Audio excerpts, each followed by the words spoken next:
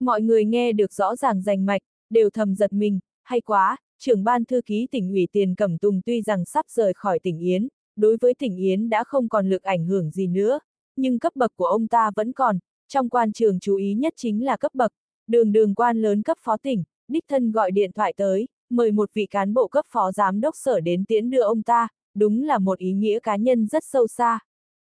Lý Hàm sắc mặt liền trở nên khó coi. Tiền Cẩm Tùng là người thủ đô, ở thủ đô có hậu thuẫn, lần này đi tỉnh lĩnh Nam, chậm thì 2 năm, lâu thì 3 năm, nhất định tiến cao thêm một bước, tiến vào danh sách cấp chính tỉnh. Tỉnh lĩnh Nam từ trước nổi tiếng là tỉnh cho gia quan lớn, nói không chừng một lúc nào đó tiền cẩm tùng nhanh chóng biến hóa, sau khi điều quay về thủ đô liền vào bộ chính trị.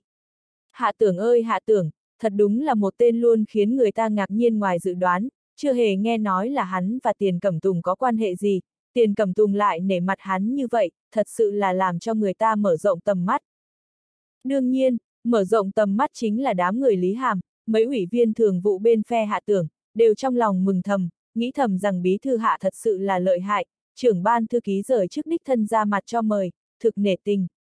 Cũng không biết bí thư hạ còn có quan hệ gì ẩn giấu chưa công bố không đây, đi theo hắn, xem ra là lựa chọn chính xác. Hạ tưởng nói chuyện điện thoại xong, hướng mọi người cười nhận lỗi. Chúng ta tiếp tục họp. Còn chưa dứt lời, điện thoại lại vang, Triều Vĩ Cương vẻ mặt ngượng nghịu, tuy nhiên bên trong sự ngượng nghịu mơ hồ để lộ ra vẻ đắc ý. Lãnh đạo, lại là tỉnh ủy gọi đến. Hôm nay làm sao vậy? Mọi người mắt to mắt nhỏ nhìn nhau, anh nhìn tôi, tôi nhìn anh, cũng không biết sốt cuộc diễn màn nào nữa. Lý Hàm sắc mặt càng kém, gần như sắp phải nhỏ giọt ra nước. Kỳ thật sự tình hôm nay cũng là chuyện xảy ra bất chợt, hoàn toàn không phải là hạ tưởng cố ý an bài, ngay cả hạ tưởng cũng cảm thấy không ngờ, sao hôm nay cứ nhận được điện thoại tỉnh ủy, lại là ai đây? Hắn nhận máy, còn chưa kịp nói gì, bên kia đường dây liền truyền đến một thanh âm quen thuộc hơi có chút giọng miền Nam. Hạ tưởng, tôi là Vương Bằng Phi, hiện tại ở tỉnh ủy, ngày mai chính thức nhận chức, cậu có tiện tham gia nghi thức nghênh đón hay không? Trưởng ban thư ký tỉnh ủy rời chức chủ động hẹn hắn đến tiễn đưa, trưởng ban thư ký tỉnh ủy sắp nhậm chức chủ động mời hắn tới đón tiếp, nhân sự tỉnh ủy biến đổi, đối với mạng lưới quan hệ của hạ tưởng chẳng những không có chút ảnh hưởng, ngược lại khiến cho tầm quan trọng của hắn càng thêm nổi bật. Hạ tưởng vội vàng đáp ứng. Nhất định, nhất định, trưởng ban thư ký vương nhậm chức, tôi có thể tham dự nghi thức nghênh đón, là vinh hạnh của tôi. Cảm tạ lời mời của trưởng ban thư ký, cảm tạ lãnh đạo đã tín nhiệm. Lạch kẹt, một tiếng, Lý Hàm đang làm bộ không chút để ý lau kính mắt nhưng thực ra đang chăm chú lắng nghe nội dung cuộc điện thoại của Hạ Tưởng, bỗng nhiên khiếp sợ, lỡ tay đánh rơi cặp mắt kính lên bàn, lập tức thu hút ánh mắt mọi người. Lý Hàm cũng không muốn trở thành trung tâm của mọi người vào bây giờ, ông ta hiện tại có chút khó xử bốn bề thọ địch, lại bị ánh mắt mọi người nhìn chằm chằm, có ánh mắt vui sướng khi người gặp họa, có ánh mắt đầy sự nghi ngờ, có ánh mắt không biết làm sao, còn có ánh mắt là trưng cầu, Lý Hàm liền cảm giác như mũi nhọn ở lưng, trên mặt phát sốt, bình sinh lần đầu tiên trong cuộc đời bị dồn ép tới cảnh cùng đường gần như không đường thối lui.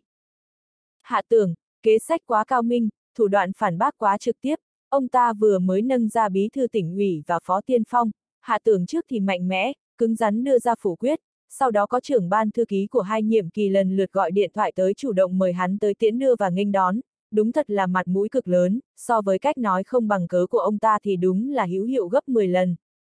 Lần đầu tiên giáp mặt so chiêu ở hội nghị thường vụ, sự mạnh mẽ, cứng rắn và thủ đoạn của hạ tưởng, trực tiếp mang đến ảnh hưởng tâm lý đến không thể xem nhẹ cho Lý Hàm, làm cho ông ta đối với hạ tưởng này sinh ra cảm giác vừa kính sợ lại đoán không ra căn cơ. Đừng nói Lý Hàm có tâm lý kính sợ đối với hạ tưởng, tất cả ủy viên thường vụ đang ngồi đây, đều đối với hạ tưởng này sinh ra cảm xúc nói không thành tiếng, nói không rõ ràng. chương 728, chuẩn bị chiến tranh. Hạ tưởng bình thường thì vô hại đối với người và vật, thường xuyên tươi cười đón chào với mọi người, trước kia họp cũng là vẻ mặt ôn hòa, hôm nay lại đột nhiên làm khó dễ, thái độ cứng rắn, mạnh mẽ mà còn ép tới đường cùng, hoàn toàn khác hẳn so với con người bình thường của hắn, khiến cho không ít người đối với hắn sinh ra khó hiểu, rốt cuộc hạ tưởng là một người có tính cách gì. Hạ tưởng không để ý tới suy đoán của mọi người, hắn cúp điện thoại, cười cười qua loa. Thật có lỗi làm lỡ mất thời gian của các đồng chí, về đề tài thảo luận hôm nay, còn ai có ý kiến gì khác không? Lý Hàm há mồm ra, chưa kịp nói, biện tú linh vuốt tóc một cái, cười rất tao nhã. Ủy ban kỷ luật nếu tra vấn đề kinh tế của một cán bộ, cũng là phải nắm giữ chứng cớ nguyên vẹn trước, mới có thể tra án. Nhà đầu tư định giá là hoạt động thuộc về thị trường, khẳng định có suy xét thương mại của bọn họ, chúng ta trước khi chưa thăm dò tình trạng liền mạo muội hẹn gặp thương lượng với nhà đầu tư, là hành vi không chín chắn, tôi kiên trì phản đối. Theo sau, Trần Thiên Vũ, Phó Hiểu Bân, Hoàng Kiến Quân, Trang Thanh Vân đều phát biểu ý kiến phản đối. Ý vị sâu xa nhất chính là, Đằng Phi sau khi do dự một lát, cuối cùng cũng là bầu phiếu chống, cùng hạ tưởng duy trì nhất trí, cũng là lần đầu tiên trong vấn đề lớn ở hội nghị thường vụ, y đứng về phía hạ tưởng. Mộ Duẫn Sơn nhìn Đằng Phi hồi lâu, ánh mắt phức tạp, trong ánh mắt đều là bất mãn và khó hiểu. Lý Hàm lần đầu tiên giáp mặt tiến công, nhận lấy kết cục thảm bại, ông ta không cam lòng, sau khi tan họp, lập tức gọi điện thoại cho Phó Tiên Phong. Phó Tiên Phong nghe xong Lý Hàm báo cáo, trong lòng kinh ngạc hạ tưởng cứng rắn, mạnh mẽ ngoài dự đoán mọi người, trong lòng lại càng dấy lên lửa giận hừng hực. Y lửa giận thiêu đốt trong lồng ngực, thật ra là bởi vì Triệu Tiểu Phong gọi điện thoại cho Y, nói với Y về sự thật thấy được Hạ Tưởng và Phó Tiên Tiên ở cùng một chỗ. Hơn nữa, Phó Tiên Tiên còn thân thiết nút sinh gâm cho Hạ Tưởng, giống như đôi nam nữ đang yêu cuồng nhiệt.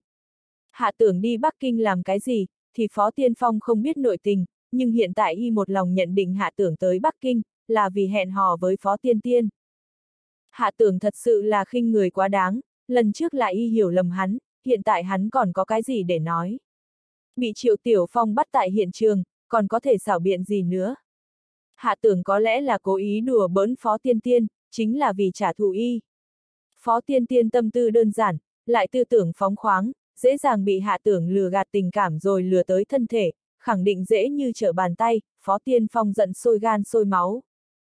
Đương nhiên, bây giờ y sẽ không kích động, muốn đằng sau ra tay hại hạ tưởng. Có vết xe đổ lần trước, y cũng không muốn lại tái phạm một sai lầm những hai lần. Chỉ có điều y càng không ngờ tới, kế sách vây ngụy cứu triệu của y, kế sách lợi dụng Lý Hàm lấy danh nghĩa chính phủ hẹn gặp các nhà đầu tư khai phá tiến hành áp chế phương diện giá cả, mà lại bị hạ tưởng mạnh mẽ, cứng rắn áp chế, thì trong lòng lại càng tức giận khó tiêu. Phó Tiên Phong tạm thời nuốt xuống cơn ác khí trong lòng, dù sao y sắp nhậm chức thị trường, hơn nữa phó bí thư thành ủy và trưởng ban thư ký thành ủy cũng sắp đổi người, trưởng ban thư ký là Phạm Duệ Hằng đề danh, có lẽ sẽ không tiếp cận y, nhưng ứng cử viên phó bí thư thành ủy là thôi hướng đề danh, không cần hoài nghi khẳng định là đồng minh kiên định với y. Hơn nữa lai lịch phó bí thư thành ủy, không có mấy người rõ. Bởi vậy, trong thành ủy, thế lực y đại trướng, mơ hồ bức ép được cả Hồ Tăng Chu. Nếu không có hạ tưởng trợ giúp, Hồ Tăng Chu trong thành ủy vẫn là thế cô sức yếu. Nhưng hạ tưởng nhanh chóng tiếp cận Hồ Tăng Chu, liền càng khiến cho Phó Tiên Phong đối với hạ tưởng căm hận càng sâu sắc. Có thể nói hạ tưởng đối nghịch y ở mọi mặt, nếu hạ tưởng kiên định cùng Hồ Tăng Chu đứng chung một chỗ, mạng lưới quan hệ phía sau hắn cũng gắn bó cùng một chỗ với Hồ Tăng Chu, kể từ đó, Hồ Tăng Chu tuyệt đối sẽ có thể đè đầu y. Hay cho một hạ tưởng, thật đúng là khắc tinh trong đời y. Phó Tiên Phong đi tới đi lui trong phòng làm việc, đột nhiên liền hạ quyết tâm, cầm lấy điện thoại gọi cho Dương Quốc Anh. Chủ tịch Dương, trang trại chăn nuôi khi nào thì có thể xây dựng xong. Bí thư phó chào ngài, ồ, sắp tới sẽ đổi gọi là thị trưởng phó, ha ha. Giọng điệu Dương Quốc Anh so với tuổi bà ta có vẻ trẻ hơn nhiều, người không biết, chỉ nghe thanh âm bà ta còn tưởng rằng mới chỉ hơn 30 tuổi, trên thực tế, bà ta đã đã sắp 50 rồi. Một trang trại chăn nuôi nho nhỏ cũng khiến bí thư phó quan tâm, thật ngại quá đi thôi. Phó Tiên Phong ha hả cười. Chủ tịch Dương, tôi và bà không phải người ngoài, không cần phải nói lời khách sáo, trang trại chăn nuôi là căn bản của tập đoàn Tứ Nghiêu, tôi đương nhiên phải quan tâm. Hơn nữa, tôi còn có trọng dụng, trước mùa hè, có thể khánh thành hay không? Có thể, chỉ cần bí thư phó có yêu cầu về kỳ hạn công trình, tập đoàn Tứ Nghiêu sẽ tập trung toàn bộ tinh lực nhất định sẽ xây dựng xong trang trại chăn nuôi trước mùa hè. Dương Quốc Anh hiểu rõ tâm tư Phó Tiên Phong, bởi vì Phó Tiên Phong đã tiết lộ qua với bà, phải lợi dụng trang trại chăn nuôi bò sữa để hành động, dùng bò tạo thêm phiền toái cho hạ tưởng. Xây dựng thế nào? Xây với quy mô gì? Nhập khẩu bao nhiêu bò, cần mấy con bệnh, chỉ còn chờ một câu của ngài thôi. Phó Tiên Phong tâm tình tốt hẳn lên, Dương Quốc Anh rất biết làm việc, một chút là hiểu thấu tất cả, là chỗ mà y xem trọng bà ta nhất. Cụ thể chi tiết, tôi sẽ cho Quách Lục tiếp xúc với bà. Quách Lục là do Lý Hàm dẫn tiến, luôn hướng y tỏ vẻ trung thành. Cho dù Phó Tiên Phong cũng không cho rằng Quách Lục đáng tin cậy có thể sử dụng, nhưng thủ đoạn của y là, lợi dụng một việc gắn kết Quách Lục bên y, nếu Quách Lục còn muốn đầu quân bên hạ tưởng, sẽ trả giá bằng tiền đồ. Đạo lý dùng người an toàn nhất, chính là ích lợi chưa chắc cùng hưởng, nhưng mạo hiểm phải cùng chia, sẽ không cho đối phương có bất cứ ý tưởng không an phận nào. Buông điện thoại, Phó Tiên Phong ngồi trở lại ghế sofa rộng thùng thình, nhìn quanh văn phòng bí thư phó, trong lòng vẫn có một tia đắc ý, y rốt cục được ngồi trên ngai vàng thị trưởng thành phố Yến rồi, theo lịch trình hàng ngày của vòng kinh tế Bắc Kinh sắp tới gần, tầm quan trọng của tỉnh Yến càng ngày càng cao, thành phố Yến cũng sẽ nước lên thì thuyền lên, trở thành tiêu điểm được thế lực khắp nơi quan tâm. Y có thể thuận lợi ngồi trên ngai vàng thị trường, chẳng những có thể lấy lại lòng tin trước mặt bác cả và chú Tư, cũng càng thêm củng cố địa vị Y trong gia tộc khi hiện tại tuổi còn trẻ thì đã là cấp phó tỉnh, là đời thứ ba phó gia trong giai đoạn hiện nay có tiền đồ nhất có hy vọng nhất. Về sau người cầm lái phó gia, không ai ngoài Y. Hạ tưởng, chẳng qua chỉ là thằng hề nhỏ mà thôi, hắn làm sao biết mình đang âm thầm bố cục cái gì, tiếp theo tổng thể thế nào. Hắn làm sao biết bao gồm tập đoàn Tứ Nghiêu ở trong ngành sản xuất sản phẩm sữa cả nước gần như đều do phó gia khống chế. Hắn làm sao biết Nguyên Minh Lượng ở quận Hạ Mã bố cục đã tới hồi khẩn cấp, sắp kết thúc cuối cùng, sau đó để lại cho hắn một cục diện rối rắm khổng lồ. Ha ha, hạ tưởng chờ khóc nhè đi mày. Không khóc cũng được, dù sao hắn không có tiền đồ gì, Phó Tiên Phong đắc ý suy tưởng, trang trại chăn nuôi tập đoàn Tứ Nghiêu xảy ra sự cố trọng đại về mặt an toàn, lúc hạ tưởng sứt đầu mẻ chán, kinh tế quận hạ mã lại bị đả kích trầm trọng, xem hắn còn có thủ đoạn gì để thong dong ứng phó. Y lại lên làm thị trưởng, trong thành ủy thêm mắm thêm muối một chút hạ tưởng ăn không hết cũng phải nuốt chừng mà đi. Phó Tiên Phong lại nghĩ đến y vừa mới mời một chuyên gia đang nghiên cứu vấn đề chất phụ da, trong lòng lại càng đắc ý vô cùng. Triệu Tiểu Phong cũng là người tài ba, một câu nói toạc ra thiên cơ, trong sữa bột cho tăng thêm một vài thứ, có thể đánh dấu nhiều thêm thành phần dinh dưỡng, thật sự diệu kế. Kế tiếp, y lại có thể mang đến một món hời lớn cho phó gia, đợi sau khi sữa bột bán chạy, cũng không biết chú Tư sẽ giật mình như thế nào, xem trọng y như thế nào. Trên chính trị đảm nhiệm thị trường thành phố Yến, trên kinh tế xúc tiến sự nghiệp phát triển mạnh, Phó Tiên Phong biết rõ, địa vị y ở phó gia sẽ càng thêm củng cố, có hy vọng khi ông cụ còn sinh thời, nắm giữ thân phận người cầm lái của phó gia. Phó Tiên Phong không biết Hạ Tưởng đang bố cục gì, còn Hạ Tưởng lại biết Phó Tiên Phong đang bố cục thế nào, nhưng cũng là chỉ biết một mà không biết hai, song phương đều chiêng chống dùm beng mà gia tăng chuẩn bị chiến tranh, có lẽ, là thành là bại rất nhanh sẽ cho ra kết quả. Cũng không biết trong trận đụng độ kịch liệt tiếp theo sau, ai sẽ là người cười đến phút chót. Ngày hôm sau, Hạ Tưởng đến tiễn đưa tiền cầm tùng. Trước mặt lãnh đạo tỉnh ủy, Hạ Tưởng nói cười với Phạm Duệ Hằng, bắt tay cùng Tống Chiêu Độ, thỏ thẻ với Mai Thái Bình, vô cùng thân thiện với Lý Ngôn Hoàng, cũng nói cười thân thiết với Cao Tấn Chu, trong mắt phần đông lãnh đạo tỉnh, Hạ Tưởng thật đúng là một người trẻ tuổi làm cho người ta bắt đoán không tới. Bí thư quận ủy nhỏ nhoi, sao có thể có quan hệ chặt chẽ với nhiều lãnh đạo tỉnh như vậy? Xã giao mặt ngoài của Hạ Tưởng, vừa là trình tự phải có trên trường hợp, cũng là cố ý khiến Diệp Thạch Sinh và Thôi Hướng nhìn thấy, làm cho trong lòng bọn họ có thêm một ít so đo. Chủ yếu vẫn là cho Diệp Thạch Sinh xem, khiến Diệp Thạch Sinh biết rõ, hắn trong tỉnh ủy, vẫn còn có mạng lưới quan hệ thâm hậu. Khi bắt tay cùng Diệp Thạch Sinh, thái độ hạ tưởng vô cùng cung kính, Diệp Thạch Sinh lại có một chút cảm xúc xa cách thản nhiên, cũng không nói gì thêm. Khi hạ tưởng thấy không ai chú ý, không để lỡ cơ hội nói một câu. Bí thư Diệp, lần trước Chủ tịch Thành nói, do ông ta ra mặt làm chủ, mời ngài ngồi lại cùng ăn một bữa với nhau. Diệp Thạch Sinh chỉ nhẹ nhàng, ồ, một tiếng, không có nói tiếp, lại hỏi. Đồng chí bằng phi nhậm chức, cậu cũng đi nghênh đón phải không? Hạ tưởng gật đầu. Trưởng ban thư ký vương ngày hôm qua cũng gọi điện thoại cho tôi, cần phải đi. Năm đó khi trưởng ban thư ký ở thành ủy, đối với tôi chiếu cố không ít, là lãnh đạo cũ. Một câu, lãnh đạo cũ, đầy thâm ý, Diệp Thạch Sinh rốt cục hơi biến đổi sắc mặt, cũng không biết là mừng hay là oán mà nói một câu.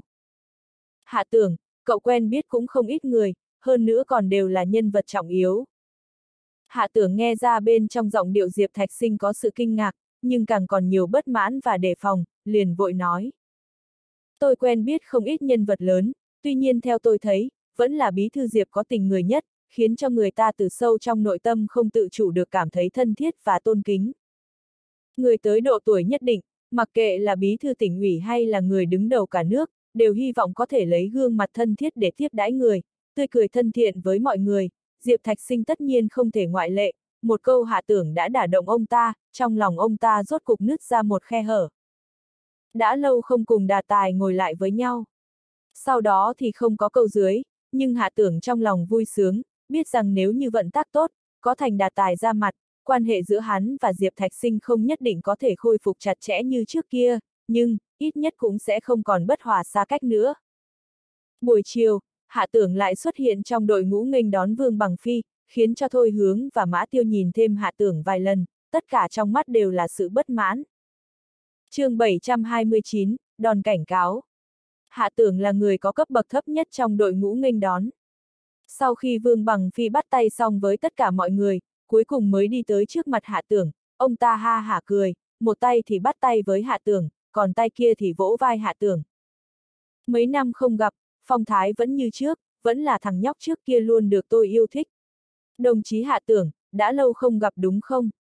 Thái độ thăm hỏi thân thiết ân cần khác với mọi người, khiến tất cả mọi người đều thầm giật mình, Tống chiêu độ cho dù biết giữa Hạ Tưởng và Vương Bằng Phi từng có kết giao cũng rất là khó hiểu, quan hệ của Hạ Tưởng và Vương Bằng Phi trước kia dường như không được chặt chẽ thế này, thế sao hiện tại sau khi Vương Bằng Phi trở về, ngược lại hình như quan hệ cùng Hạ Tưởng tiến gần thêm một bước. Nguyên nhân bên trong đương nhiên chỉ có Hạ Tưởng biết rõ nhất, không chỉ vì hắn luôn chiếu cố Vương Lâm Kiệt, còn có tác dụng bắt cầu của hắn trong quá trình Vương Bằng Phi thuận lợi đảm nhiệm trưởng ban thư ký tỉnh ủy. Tuy rằng Hạ Tưởng chỉ thuận nước đẩy thuyền biết thời biết thế, nhưng ở trong mắt người ngoài, dường như là hắn đã khơi dậy tác dụng mấu chốt. Sau khi việc thay đổi nhân sự tỉnh Yến hạ màn, theo sau, ngày 10 tháng 3, Trung ương quyết định, đồng chí Trần Phong đảm nhiệm phó chủ nhiệm Ủy ban Kế hoạch và Phát triển, không còn đảm nhiệm chức bí thư thành ủy thành phố Yến, đồng chí Hồ Tăng Chu đảm nhiệm ủy viên thường vụ tỉnh ủy tỉnh Yến, bí thư thành ủy thành phố Yến, không còn đảm nhiệm chức vụ thị trưởng thành phố Yến, đồng thời, tỉnh ủy tỉnh Yến thông qua quyết nghị, đề danh đồng chí Phó Tiên Phong làm phó thị trường, đại diện thị trường, bổ nhiệm trừ vệ là ủy viên thành ủy. Ủy viên thường vụ, phó bí thư thành phố Yến, bổ nhiệm Nhạc Minh là ủy viên thành ủy, ủy viên thường vụ, trưởng ban thư ký thành phố Yến, đồng chí Lý Đinh Sơn không còn đảm nhiệm chức vụ ủy viên, ủy viên thường vụ, trưởng ban thư ký thành ủy thành phố Yến, sẽ có phân công khác. Một loạt bổ nhiệm được thông qua, tất cả mọi người đều suy đoán xem Trử vệ là người ra sao, nhạc minh lại là người nào. Bởi vì hai người trước kia dường như chưa từng xuất hiện ở trong tầm mắt công chúng, phút chốc liền trở thành quan lớn cấp giám đốc sở, hơi ngoài dự đoán của mọi người, cũng có chút khiến cho người ta không hiểu ra sao cả. Hạ tưởng ngồi trong phòng làm việc, đã điều tra rõ lý lịch của Trử vệ và nhạc minh.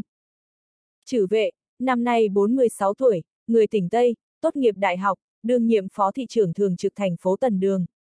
Nhạc Minh, năm nay 48 tuổi, người tỉnh An, có bằng cấp nghiên cứu sinh, đương nhiệm phó bí thư thành ủy Thành Nghiêu. Hai người đều là chức phó, đều là phó giám đốc sở. Chử vệ làm phó thị trưởng thường trực ở thành phố Tần Đường, tuy rằng thành phố Tần Đường là thành phố lớn, nhưng trừ vệ dù gì cũng là chức phó. Thành phố Tần Đường lại cách thành phố Yến khá xa, hơn nữa lại nằm phía bắc Bắc Kinh, bình thường người dân thành phố Yến chỉ biết đến Bắc Kinh mà thôi, sẽ không chú ý đến tình hình phía bắc Bắc Kinh, bởi vậy, không ai biết trừ vệ là người ra sao cũng chẳng có gì lạ. Nhạc Minh là phó bí thư thành ủy Thành Nghiêu, Thành Nghiêu tuy rằng cách thành phố Yến rất gần, nhưng Thành Nghiêu là một trong 11 thành phố tại tỉnh Yến, một không nổi danh hai không đặc sắc, giống với thành phố Thủy Hằng, thuộc loại thành phố không có tiếng tăm gì nhìn lên không bằng ai, nhìn xuống vẫn còn hơn khối người, thậm chí còn không nổi danh bằng thành phố chương trình. Dù gì thì thành phố chương trình là thành thị bần cùng lạc hậu nhất toàn tỉnh thường được mọi người nhắc tới, thế mà thành phố Nghiêu vừa không giàu có, vừa không lạc hậu, thì lại rất ít người biết đến. Một phó bí thư thành ủy của thành phố có rất ít người nhắc tới, tự nhiên càng ít người nhớ tên tuổi. Hiện tại tốt làm sao, chẳng những một bước tiến vào hàng ngũ quan lớn cấp giám đốc sở, còn trở thành trưởng ban thư ký thành ủy thành phố Yến, làm cho người ta có cảm giác giống như là một bước nhảy vào trong tầm mắt mọi người. hạ tưởng từ trong lý lịch trừ vệ và nhạc minh, phát hiện một ít manh mối. Trừ vệ là ứng cử viên thôi hướng để danh, nhưng từ trên lý lịch của y mà xem, thì không thấy có bất cứ gì liên can tới thôi hướng, tuy nhiên trừ vệ từng trải qua công tác ở thủ đô, không xem xét kỹ thì không thấy gì, cẩn thận mà xem thì khiến cho hạ tưởng âm thầm kinh hãi, không may trên thực tế trừ vệ cũng là người của phó gia. Nếu như quả thật như vậy, chẳng khác nào phó tiên phong và thôi hướng một tay che mắt thiên hạ. Trí tuệ chính trị phó tiên phong bành trướng, so với thủ đoạn trầm ổn trước kia thì đanh đá chua ngoa hơn rất nhiều, xem ra, sau này thật đúng là khó đối phó. Nhạc Minh cũng không có chỗ nào quá kỳ lạ, vẫn đi từng bước làm từng bước mà thăng lên, về phần ông ta vì sao chiếm được sự yêu ái của Phạm Duệ Hằng thì không biết, hạ tưởng cũng chẳng thèm để ý. Từ miệng nghiêm tiểu thì hoặc Phạm Tranh khẳng định có thể có được tin tức hữu dụng, nhưng không cần thiết, nếu lỡ khiến Phạm Duệ Hằng bất mãn thì lúc đó mất nhiều hơn được. Ngày 15 tháng 3, thành phố Yến mở cuộc họp hội nghị hội đồng nhân dân, chính thức tuyển cử Phó Tiên Phong là thị trưởng thành phố Yến, tương đương với việc bổ nhiệm Phó Tiên Phong là thị trưởng, thông qua trình tự pháp định, Phó Tiên Phong danh chính ngôn thuận trở thành người thứ hai ở thành phố Yến. Điện thoại chúc mừng không ngừng reo, sau khi Phó Tiên Phong nhận lời chúc mừng của tất cả đồng sự thành ủy, lại nhận được một số cuộc điện thoại chúc mừng ở tỉnh, theo sau, lại có điện thoại các quận huyện liên tục gọi tới. Quả nhiên là quầng sáng trói mắt của thị trường, quả nhiên là vị trí nhân vật số 2 của thành phố Yến thu hút sự quan tâm của mọi người, so với khi y đảm nhiệm phó bí thư, thì huy hoàng hơn nhiều. Trong khoảng thời gian ngắn, nhân sự thành ủy thành phố Yên thay đổi, tâm tư người biến đổi.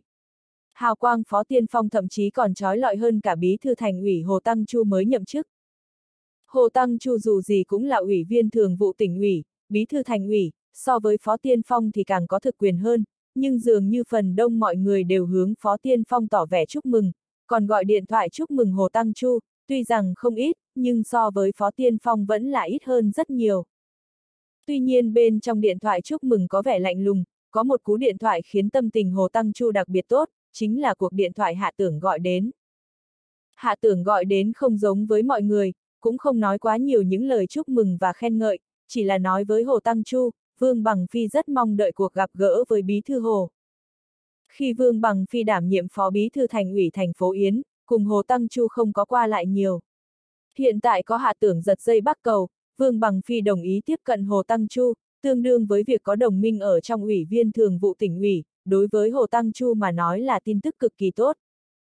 Trên đây, chẳng qua là một trong rất nhiều thủ đoạn của hạ tưởng nhằm ứng đối Phó Tiên Phong nhậm chức mà thôi, hắn cũng dựa theo lệ thường hướng Phó Tiên Phong tỏ vẻ chúc mừng, sau khi cúp máy, liền cùng Trần Thiên Vũ đi tới tiểu khu Giang Sơn như họa của bất động sản Giang Sơn. Tham dự nghi thức bắt đầu phiên giao dịch của bất động sản Giang Sơn.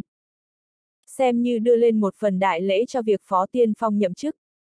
Hạ Tưởng và Trần Thiên Vũ tham gia nghi lễ bắt đầu phiên giao dịch nhà ở cho người thu nhập thấp của bất động sản Giang Sơn. Trên nghi lễ, Hạ Tưởng có lời phát biểu, lên giọng khen ngợi bất động sản Giang Sơn đầu tư kiến tạo khu nhà ở cho người thu nhập thấp, là vì sự phát triển của kinh tế quận Hạ Mã làm ra cống hiến thật lớn, là vì suy nghĩ cho dân chúng, cụ thể thể hiện việc đem ích lợi dân chúng đưa lên vị trí đầu tiên, đáng để nhà đầu tư học tập.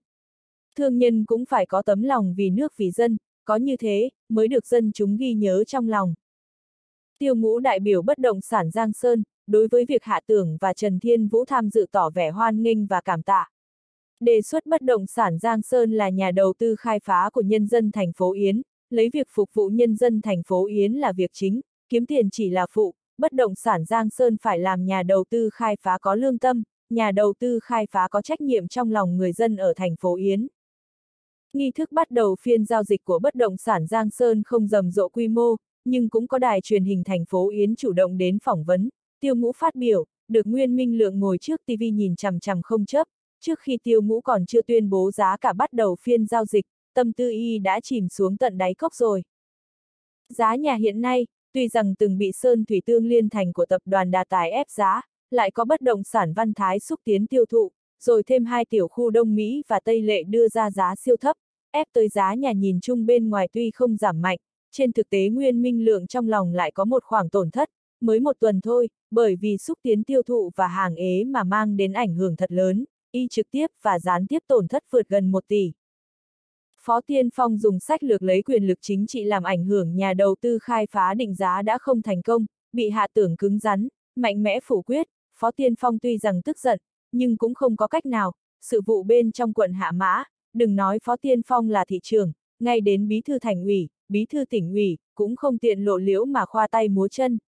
Trừ phi quận Hạ Mã có vấn đề nghiêm trọng xuất hiện, Phó Tiên Phong có thể thêm mắm thêm muối mà bôi đen hạ tưởng, nhưng hiện tại trật tự giành mạch, lãnh đạo cấp trên sẽ không dễ phủ quyết tính độc lập và quyền uy của đảng ủy bậc 1, sự tình trong quan trường, cần phải đứng ở độ cao chính trị để đối đãi vấn đề.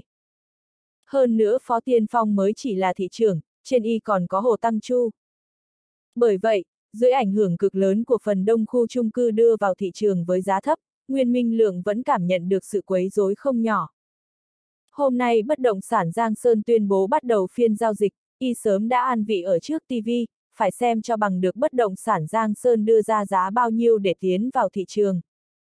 Bất động sản Giang Sơn ở địa điểm xa xôi, cùng khí thế hừng hực xúc tiến tiêu thụ của giá nhà ở quận Hạ Mã hiện tại dường như không liên quan nhau. Nhưng theo lâu dài mà xem, vẫn là có thể gián tiếp ảnh hưởng đến toàn bộ thị trường bất động sản quận Hạ Mã, bởi vì tiểu khu Giang Sơn như họa của bất động sản Giang Sơn, quy mô quá lớn, chiếm hơn 1.000 mẫu đất, kết nối với nhau thành một, giống như một thôn xóm nhỏ. Nếu giá cả đủ thấp, sẽ là lực sát thương gây chết người. Tiêu ngũ dường như biết được có người rất là quan tâm giá cả bắt đầu phiên giao dịch của tiểu khu Giang Sơn như họa, phát biểu xong, lại không công bố giá cả bắt đầu phiên giao dịch, mà trao lại chỗ lễ đài cho Trần Thiên Vũ. Trần Thiên Vũ lên đài phát biểu, theo thường lệ vẫn là những lời nói khách sáo của giới quan lại, nói nửa ngày, ông mới đi vào đề tài chính, tung ra một cái giá thấp đến kinh người. Giá bắt đầu phiên giao dịch của tiểu khu Giang Sơn như họa là 1.980 tệ trở lên. Nguyên Minh Lượng vốn ngồi trên sofa, y cố gắng đứng lên một cái, vẫn chưa đứng lên, chỉ cảm thấy choáng váng hoa mắt, thiếu chút nữa té xỉu. Y vốn cao huyết áp, bình thường còn đỡ, chú ý ăn uống và quy luật sống, bình thường sẽ không đau đầu, hôm nay lại nhất thời kích động, khó tránh khỏi huyết áp lên cao, thiếu chút nữa phát bệnh.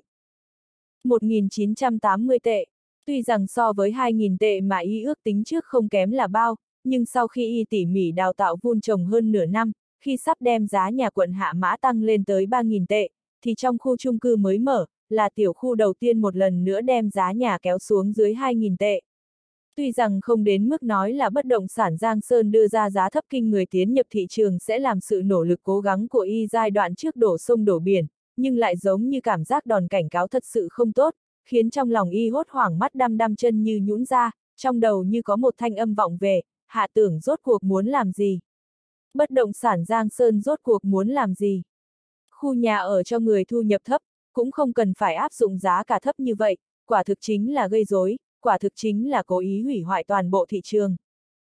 Mặc cho Nguyên Minh Lượng trong lòng hiểu rõ, cái giá 1.980 tệ có lẽ cũng chỉ là một ngụy trang, chỉ có điều một kỹ xảo thương mại quá thu hút, có lẽ toàn bộ tiểu khu Giang Sơn như họa cũng chỉ có một tòa căn hộ với giá 1.980 tệ, nhưng ý nghĩa tượng trưng sâu xa này, làm cho người ta có cảm giác khác biệt rất lớn, nhất là ở trong mắt người tiêu thụ, sẽ cho rằng giá nhà quận Hạ Mã sẽ có không gian giảm giá vô cùng rộng lớn, người cầm tiền đi mua, sẽ tăng nhiều. chương 730, quan trọng nhất trong quan trọng. Người tiêu thụ thông thường là mua tăng không mua giảm. Nếu tạo thành cảm giác sai là giá nhà có không gian giảm xuống, nếu mọi người đều ở thái độ trông ngóng, thì đối với Nguyên Minh Lượng muốn cúa một khoản rồi phủi mông bỏ chạy lấy người mà nói là bất lợi nhất. Y cũng chẳng có chuẩn bị tâm lý đánh lâu dài. Quận Hạ Mã bình thường đã hơi có chút dấu hiệu bình ổn thị trường bất động sản, sẽ nổi lên sóng gió lần nữa. Nguyên Minh Lượng miễn cưỡng đứng vững lại thân mình, trong lòng lại có dự cảm càng ngày càng không giống nhau, chẳng lẽ nói hạ tưởng thật sự có phát hiện, hết thảy những gì đã làm đều là cố ý nhằm vào thương mại trường cơ.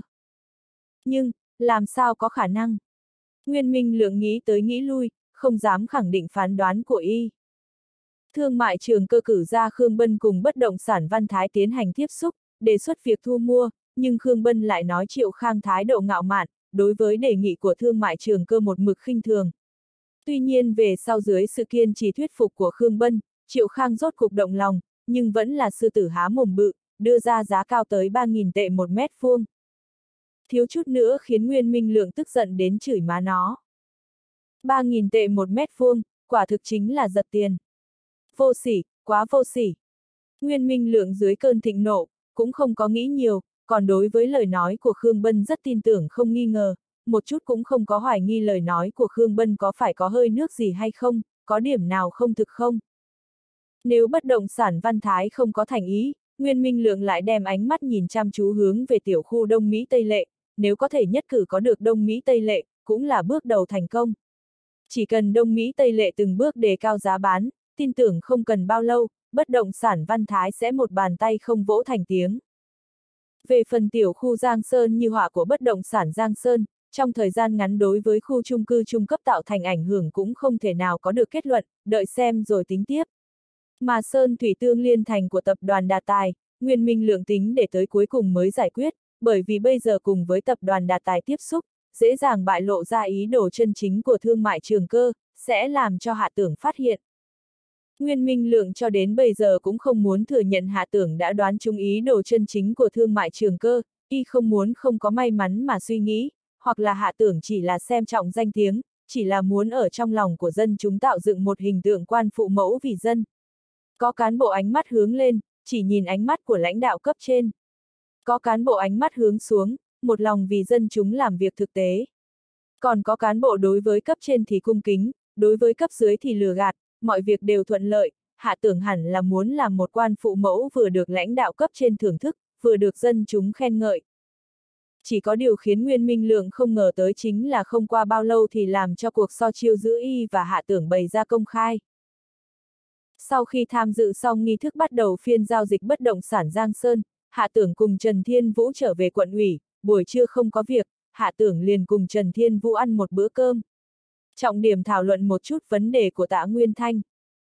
Tạ Nguyên Thanh hiện tại lập trường càng ngày càng nghiêng về Lý Hàm, rốt cuộc là xuất phát từ suy xét thế nào, Hạ Tưởng không thể hiểu hết, Trần Thiên Vũ cũng không rõ lắm, tuy nhiên Trần Thiên Vũ vẫn là hàm xúc mà hé mở đôi chút với Hạ Tưởng. Ngụ ý là, tạ Nguyên Thanh dường như chỉ là đối với bản thân Hạ Tưởng có ý kiến, vì thế y cố ý tiếp cận Lý Hàm, cố ý cùng Hạ Tưởng chống đối.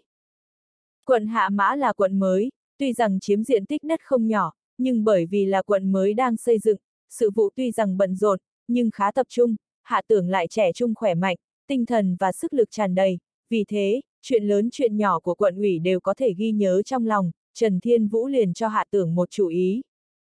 Trước kia tôi cũng từng ở trong huyện công tác qua, là một huyện họ, lúc đó là phó chủ tịch huyện, phó chủ tịch huyện thường trực, tuy rằng là ủy viên thường vụ, trên thực tế trong công tác vẫn là bó tay bó chân, bởi vì bí thư xem tôi không thuận mắt. Trần Thiên Vũ uống thêm mấy ly rượu, lại cộng thêm nguyên nhân hạ tưởng vô cùng thân quen, nên càng có thêm nhiều chuyện để nói, không có cảm giác gò bó, y tự diễu mà cười. Có thể cũng là tôi lúc đó không hiểu chuyện, phàm chuyện gì cũng thích phát biểu cao kiến, nói nhiều rồi, thì có chút đoạt lời nói của bí thư, liền làm cho bí thư đối với tôi thái độ không tốt. Bí thư đối với tôi thái độ không tốt hậu quả trực tiếp chính là tất cả mọi người đều đối với tôi thái độ không tốt, xét đến cùng vẫn là nguyên nhân huyện nhỏ, bởi vì huyện nhỏ, chuyện ít, bí thư lại trẻ tuổi lại có tinh thần và sức lực, mọi chuyện đều có thể suy xét được, ông ta không phân cấp, người khác thì mọi chuyện phải nghe theo chỉ thị của bí thư. Trần Thiên Vũ và Hạ Tưởng ăn cơm ở một tiệm cơm không lớn bên cạnh quận ủy, cơm canh cũng đơn giản, ý ban đầu của Hạ Tưởng là không uống rượu, Trần Thiên Vũ hôm nay khá là hào hứng, liền kiên chỉ muốn uống một chai, Hạ Tưởng cũng tùy ý cùng ông ta uống hai ngụm. Trần Thiên Vũ vừa tóm tắt những thiếu sót trong quá khứ, lại có ý lấy kinh nghiệm bản thân mình vì Hạ Tưởng ra chủ ý. Bí thư không phân cấp, sau khi bàn giao xuống dưới một đống công việc do tôi quản, cũng không người nào nghe. Lời nói của tôi sau khi truyền đạt xuống, mọi người đều hừ hừ ha ha, sau đó vừa quay lưng thì lại hướng bí thư hồi báo, đợi sau khi bí thư có chỉ thị rõ ràng, mới đi chấp hành. Tôi tuy rằng là phó chủ tịch huyện thường trực, trên thực tế vẫn là một cái thùng rỗng, hoàn toàn bị bí thư đoạt hết quyền lực. Trần Thiên Vũ nói có lý, huyện nhỏ có 200.000 nhân khẩu, vài cái xã, thị trấn, mấy doanh nghiệp, bí thư thời gian một ngày thì có thể chuyển xong, thì có thể hướng tất cả mọi người truyền đạt chỉ thị tinh thần, nếu như bí thư không ở trước mặt người phía dưới thay Trần Thiên Vũ chống lưng, chỉ rõ chỉ cần là công tác của Trần Thiên Vũ bố trí xuống, đều phải nghiêm khắc chấp hành, có vấn đề đề do y nhân vật số một gánh vác Trần Thiên Vũ mới có quyền uy, ngược lại bí thư không chống lưng, không lên tiếng. Đừng nói phó chủ tịch huyện thường trực, thậm chí phó chủ tịch huyện thường vụ cũng không có quyền lực lớn bao nhiêu. Nói trắng ra là, chính là diện tích quyết định ánh mắt, kinh tế quyết định quyền lực. Địa phương trực thuộc quản lý nhỏ, nhất cử nhất động đều dưới tầm mắt của bí thư, người khác muốn gian lận cũng không có khả năng. Hạ tưởng mỉm cười, biết ý Trần Thiên Vũ là bảo hắn ở trên một đống chuyện của tạ Nguyên Thanh phụ trách, tùy ý phủ quyết mấy việc, và đích thân làm ra chỉ thị, rất dễ làm cho người khác sở thấu hướng gió. Biết tạ Nguyên Thanh cũng bị bí thư đoạt mất quyền lực, sau này tạ Nguyên Thanh phân công quản lý cục trưởng, chủ nhiệm và cán bộ, sẽ đều đối với chỉ thị của tạ Nguyên Thanh bằng mặt không bằng lòng, sau đó mọi chuyện đều phải hướng hạ tưởng sáng xin chỉ thị tối báo cáo. Một bí thư quận ủy muốn đoạt hết quyền lực một ủy viên thường vụ phó chủ tịch quận, là một việc rất dễ dàng, đương nhiên điều kiện tiên quyết là, hạ tưởng có đủ thời gian và tinh lực. Quận Hạ Mã hiện tại sự tình không ít, nhưng những gì cực kỳ phức tạp đều quay chung quanh việc xây dựng kinh tế. Những chuyện mà tạ Nguyên Thanh phân công quản lý có giao nhau với phân công quản lý của Trần Thiên Vũ, từ cách nhìn đại cục mà nói, bí thư cũng có thể nhúng tay vào mọi việc. Nói cách khác, hạ tưởng muốn đối phó với tạ Nguyên Thanh, trong công tác làm cho tạ Nguyên Thanh khó xử, chẳng qua là chuyện dễ dàng, hơn nữa còn có thể mượn dùng danh nghĩa của Trần Thiên Vũ. Hạ tưởng lắc đầu cười cười. Sau này nói sau, bây giờ chưa cần thiết lấy tạ Nguyên Thanh làm lớn chuyện, ông ta vẫn chưa phải là điểm suy nghĩ của chúng ta.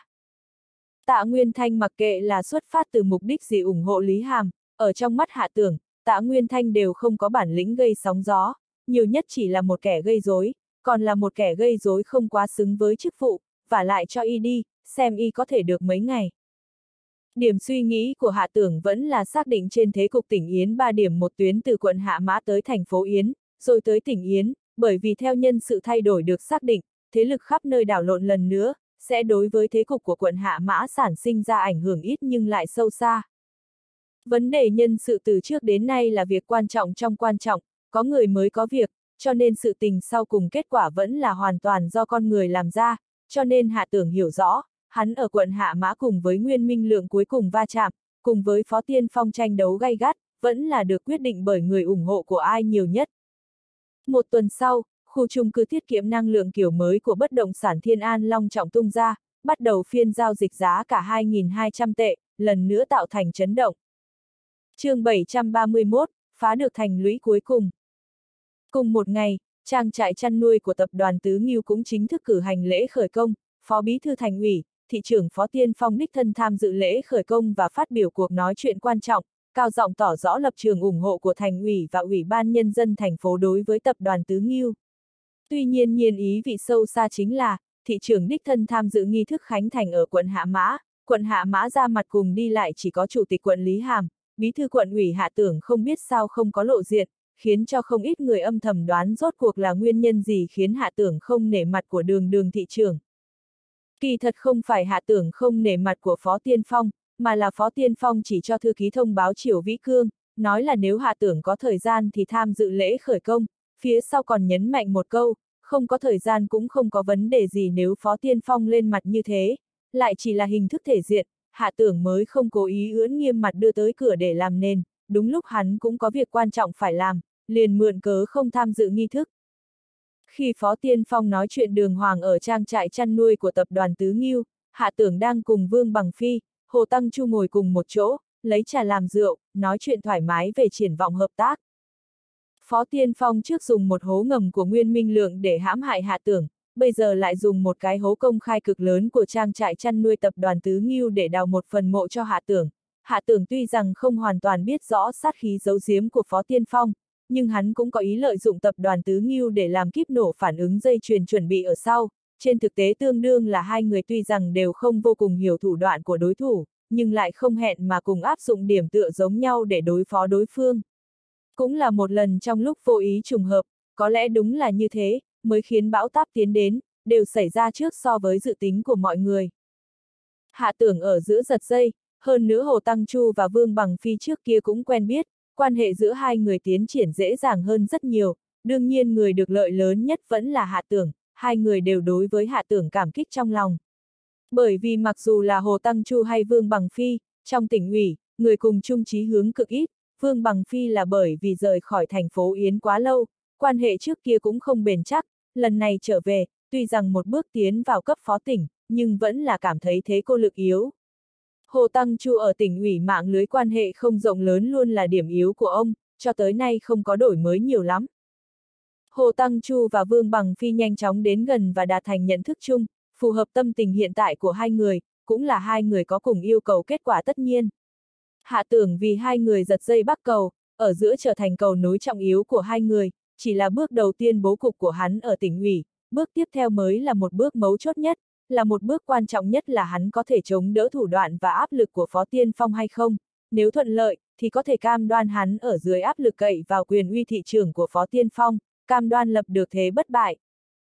Nếu thất bại, hắn có khả năng ở mặt ngoài bị thế mạnh Phó Tiên Phong áp chế, âm thầm bị Nguyên Minh Lượng đắc thủ, cuỗm hết thành tựu kinh tế của quận Hạ Mã, có kết cục thảm bại.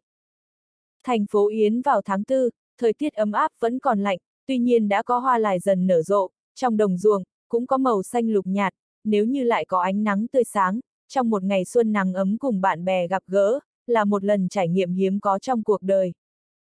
Hạ tưởng khi tới được biệt thự của Thành Đạt Tài ở đông nam thành phố Yến, nhìn thấy Thái Dương Thành đang đắm chìm trong nắng xuân, đã bước đầu chuẩn bị một khí tượng của một tòa thành hùng vĩ, hắn cũng là trong lòng vui sướng, vì Thành Đạt Tài cuối cùng sắp hoàn thành lý tưởng bước đầu trong lòng mà cảm thấy vui mừng.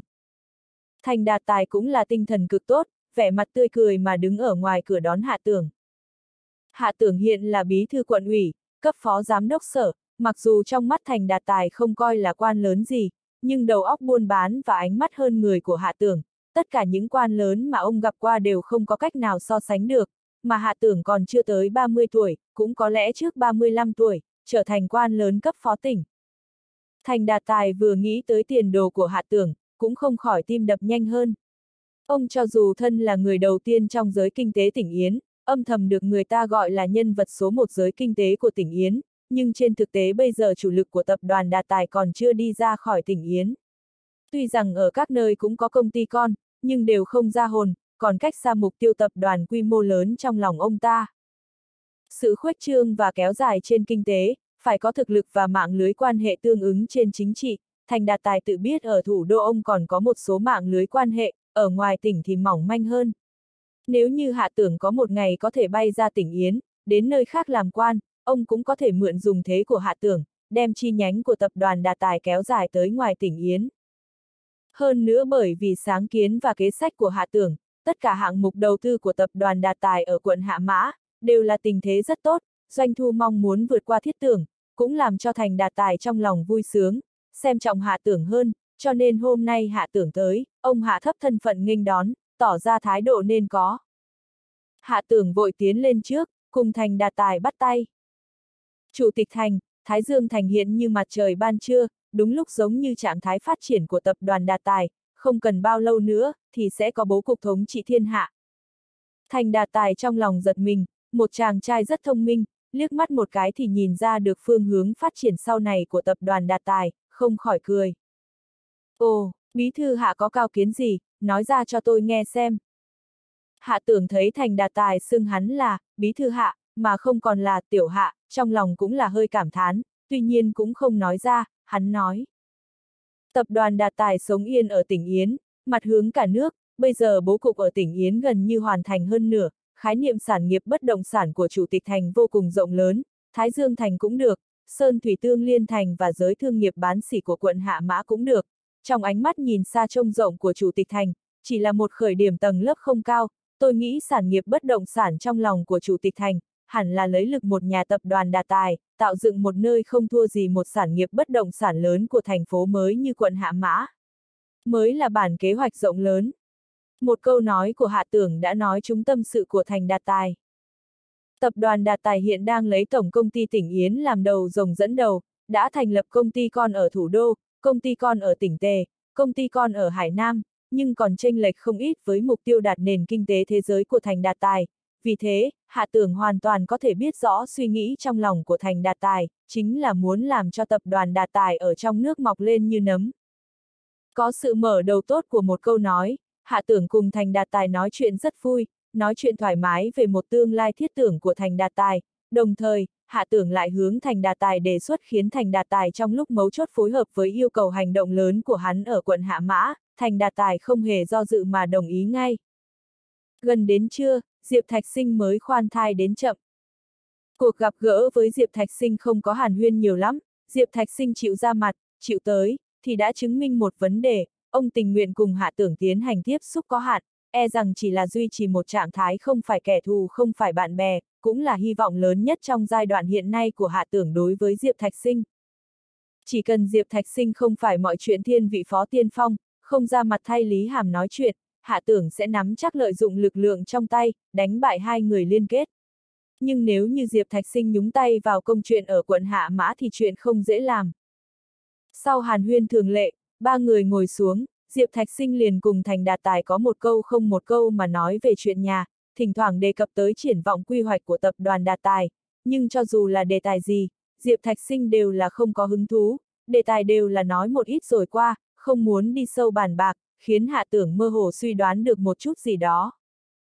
Thành Đạt Tài cũng không phải người bình thường, cũng nghe ra ý làm cho có lệ của Diệp Thạch Sinh, ông nghi ngờ mà liếc mắt nhìn hạ tưởng một cái, lại trần trừ một lát, vẫn là hỏi ra miệng.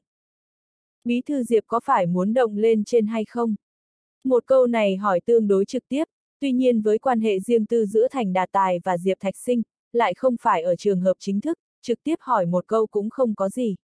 Diệp Thạch Sinh sắc mặt hơi biến đổi, trước là liếc mắt nhìn hạ tưởng một cái, sau đó hơi lắc đầu. Do dự. Hạ tưởng lập tức cảnh giác, Diệp Thạch Sinh đang do dự cái gì? Do dự mà ông ta nói chính là ý khó xử, là vẫn chưa hạ quyết tâm sau cùng đi con đường nào, chắc chắn là có hai con đường khiến ông ta không có cách nào đưa ra lựa chọn. Một là hiện tại tiến về thủ đô thăng tiến tới chức quan nhàn tản cấp phó quốc, hai là hai năm sau lại tranh thủ một chức vụ phó quốc thực quyền. Cân nhắc cả hai, lựa chọn đầu vững chắc nhưng tương đương là rút lui khỏi trung tâm chính trị, lựa chọn sau có tiềm năng nhưng mạo hiểm khá lớn. Trong lòng hạ tưởng biết rõ, Diệp Thạch Sinh một khi rời khỏi tỉnh Yến, đối với phó gia mà nói tác dụng sẽ giảm xuống bằng không. Nhưng trước khi Diệp Thạch Sinh rời khỏi, nếu phó gia giúp Diệp Thạch Sinh đi con đường cấp phó quốc, vậy thì Diệp Thạch Sinh có qua có lại mới toại lòng nhau, chắc chắn sẽ tỏ thái độ, còn vì phó gia ở tỉnh Yến giành lợi ích lớn hơn mà làm vài động tác, như vậy sẽ lần nữa làm rối loạn thế cục tỉnh Yến. Hạ tưởng bây giờ cần một thời kỳ ổn định để hoàn thành giao thủ sau cùng với Nguyên Minh Lược, cần cục diện cân bằng từ trên xuống dưới để bố cục, để tiện đối kháng Phó Tiên Phong có khả năng áp dụng thủ đoạn áp lực nặng. Diệp Thạch Sinh bây giờ rời khỏi tỉnh Yến, không phù hợp lợi ích của hắn, theo lâu dài mà xem, cũng không phù hợp lợi ích cá nhân của Diệp Thạch Sinh. Hạ tưởng liền thản nhiên liếc mắt nhìn Thành Đạt Tài một cái, tiếp nhận lời nói của Diệp Thạch Sinh, cười nói. Bí thư Diệp nhìn xa trông rộng, ở ván cờ rất lớn tiếp theo, do dự cũng là chuyện bình thường. Bây giờ thành phố Yến sắp chào đón mùa xuân, không bao lâu, sông Hạ Mã sẽ toàn tuyến thông nước, nếu như Bí Thư Diệp tới lúc đó có thể ngồi thuyền đi một vòng ở thành phố Yến, nhìn thành phố Yến vui sướng hướng tới Quang Vinh. Diệp Thạch sinh lông mi vừa động, đầy vẻ thâm ý sâu sắc mà liếc mắt nhìn hạ tưởng một cái, muốn nói lại thôi. Lời nói của hạ tưởng vẫn là nói chúng tâm sự của ông, nói ra điểm do dự của ông. Diệp Thạch Sinh quả thật là ở trên chuyện phó gia hứa hẹn cho ông ta có thể một bước tiến lên chức quan nhàn tản cấp phó quốc, lâm vào tình cảnh tiến thoái lưỡng nan. Trên thực tế, ông vẫn là thiên về cách nghi ở tỉnh Yến làm tới hết nhiệm kỳ, nhưng phó gia hối thúc rất gấp, miêu tả triển vọng cũng rất tốt, hơn nữa còn do ông cụ phó đích thân ra mặt, lời nói thấm thía mà nói với ông ta, sau hai năm, sự tình có lẽ sẽ có biến hóa không thể dự đoán trước, đến lúc đó đừng nói ông có thể lên chức phó quốc thực quyền, thậm chí chức quan nhàn tản cấp phó quốc hiện tại cũng không vớt được, lập tức rút lui sạch sành xanh. Diệp Thạch Sinh rất là động lòng, nhưng vẫn chưa hạ quyết tâm hiện tại rời khỏi tỉnh Yến. Người đi qua để lại tên, ông muốn làm hết nhiệm kỳ sau cùng trong kiếp sống quan trường của ông ở tỉnh Yến, cũng có ý muốn tận mắt nhìn thấy sông Hạ Mã toàn tuyến thông nước, quận Hạ Mã mạnh mẽ, cứng rắn quật khởi, kinh tế của tỉnh Yến lại bước sang giai đoạn mới. Trình độ hiểu biết của Hạ Tưởng đối với Diệp Thạch Sinh, kỳ thật so với ai cũng hiểu rất sâu, chẳng qua hắn cũng không dám khẳng định mà thôi. Cũng may lần trước cùng Tiền Cẩm Tùng gặp mặt, Tiền Cẩm Tùng thầm tiết lộ với hắn con người của Diệp Thạch Sinh là niệm tình cũ nhất, bề ngoài không bộc lộ, sau khi loại bỏ quầng sáng bí thư tỉnh ủy, trên thực tế ông chính là một người già tay mềm, trọng tình cảm. Quận Hạ Mã được thành lập dưới sự chiếu cố của Bí Thư Diệp, sông Hạ Mã toàn tuyến thông thủy dưới sự chú ý của Bí Thư Diệp, thành phố Yến đã ngồi vững ngai vàng thành phố kinh tế hùng mạnh đầu tiên của toàn tỉnh khi Bí Thư Diệp tại vị, đi nhanh về phía trước, cùng thủ đô đạt thành mục tiêu chiến lược lâu dài của vòng kinh tế thủ đô, trên lịch sử tỉnh Yến, Bí thư Diệp hoàn toàn là người đầu tiên làm quan không hổ thẹn. Hạ tưởng lấy tình cảm động lòng người, lấy lý phục người, lấy sự thật đả động người, vì tâm tư do dự của Diệp Thạch Sinh, lại tăng thêm trọng lượng ở lại tỉnh Yến làm hết nhiệm kỳ.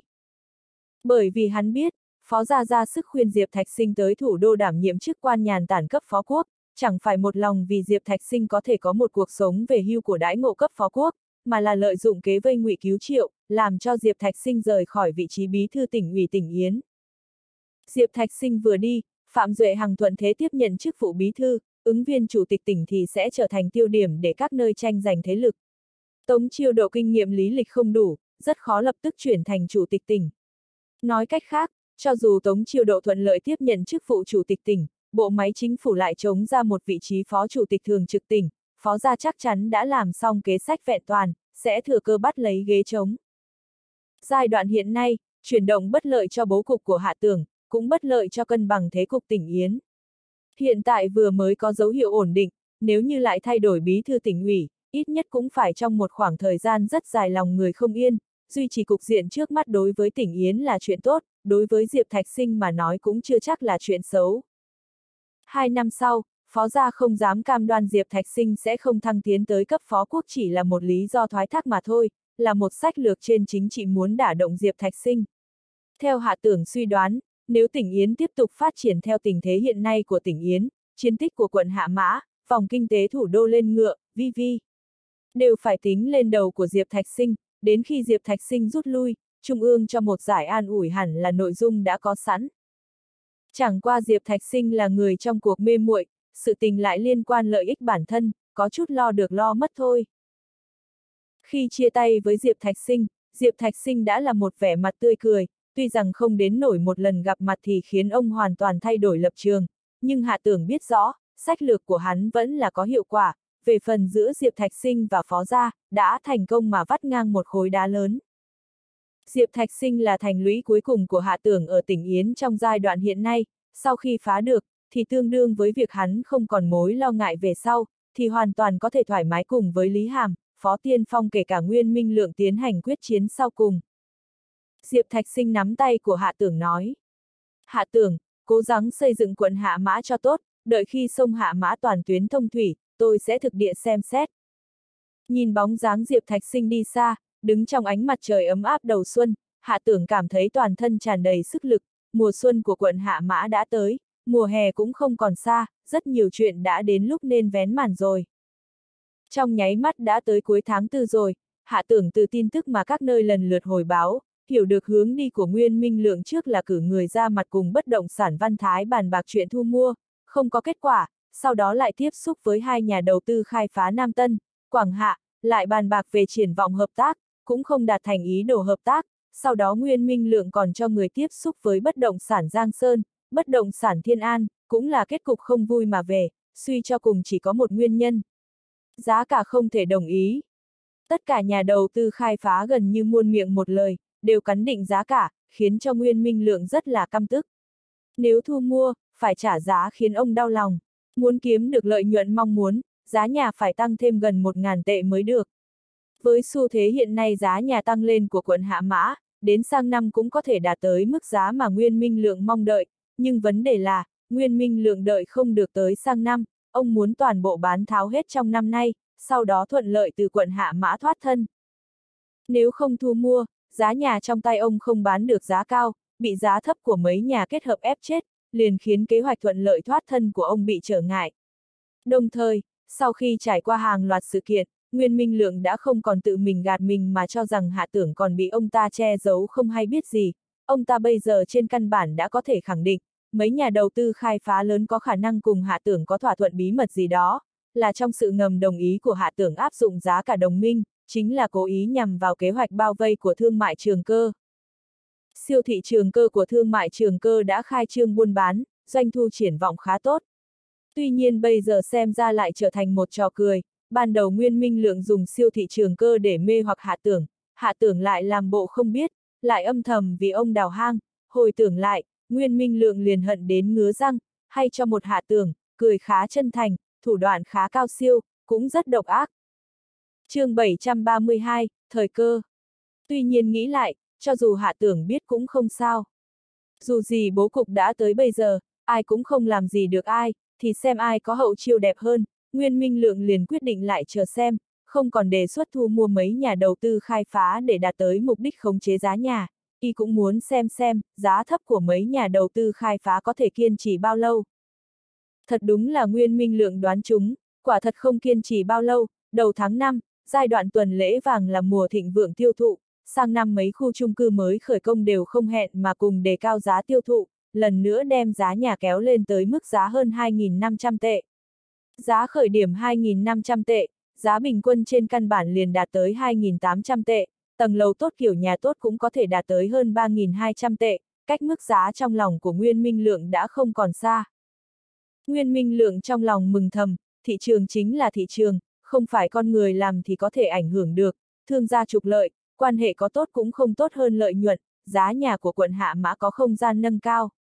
Kẻ ngốc mới không tăng giá, kẻ ngốc mới có tiền không kiếm. Đồng thời, Nguyên Minh Lượng cùng Phó Tiên Phong trải qua thỏa thuận đưa ra kết luận, quận Hạ Mã bây giờ đất đai đã không còn nhiều, không đủ để chống đỡ nhà đầu tư khai phá quy mô lớn tiến quân thị trường bất động sản của quận Hạ Mã. Nói cách khác, thị trường bất động sản quận Hạ Mã không có bão hòa, nhưng đất đai đã tiếp cận bão hòa, ý là nhà ở tăng giá trị tiềm lực rất lớn. Suy nghĩ vì an toàn, Nguyên Minh Lượng lại chỉnh trọng chuyện đó mà khiến Phó Tiên Phong sắp xếp cho ông ta gặp riêng Lý Hàm một lần, biết tính cách Lý Hàm yêu tài, Nguyên Minh Lượng ra tay rộng lượng, trực tiếp tặng 100.000 tiền lì xì, từ trong miệng Lý Hàm lộ ra không ít tin tức hữu dụng. Đất đai của quận Hạ Mã bây giờ có thể dùng để khai phá bất động sản vô cùng có hạn, nếu như một lần đầu tư khai phá toàn bộ, cũng có thể đối với thị trường bất động sản quận Hạ Mã tạo thành tấn công, nhưng vấn đề là, một là không có khả năng dư đất đai bị một công ty nuốt vào, hai là cũng không có khả năng đồng thời nhiều nhà đầu tư khai phá chia cắt đất đai, đồng thời vào thị trường, ba là cho dù thật có trùng hợp đồng thời nhiều nhà đầu tư khai phá vào thị trường, cũng không có khả năng nhiều nhà đầu tư khai phá duy trì giá cả nhất trí. Vì thế khả năng lại có nhiều nhà đầu tư khai phá liên kết giá thấp vào thị trường trên căn bản đã có thể bài trừ. Đã không còn nỗi lo về sau, Nguyên Minh Lượng rất là an tâm, cho rằng trên căn bản đại cục đã định, trước đó mấy nhà đầu tư khai phá bao gồm cả tập đoàn đà Tài làm dối chiến lược, chẳng qua là đã làm công vô dụng. Cho dù ông cũng biết rõ còn có một tập đoàn viễn cảnh vẫn luôn không có bất kỳ động tĩnh gì. Tuy nhiên theo Lý Hàm nói, trong số công trình khai thông của tập đoàn viễn cảnh ở sông Hạ Mã, đầu tư vào gần 10 tỷ tài chính, trong đó còn có hơn 3 tỷ tiền vay vốn, tập đoàn viễn cảnh có nhiều tiền thế lớn, trên căn bản cũng bị một con sông Hạ Mã hoàn toàn kiềm chế, không thể ra tay khai phá hạng mục nhà ở. Thời gian sông Hạ Mã dự định thông thủy là cuối tháng 8, còn hơn 3 tháng, đến lúc đó nếu như kế hoạch thuận lợi, Nguyên Minh Lượng trên căn bản đã có thể từ quận Hạ Mã thuận lợi thoát thân, tập đoàn viễn cảnh đến lúc đó lại đưa tay ra để gây sức ép, cũng không có một chút quan hệ gì với ông. Nguyên Minh Lượng tâm trạng rất tốt, tổng hợp tình thế kể trên cho ra kết luận, mặc kệ hạ tưởng có phải cố ý nhằm vào thương mại trường cơ hay không, mặc kệ mệnh danh đầu óc buôn bán của hắn cao minh bao nhiêu, dù gì hiện tại ông đã không kế khả thi, đành phải bó tay không biện pháp mà nhìn ông sau khi cuỗm hết lợi nhuận của quận Hạ Mã, sau đó vô cùng đắc ý cười to mà đi. Càng làm cho Nguyên Minh Lượng trong lòng vui mừng chính là, trước đó thái độ kiên quyết của bất động sản Văn Thái, lại có dấu hiệu buông lỏng, chủ động hướng thương mại trường cơ đề xuất ý hợp tác nhắc tới hợp tác cùng bất động sản Văn Thái làm cho Nguyên Minh Lượng trong lòng tức giận. Lần trước Khương Bân gạt ông nói bất động sản Văn Thái không buông lỏng, đòi giá cao, kỳ thật là Khương Bân ăn nói lung tung. Bất động sản Văn Thái lúc đó rất có thành ý mà muốn cùng thương mại trường cơ hợp tác, nhưng Khương Bân lại bởi vì bản thân y không thích Triệu Khang mà có ý kiến, từ giữa làm khó dễ, dẫn đến hợp tác thất bại, nhất thời tức giận, Nguyên Minh Lượng khai trừ Khương Bân hơn nữa bất động sản Văn Thái đề xuất giá cả cũng không cao, chào giá 2.800 tệ. Hai tháng trước là 3.000 tệ, quả thật rất cao. Hiện tại là 2.800 tệ, xem như hợp lý. Trước khác nay khác, Nguyên Minh Lượng cũng cảm thấy có không khí hợp tác, liền quyết định trước tiên đem bất động sản Văn Thái thu vào trong túi. Sau đó mới đem mấy nhà còn thừa tiêu diệt từng bộ phận, cuối cùng chỉ trừ tiểu khu Giang Sơn như họa của bất động sản Giang Sơn và Sơn Thủy Tương Liên Thành của tập đoàn Đạt Tài. Hai nhà kể trên, một nhà là nhà cho người thu nhập thấp, không gian lợi nhuận có hạn, một nhà là nhà ở cao cấp, rất có áp lực tài chính. Nguyên Minh Lượng đứng ở trước cửa sổ sát mặt đất rộng lớn, nhìn về phía sông Hạ Mã ngoài cửa sổ. Nước sông ào ào, sóng gợn từng cơn, hai bên bờ sông, vô số cây liễu mới trồng đã mọc rễ nảy mầm, đang ở trong cảnh xuân, bày ra bừng bừng sức sống. Ông không khỏi nghĩ thầm, ở mặt ngoài sau lưng sự phồn vinh, ai biết có bao nhiêu giá nhà, vật giá tăng cao không thực tế, đang cướp đoạt tiền mồ hôi nước mắt của mỗi người. Tuy nhiên cũng không có cách nào, sự thật chính là thảm khốc như thế, dân chúng tầng thấp nhất xã hội vĩnh viễn là con dê con đợi làm thịt. Ngày sông Hạ Mã toàn tuyến thông thủy càng gần, giá nhà của quận Hạ Mã sẽ càng cao. Nguyên Minh Lượng dự tính là, trước tiên thu mua bất động sản Văn Thái, sau đó nếu lại thu mua khu chung cư hai nơi Đông Mỹ Tây Lệ, ông sẽ lần nữa có được sức khống chế mây mưa thất thường ở quận Hạ Mã. Nguyên Minh Lượng quyết định tự mình ra mặt cùng Triệu Khang trao đổi công việc thu mua, dù sao hiện tại đã bày ra trước mắt, không cần phải che giấu. So với Nguyên Minh Lượng khí thế đại thịnh, quang minh chính đại mà hoàn thành bố cục cuối cùng, hạ tưởng ngược lại có vẻ vô cùng nhàn nhã. Sau khi thế cục trong tỉnh xác định, ổn định một khoảng thời gian, cũng không có dao động quá lớn. Trong tỉnh dù sao là trong tỉnh, có thể đi tới cán bộ địa vị cao cấp phó tỉnh đều không phải người bình thường, nhân sự biến động đối với bọn họ mà nói chỉ là một lần thăng chức bình thường mà thôi, ai cũng sẽ không chủ động đi khiêu chiến lợi ích của người khác. So với sự yên lặng trong tỉnh, thành phố Yến cũng là bình yên vô sự ngoài ý muốn. Phó Tiên Phong sau khi đảm nhiệm thị trưởng, sau khi đề xuất khẩu hiệu, ở tại thành phố Yến, nhiệt tình yêu thương thành phố Yến, xây dựng thành phố Yến, điểm tô cho đẹp thành phố Yến, chuẩn bị oanh oanh liệt liệt mà làm một trận. Muốn, ba năm đại biến dạng, xây dựng thành phố Yến mới, không ngờ đầu voi đuôi chuột, chỉ là nhắc một khẩu hiệu rồi im bặt không còn tiếp tục về sau. Phỏng chừng là trong thành ủy gặp lực cản, hơn nữa còn là lực cản các mặt, hơn nữa rất nhiều người cho rằng Phó Tiên Phong nhậm chức sẽ bất lợi đối với hạ tưởng, ai ngờ quyền uy thị trưởng của Phó Tiên Phong cũng không có mang đến thay đổi quá lớn, hạ tưởng vẫn như cũ là hạ tưởng, công tác ở quận Hạ Mã vô cùng thuận lợi, trong thành ủy vẫn là có mạng lưới quan hệ giống như trước đây, cũng không bởi vì Phó Tiên Phong lên chức mà mang đến thay đổi gì. Đương nhiên cũng có người hiểu rõ trong lòng, không thể nhìn vấn đề ở mặt ngoài, Phó Tiên Phong đảm nhiệm thị trường, vẫn là đối với hạ tưởng tạo thành chế ước thật lớn, bởi vì hiện tại là giai đoạn vững vàng, một khi xuất hiện vấn đề trọng đại, quyền uy của thị trường tuyệt đối có thể đem hạ tưởng ép tới không thể ngẩng đầu lên. Tất cả mọi người đang đợi một thời cơ xuất hiện. Hạ tưởng cũng đang chờ đợi một thời cơ thỏa đáng. Cho nên khi hắn nhìn thấy liên nhược hạm từ Mỹ quay về, câu nói đầu tiên là Nhược hạm, tài chính mà tập đoàn viễn cảnh có thể dùng có bao nhiêu? Liên nhược hạm chậm hơn một tháng về nước so với thời gian sớm định ra, sau khi về nước, chỉ ở thủ đô ngây người hai ngày liền chạy đến thành phố Yến, không chỉ là bởi vì cô nhớ hạ tưởng, còn có liên hạ cũng nhớ ba, đương nhiên còn có một điểm trọng yếu hơn là hạ tưởng có chuyện quan trọng cần thương lượng với cô. Căn cứ thời cuộc phán đoán, là lúc tập đoàn viễn cảnh nên ra tay, bởi vậy hạ tưởng mới từ những năm quen biết liên nhược hạm tới nay, lần đầu tiên vừa mở miệng thì đề cập vấn đề tài chính với cô. Liên nhược hạm kiều diễm như hoa, có lẽ là nguyên nhân thời tiết chợt ấm áp, sắc mặt cô hồng hào, vẻ đẹp thiếu phụ, càng hơn thiếu nữ ngây ngô, bước đầu có thái độ trâu tròn ngọc sáng, khiến hạ tưởng thấy cũng không kiềm nổi động lòng. Cô đột nhiên nghe được hạ tưởng hỏi cô tài chính, đầu tiên là sửng sốt, sau đó mới phản ứng lại, thản nhiên cười. Sốt cục phải vận dụng lực lượng của em, biết em có trọng dụng. Hừ, tập đoàn viễn cảnh vẫn ở tại tỉnh Yến phát triển, kỳ thật vẫn là vì để cho anh bất cứ lúc nào cũng có lực lượng có thể mượn dùng. Lực lượng của tập đoàn viễn cảnh một khi vận dụng, gần như là quân át chủ bài của hạ tưởng bắt đầu mở bài. Đánh không thắng trận này nữa, hắn sẽ thua thảm hại. chương 733, trong rối loạn có trật tự. Thật tâm mà nói, những năm gần đây tập đoàn viễn cảnh ở tỉnh Yến phát triển lớn mạnh cũng có một chút công lao trong đó, nếu như không phải kế hoạch tỉ mỉ và ánh mắt lâu dài của hạ tưởng, tập đoàn viễn cảnh cũng không thể có thành tích vui mừng như ngày hôm nay. Đương nhiên hạ tưởng cũng là mượn gà đẻ trứng. Trước khi tập đoàn viễn cảnh tới thành phố Yến đã là công ty tập đoàn lớn, hắn chẳng qua là dệt hoa trên gấm mà thôi. Hạ tưởng liền một tay ôm lấy liên nhược hạm và liên hạ vào trong lòng, ha hả cười. Vợ hiền thì chồng vượng, nên ghi nhớ lời của cổ nhân. Tuy rằng liên nhược hạm không bằng tào thù lê, không thể xem như người vợ được hạ tưởng cưới hỏi đàng hoàng, nhưng cô và hắn cũng đã cử hành nghi thức ở nước ngoài. Trong lòng cô, cô và hắn cũng là vợ chồng chính thức. Nhưng mà chính tai nghe thấy hạ tưởng nói ra cô là vợ hắn, cô vẫn là trái tim mừng thầm. Cả đời phụ nữ, có cầm giữ hàng tỷ của cải, cũng phải có đạo đức giúp chồng dạy con mới là đời người hoàn mỹ. Tập đoàn Viễn Cảnh hiện có thể vận dụng tài chính hẳn có khoảng trên dưới 2 tỷ. Công ty của Mỹ cũng có thể mượn tạm 1 tỷ đô la Mỹ hẳn là đủ rồi chăng? Trước mắt hạ tưởng, Liên Nhược Hạm không có bí mật gì. Ngoại trừ những lời nói riêng giữa cô cùng Tào Thù Lê, trên căn bản không có gì che giấu hạ tưởng. 2 tỷ, đủ rồi.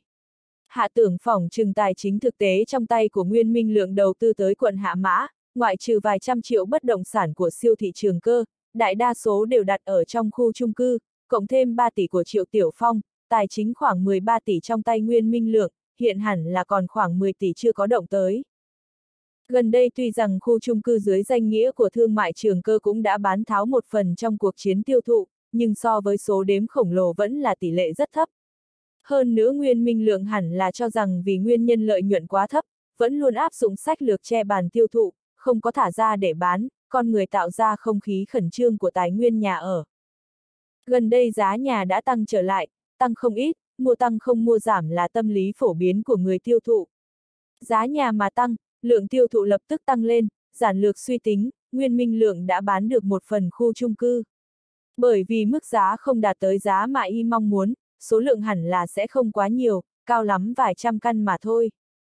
Triệu Tiểu Phong mới đầu tư vào 3 tỷ tài chính, Nguyên Minh Lượng hẳn là chưa ra tay, bởi vì mấy nhà đầu tư khai phá đều không có truyền ra tin tức cùng Nguyên Minh Lượng đạt thành thỏa hiệp.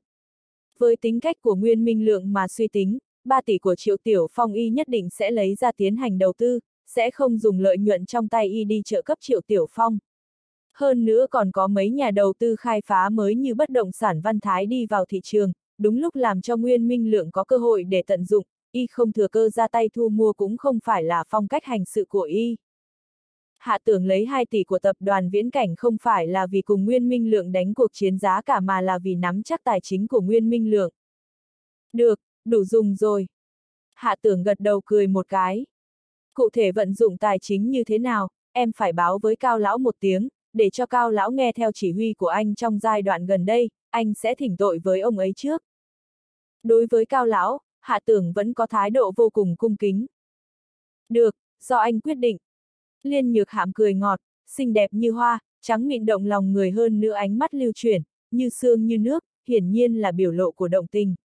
Hạ tưởng biết theo sự tăng trưởng của tuổi tác, yêu cầu của phụ nữ ở phương diện nào đó sẽ càng ngày càng nhiều, hắn liền hỏi. Sao vệ tân không đến? Để cô ấy chăm sóc liên hạ. Liên nhược hạm lập tức đỏ mặt, hiển nhiên là nghe ra ngụ ý của hạ tưởng, cô dùng tay chỉ trên lầu. Vệ tân đã tới từ sớm rồi, ở trên lầu. Cô ấy cố ý để khoảng không gian cho chúng ta. Anh hay thật, cần gì phải nói lớn tiếng như thế. Vệ tân ở trên lầu tự nhiên nghe được rõ ràng, cũng biết hạ tưởng muốn làm gì, liền đỏ mặt từ trên lầu đi xuống, muốn đem liên hạ đi. Không ngờ liên hạ lại không nể mặt, sống chết cũng không chịu đi, phải ôm cổ của hạ tưởng không chịu xuống. Sau cùng không có cách nào, dụ dỗ nửa ngày mới dụ dỗ liên hạ đi được. Hạ tưởng đang muốn cùng liên nhược hạm làm chuyện tốt, điện thoại lại vang lên, hắn đành phải bất đắc dĩ mà cười, tiếp điện thoại nghe. Điện thoại là do Triệu Khang gọi tới. Bí thư hạ, giúp đỡ đưa ra chủ ý. Nguyên Minh Lượng tìm tôi nói chuyện, nói là toàn diện thu mua khu chung cư của tôi, đưa ra giá là 2.800 tệ, hơn nữa toàn bộ thanh toán một lần. Điều kiện thanh toán rất hấp dẫn, chính là giá cả hơi thấp một chút, tôi không quyết định được. Nguyên Minh Lượng đích thân ra mặt rồi. Hạ tưởng sửng sốt, lập tức cười, xem ra Nguyên Minh Lượng cũng đoán được dụng ý của hắn, coi như là không tiếp tục che giấu, mà là trực tiếp đối mặt. Cũng tốt, là lúc nên mặt đối mặt mà giải quyết vấn đề rồi. Chuyện đến trước mắt, phải có ngày vạch trần quân bài chưa lật. Không sợ mặt đối mặt, dù sao thời điểm mặt đối mặt, mọi người cũng là khuôn mặt tươi cười đối đãi nhau. Ai cũng sẽ không nói ra thủ đoạn phía sau, thật ra là giống như so chiêu giữa nhân vật chính trị với nhau. Bí thư và chủ tịch thành phố ở mặt ngoài mãi mãi hòa khí, âm thầm đánh giá trên lợi ích, xưa nay đều không ít. Cái giá 2.800 tệ, nửa vời, làm cho người ta rất ngứa ngáy trong lòng, Nguyên Minh Lượng là cao nhân, nhìn ra được tình hình khó khăn về tài chính của bất động sản văn thái không quá sung túc, liền đưa ra một cái giá làm cho người ta khó chịu. Ra tay, luôn cảm thấy kiếm được quá ít, nói không chừng sau nửa năm, giá cả sẽ tăng lên 3.500 tệ. Không ra tay, cơ hội hiếm có, bán tháo hết trong một lần, đối với áp lực kéo dài thời gian thu hồi tài chính vô cùng lớn. Triệu Khang đã động lòng, hạ tưởng có thể nghe ra y là muốn ra tay, nhưng ít nhiều trong lòng cũng không cam tâm, liền muốn nghe xem dự đoán của hắn đối với thị trường bất động sản. Hạ tưởng hơi trầm ngâm, nói. Giá nhà của quận Hạ Mã tăng rất mạnh, trong thời gian ngắn hẳn là không dễ khống chế. Theo tháng 8 sông Hạ Mã toàn tuyến thông thủy, sau khi xây xong bến du thuyền, sẽ dẫn theo thị trường du lịch của quận Hạ Mã, giá nhà còn có khả năng tăng lên. Triệu Khang nghe ra ngụ ý của Hạ Tưởng, cười ha hả. Lãnh đạo nói cũng phải, chủ yếu là điều kiện thanh toán toàn bộ tiền mặt rất hấp dẫn. Hiện tại tài chính của tôi có chút khẩn trương, khó tránh sẽ động lòng, ha ha. Không ngờ Nguyên Minh Lượng một phen đã làm cho y dễ dàng vướng tay, cũng quá dễ dãi cho y, hạ tưởng liền tiếp tục hướng dẫn Triệu Khang. Đối với nhà đầu tư khai phá mà nói, người tiêu thụ mua nhà là trả hết hay vay ngân hàng, phân biệt không nhiều. Dù gì đợi khi người tiêu thụ làm xong thủ tục cho vay, tiền của ngân hàng cũng sẽ chuyển vào tài khoản của anh, còn lại chính là quan hệ trả tiền vay giữa người tiêu thụ và ngân hàng, lại không cần nhà đầu tư khai phá trả vay. Toàn bộ khoản tiền mặt của Nguyên Minh Lượng không coi như điều kiện đặc biệt ưu đãi, nếu như ông ta thật tâm muốn thu mua bất động sản văn thái, giá trên 3.000 tệ mới coi như hợp lệ chút. Triệu Khang hoàn toàn hiểu ý của Hạ Tưởng. Tôi hiểu rồi, lãnh đạo, tôi vừa đưa ra cái giá 3.200 tệ, vừa đối ngoại đề cao giá tiêu thụ khu chung cư, vừa đề xuất xin vay với Ủy ban Nhân dân quận. Hạ Tưởng thầm nghĩ, Triệu Khang cũng là cáo già, một chút liền thấu. Nếu Triệu Khang đã tìm được kế kéo dài, hắn liền cười ha ha. Lão cổ nói tới thành phố Yến, vẫn chưa tới, gần đây bận rộn việc gì. Triệu Khang sao có thể không biết hạ tưởng có dụng ý không đề cập tới vấn đề vừa rồi là ngầm đồng ý, trong lòng hắn liền biết rõ mà cười ha hả. Thủ trưởng gần đây thường xuyên ghé đến bộ đội, dường như có chuyện gì xảy ra. Nhớ ra rồi, có thể là có liên quan tới việc đề bạt một đám thiếu tướng. Lão cổ thật đúng là người già nhưng tâm không già, trước kia hạ tưởng cũng không cảm thấy lão cổ có bao nhiêu chuyện. Từ sau khi lão cổ dẫn hắn tham gia hội nghị lần trước, hạ tưởng liền rõ ràng cảm thấy được lão cổ lập tức trở nên bận rộn, dường như còn đang nhúng tay vào sự vụ khắp nơi. Có ý tứ, hạ tưởng cười thầm, là trước kia hắn không có chú ý tới một khác mặt của lão cổ, hay là trước kia cảm thấy lão cổ người nhàn việc ít là một sai lầm. Sau khi Triệu Khang gọi điện xong, hạ tưởng được thời cơ, cùng Liên Nhược Hạm làm chuyện tốt. Vài ngày sau, hạ tưởng lại nhận được tin tức của Tề Á Nam và Lý Thấm. Nguyên Minh Lượng phái người ra mặt lần nữa cùng hai nhà đầu tư khai phá Nam Tân, Quảng Hạ bàn bạc, đàm phán về vấn đề tiến hành thu mua, nhưng không bàn bạc thành công. Nguyên nhân là Nam Tân và Quảng Hạ không hẹn mà cùng đưa ra giá cao 3.200 tệ, không có sai biệt với giá của bất động sản Văn Thái. Một tuần sau, Lý Hàm thị sát công trình khơi thông của sông Hạ Mã, mời đông đảo phóng viên truyền thông đi theo. Đi một vòng quanh sông Hạ Mã, tập đoàn viễn cảnh phái ra cao lão và hai gã phó tổng hộ tống. Sau khi Lý Hàm thị sát xong sông Hạ Mã, đối ngoại tuyên bố kỳ hạn công trình của sông Hạ Mã có hy vọng hoàn thành trước tháng 7. Lý Hàm vừa dứt lời, các truyền thông lớn của tỉnh Yến đều tranh nhau đưa tin. Lập tức, giá nhà của quận Hạ Mã lại xuất hiện cảnh tăng giá vùn vụt. chương 734, một bước xa. Đối mặt Nguyên Minh Lượng âm thầm ra tay thu mua, cùng với Phó Tiên Phong dùng tạo thế ở ngoài sáng của Lý Hàm, hạ tưởng dường như thật sự vô kế khả thi. Bởi vì hạ tưởng vẫn dường như không có việc gì không tiếp chiêu. Ở mặt ngoài không có động tác gì, âm thầm làm tròn bổn phận, mỗi ngày là đi làm và tan tầm, dường như đã chấp nhận sự thật Nguyên Minh Lượng một nhà độc chiếm. Trên thực tế, Nguyên Minh Lượng cũng có chỗ phải lo lắng, bởi vì tuy rằng lợi dụng Lý Hàm mượn thế sông Hạ Mã lần nữa đầu cơ giá nhà, nhưng bất động sản Giang Sơn lù lù bất động, trong tình hình giá nhà tăng vùn vụt, tuy rằng cũng thích hợp để cao giá cả, nhưng biên độ không lớn, vẫn là mang đến cho ông không ít lo lắng. Bất động sản Giang Sơn kỳ thật cũng không phải chỗ khiến Nguyên Minh Lượng lo lắng nhất, khiến ông lo lắng không yên nhất chính là bất động sản Văn Thái. Hai khu chung cư Đông Mỹ Tây Lệ sau khi trải qua vài lần tiếp xúc, trên cơ bản đạt thành nhận thức chung, Nguyên Minh Lượng cũng đã chấp nhận thu mua giá 3.200 tệ, bởi vì hiện tại một số căn hộ đẹp của Đông Mỹ Tây Lệ đã tăng tới khoảng 3.500 tệ, so với giá lúc trước bắt đầu phiên giao dịch vẻn vẹn đề cao 1.000 tệ, hơn nữa còn không ngừng tăng lên. Đông Mỹ Tây lệ thành công ở chỗ cảm hứng, mới mẻ độc đáo mà rất khác biệt, hấp dẫn không ít ánh mắt của người tiêu thụ tự nhận có cách điệu, lượng tiêu thụ vẫn luôn tăng cao không giảm. Căn cứ nguyên minh lượng phán đoán, khu chung cư của tiểu khu Đông Mỹ Tây lệ trị giá 3.200 tệ, vào trong tay ông, phối hợp với kế hoạch của ông tiếp tục đầu cơ, cuối cùng tăng tới 3.800 tệ cũng không phải không có khả năng. Trong khoảng thời gian ngắn ngủi 2-3 tháng, mỗi mét vuông vừa sang tay thì kiếm được vài trăm tệ, tuyệt đối là việc kinh doanh tốt. Nhưng bất động sản Văn Thái cũng đòi giá 3.200 tệ, khiến ông cảm thấy có chút không đáng.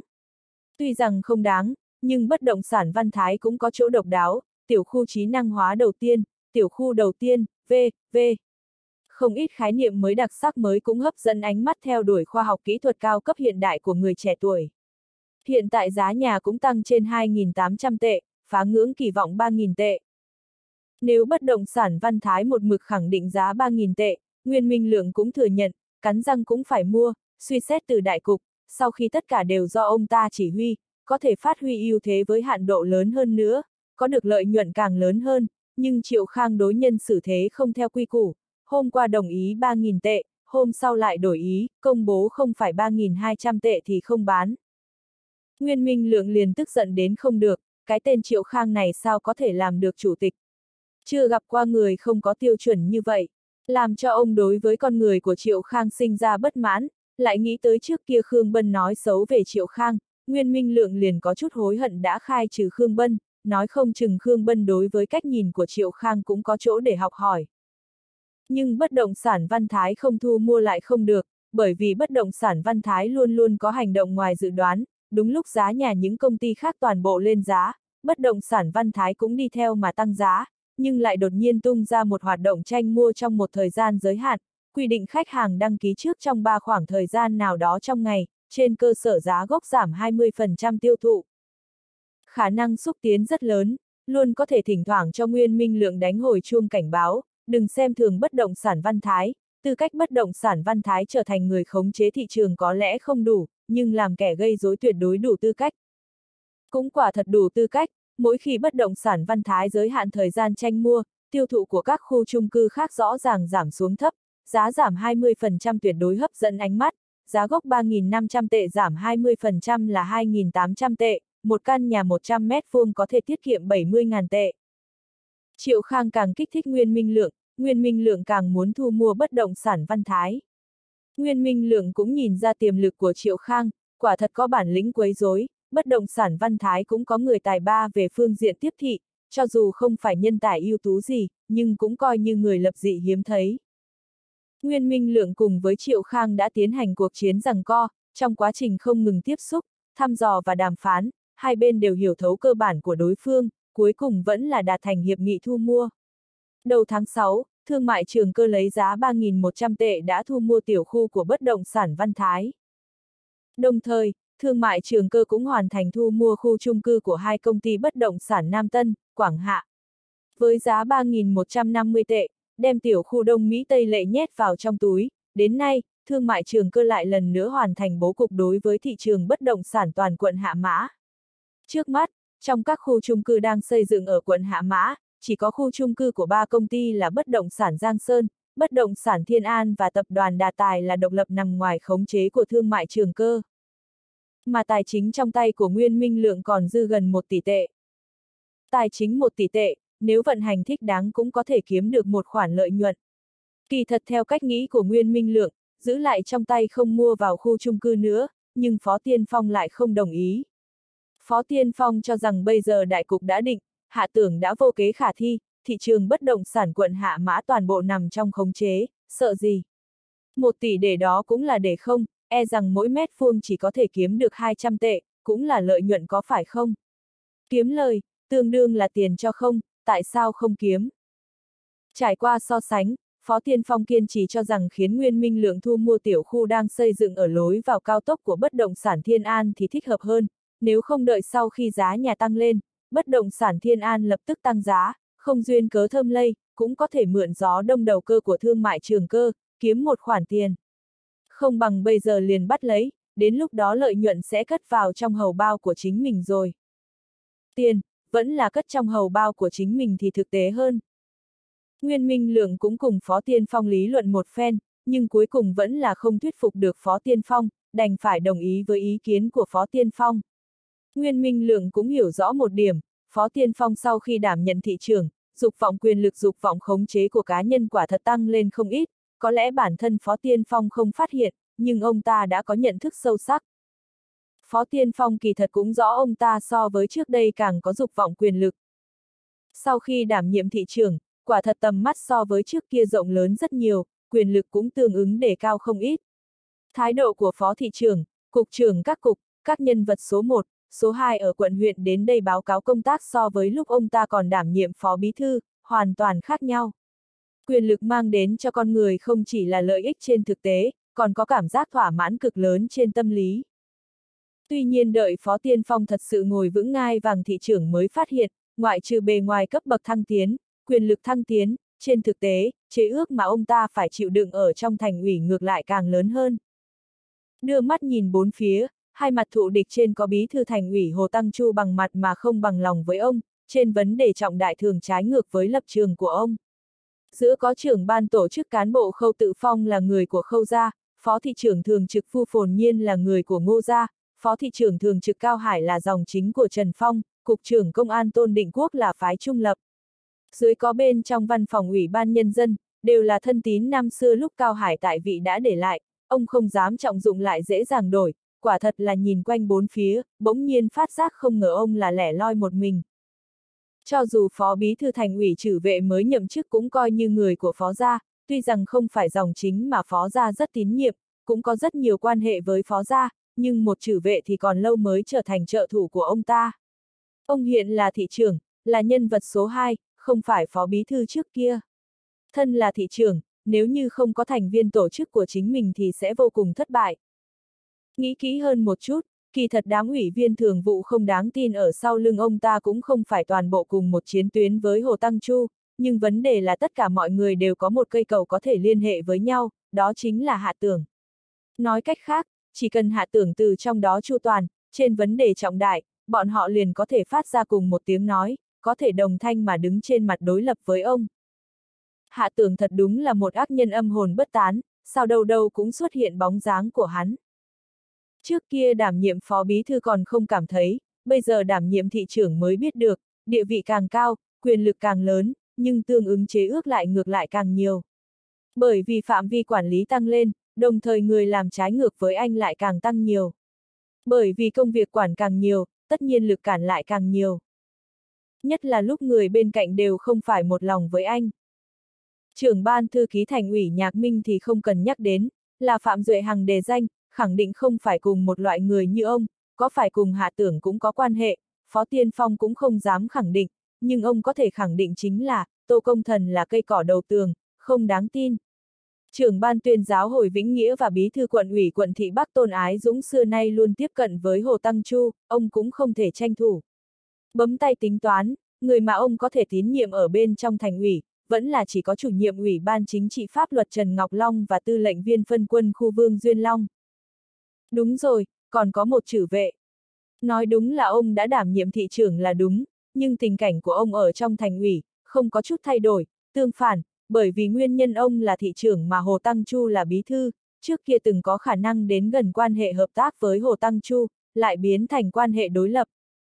Phó Tiên Phong đảm nhiệm thị trưởng mới vài ngày, niềm vui trong lòng còn chưa biến mất thì bỗng nhiên phát hiện nhìn quanh bốn phía, tứ diện sở ca bốn bề thọ địch tình cảnh còn không bằng với năm xưa lúc ông đảm nhiệm phó bí thư thành ủy. Thật sự là đâu đâu cũng có phiền não, chỗ cao cũng có nhiều sầu lo. Bởi vậy, Phó Tiên Phong trong khoảng thời gian đảm nhiệm thị trường, không hề gây rắc rối cho hạ tưởng, không phải không muốn, là không có cách. Một là hạ tưởng quả thật thành thật với bổn phận, làm cho ông ta tìm không ra tật xấu. Hai là ông ta hiện ở trong thành ủy lão ốc còn không mang nổi mình ốc, đang bận thành lập lại thành viên tổ chức, chí ít cũng phải tìm được mấy phó thị trưởng có thể tín nhiệm ở trong bộ máy chính phủ, tìm được phó chủ nhiệm có thể tín nhiệm trong văn phòng ủy ban nhân dân, vv. làm thế nào mở rộng quan niệm chấp chính của ông ở trong bộ máy chính phủ, làm thế nào nhanh chóng chuyển đổi vai trò trong thành ủy, từ phó bí thư thành ủy ban đầu mau chóng xoay người trở thành thị trưởng của một thành phố, ông còn rất nhiều công tác phải làm. Phó Tiên Phong ngoại trừ đang hoàn thành chuyển biến vai trò và một lần nữa định vị công tác ở trong thành ủy, cũng không quên gây rắc rối cho hạ tưởng trang trại chăn nuôi của tập đoàn Tứ Nghiêu đã hoàn thành xây dựng vào đầu tháng 5, đã đưa vào sử dụng, hơn nữa Quách Lục cũng dựa theo chỉ thị của ông, đã làm xong toàn bộ công tác giai đoạn đầu, chỉ đợi ông nói một tiếng, sau đó sẽ có rắc rối đột nhiên bộc phát ra. Sở dĩ hiện tại dẫn mà chưa phát, hoàn toàn là bởi vì thời cơ chưa tới. Phó Tiên Phong nắm chắc chủ ý, chính là muốn đợi nguyên minh lượng cuối cùng bán tháo, rồi đột nhiên thả ra sát khí lớn của ông, đánh cho hạ tưởng trở tay không kịp, làm cho hắn được cái này mất cái khác, sau cùng đầu đuôi không để ý, kết cục thảm bại. Hiện tại, cách thời cơ ông mong đợi chỉ có một bước. Chỉ cần nguyên minh lượng hoàn thành toàn bộ bố cục, lúc đem giá nhà đầu cơ đến cao nhất, bắt đầu ùn ùn báo tháo chính là ngày ông ra tay. Bởi vậy, Phó Tiên Phong kiên trì khiến Nguyên Minh Lượng bắt lấy khu chung cư mới của bất động sản Thiên An, chính là muốn cảm giác nắm hết thảy trong tay, về phần bất động sản Giang Sơn và tập đoàn Đà Tài, ý của ông lại nhất trí với Nguyên Minh Lượng, không đáng để lo nghĩ. Phó Tiên Phong ở sau lưng đã làm những gì, hạ tưởng cũng không phải vô cùng rõ ràng, hắn chỉ biết là, tuy rằng hiện tại ở mặt ngoài Phó Tiên Phong không gây khó dễ cho hắn, không phải không muốn, mà là không tìm được thời cơ thích đáng. Bởi vì mọi người đều hiểu rõ, các bên so chiêu đã vô số lần, những trận đánh nhau ồn ào nhỏ nhoi đã không còn ý nghĩa gì, chẳng những không tạo thành thương tổn gì đối với đối phương, có khả năng còn bị người ta nắm được nhược điểm, sau cùng là hậu quả mất nhiều hơn được. Bởi vậy, không ra tay thì thôi, vừa ra tay chắc chắn sẽ một kích chí mạng. Chỉ có điều khiến hạ tưởng thật không ngờ chính là, Phó Tiên Phong ra tay, không ngờ khiến cho hắn không thể không làm ra một lựa chọn bất đắc dĩ, cuối cùng trước tiên dẫn phát một loạt sự kiện trọng đại. Đầu tháng 6, thành phố Yến đã tiến vào đầu mùa hè. Trên đường, dần dần có nhiều mỹ nữ chân tuyết trắng dường như là dùng phương thức khác đang thông báo cho người đời, mùa hè sẽ là mùa phụ nữ tranh nhau khoe sắc. Chẳng qua hạ tưởng đã trải qua độ tuổi ở trên đường nhìn chằm chằm chân của phụ nữ, trong số bạn bè mà hắn quen biết, người có sở thích này thì phương cách đứng đầu, kế đến là tôn hiện vĩ. Phương cách hiện tại có tâm tình gì thì hạ tưởng không thể hiểu hết, nhưng tôn hiện vĩ gần đây có thể dùng con đường làm quan rộng mở để hình dung, hạ tưởng cũng là trong lòng đều biết. Bởi vì tiểu khu của tôn hiện vĩ bị nguyên minh lượng thu mua, không duyên cớ liền kiếm được lợi nhuận cũng đủ nhiều, tài chính thu hồi nhanh, mạo hiểm thấp, quả thật có thể dùng giật tiền để so sánh, tôn hiện vĩ liền cao hứng đến quên hết tất cả, đối với hạ tưởng lần nữa phục sát đất. Đối với hạ tưởng bội phục sát đất còn có tề Á Nam và Lý Thấm. Hai tiểu khu mới bắt đầu phiên giao dịch, với mạo hiểm cực thấp và mức lợi nhuận phong phú, vừa sang tay thì bán cho Nguyên Minh Lượng, suýt chút cao hứng đến đếm tiền đếm đến tay chuột rút. Lý Thấm và Tề Á Nam cũng dự đoán được khu chung cư sẽ kiếm tiền, nhưng lại không ngờ, không gian lợi nhuận lớn như thế, hơn nữa Nguyên Minh Lượng cũng sảng khoái như thế, khiến cho hai người rất là thán phục đối với quyết định anh Minh và ánh mắt cơ trí của Hạ Tưởng. Lý Thấm vốn cho rằng hai tiểu khu trước tiên lấy giá thấp đưa lên thị trường, rồi giá cả tăng cao, cho dù bị Nguyên Minh Lượng thu mua, cũng sẽ không nhanh như vậy, cũng sẽ không có giá cao như vậy, không ngờ, thân phận kẻ gây rối của bất động sản Văn Thái cũng khá có hiệu quả, đương nhiên, có lẽ có nguyên nhân khác không thể hiểu hết, tóm lại là tốt hơn nhiều so với hiệu quả mong muốn ban đầu. Đương nhiên, niềm vui bất ngờ qua đi, chính là một tầng lo lắng khác, hiện tại khu trung cư của quận Hạ Mã trên căn bản đều nằm trong lòng bàn tay của thương mại trường cơ, hạ tưởng còn thủ đoạn hậu bị gì có thể ngăn lại Nguyên Minh Lượng muốn làm gì thì làm. Tề Á Nam không có nghĩ đến lâu dài như Lý Thấm, chỉ cảm thấy vô cùng dễ dàng thì đã kiếm lời một khoản lớn, mới biết lợi nhuận của ngành bất động sản phong phú, quả thật có thể dùng món lãi cách xù để hình dung, so với lợi nhuận của ngàng khách sạn thì khác nhau một trời một vực. Kỳ thật ở giai đoạn đầu hưng thịnh của thị trường bất động sản, chỉ cần có quan hệ, tay không bắt giặc kiếm tiền có khi xảy ra. Đừng nói bản thân tề Á Nam thực lực hùng hậu, chính là rất nhiều nhà đầu tư khai phá không có thực lực nhưng có quan hệ, lợi dụng ân tình thì được duyệt cho một mảnh đất, sau đó vay vốn xây lầu, rồi tìm người mua nhà, thành công mà hoa lệ xoay người, hoàn thành thần thoại mượn gà sinh chứng kiếm lấy của cải. Cũng chính là hạ tưởng đảm nhiệm bí thư quận hạ mã, hắn nghiêm khắc khống chế tay không bắt giặc, chuyện quan thương cấu kết xảy ra, bằng không, quận hạ mã có thể trong một đêm tạo ra vô số tỷ phú. Lý Thấm biết mục đích thật sự của hạ tưởng là giữ chặt tài chính của thương mại trường cơ, là ổn định giá nhà, là ổn định trật tự bình thường của thị trường bất động sản quận Hạ Mã, bất động sản Quảng Hạ cũng được, bất động sản Nam Tân cũng được, bao gồm tập đoàn Đà Tài và bất động sản Giang Sơn, từ trong tay thương mại trường cơ kiếm lấy lợi nhuận, chỉ là thủ đoạn buôn bán bình thường, không có bất kỳ chỗ đầu cơ trục lợi nào. Nhưng theo lâu dài mà xem, vẫn phải đi con đường tiêu thụ bình thường mới là phát triển căn bản, chỉ là lúc này chiêu thế dùng hết, thương mại trường cơ đã hoàn toàn phát triển an toàn, hạ tưởng còn có thủ đoạn mờ ám gì để đối phó với thương mại trường cơ. Chẳng lẽ là tập đoàn viễn cảnh? Bất luận lý thấm truy hỏi hạ tưởng như thế nào, hạ tưởng cũng là không trả lời chính diện, hơn nữa hạ tưởng luôn là một bộ dạng tính trước kỹ càng, dường như không có việc gì mà thị sát công trình các nơi quận hạ mã, thăm hỏi công nhân, còn quan tâm tình hình tiêu thụ của xưởng vật liệu xây dựng kiểu mới tiểu thì, hỏi thăm tiến triển của xưởng linh kiện đã khởi công của tập đoàn chúng đại ở quận Hạ Mã, VV. Dường như không chút nào lo lắng về trái bom sắp nổ của thương mại trường cơ. Giữa tháng 6, giá nhà của quận Hạ Mã tiếp tục lên cao, giá lên tới 2.900 tệ trở lên, giá bán của tầng lầu bình thường loại nhà bình thường đã bình quân đạt tới khoảng 3.200 tệ. Dân chúng hô to giá nhà tăng lên mạnh, vượt qua năng lực chịu đựng của cư dân. Nhưng trong tiếng hoài nghi, giá nhà vẫn đang tăng không ngừng. Một tuần sau, giá nhà vượt qua ngưỡng cửa 3.000 tệ, lúc này, tiền lương bình quân của thành phố Yến chỉ khoảng 1.200 tệ. Quận ủy và ủy ban nhân dân quận Hạ Mã đối với hoài nghi của bên ngoài không có bất kỳ giải thích nào, bí thư quận ủy Hạ Tưởng cự tuyệt phỏng vấn của tin tức truyền thông, chủ tịch quận Lý Hàm cũng là ra mặt chấp nhận phỏng vấn của đài truyền hình thành phố, đề xuất thị trường kinh tế thời đại, chính phủ không tiện ra mặt can thiệp giá nhà, hết thảy đều là hành vi xí nghiệp, giá nhà quá cao, tự nhiên có thị trường tự hành điều tiết. Quận Hạ Mã là quận mới, lại là thành phố có sông nội thành duy nhất là sông Hạ Mã, giá nhà tăng lên ùn ùn là có nguyên nhân khách quan của nó, quận ủy và ủy ban nhân dân quận đang chú ý chặt chẽ vấn đề giá nhà. chương 735, giai đoạn thứ nhất rút củi dưới đáy nồi. Nói đi nói lại, Lý Hàm không có một câu trọng điểm dừng ở quận ủy và ủy ban nhân dân quận Hạ Mã có thể áp dụng thủ đoạn hành chính để ổn định giá nhà hay không, chỉ là lập lờ mà làm thuyết minh quan thoại đơn giản. Cuối tháng 6, giá nhà vượt qua ngưỡng 3.500 tệ, loại nhà có vị trí tốt loại hình tốt càng là tiếp cận 4.000 tệ, dân chúng kêu gào giá nhà thành phố Yến sắp bằng thủ đô. Nguyên Minh lượng đắc chí, hao tổn tâm cơ nhiều lần trải qua gian khổ, rốt cục đem giá nhà đầu cơ tới vị trí trong lòng của ông, tiếp theo chính là trình tự vững vàng bán tháo số nhà trong tay. Đương nhiên, không thể làm ra hành động bán tháo trong phạm vi lớn, bằng không dễ dàng khơi dậy sự tăng giá mạnh của thị trường. Nguyên Minh Lượng đã nghĩ xong sách lược bán tháo, trước tiên là không cất giấu số nhà có vị trí tốt loại hình tốt trong tay nữa, chia đợt chia giai đoạn mà bán cho người tiêu thụ chân chính, phỏng chừng trong vòng thời gian 2 tháng, gần như có thể bán hết tất cả nhà tốt. Bởi vì hiện tại giá nhà của quận Hạ Mã càng tăng càng quyết liệt, người tranh mua càng nhiều.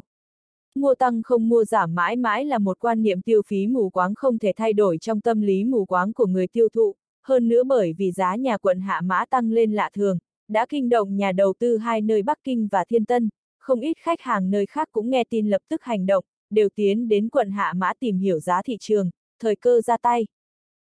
Đợi khi loại nhà tốt bán gần hết, sau cùng trong tay còn một phần ba loại nhà không tốt, thì tổ chức công nhân, áp dụng mướn người xếp hàng, mướn người làm bộ mua nhà, sau đó dùng thủ đoạn lừa gạt vay vốn ngân hàng, đem số nhà sau cùng toàn bộ bán tháo, dù sao sau này cũng không trả tiền vay, ngân hàng trực tiếp thu hồi nhà là được.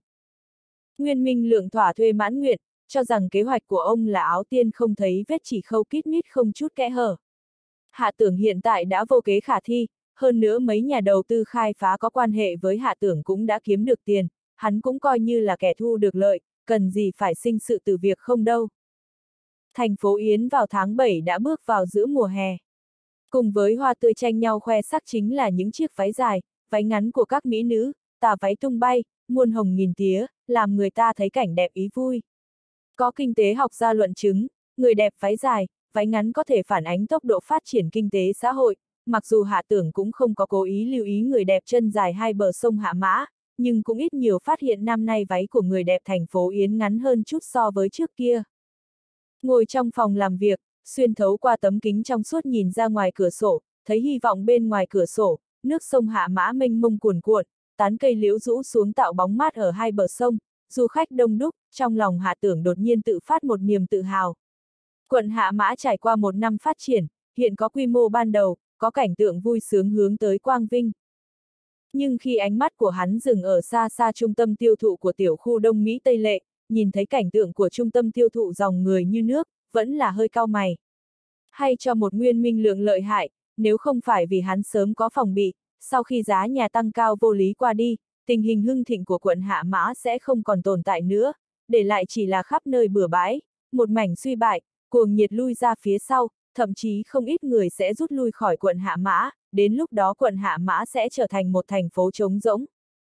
Các nơi trong nước, không thiếu có tiền lệ thành phố mới xây trở thành thành phố rỗng, nếu đã có tiền lệ thì càng không thiếu người tới sau. Quận Hạ Mã nếu như do hắn chủ trì công tác, thì không thể mặc cho nguyên minh lượng sâu xé, trở thành công cụ để Phó Tiên Phong mượn cơ hội liếm bại và đồng thời chèn ép hắn.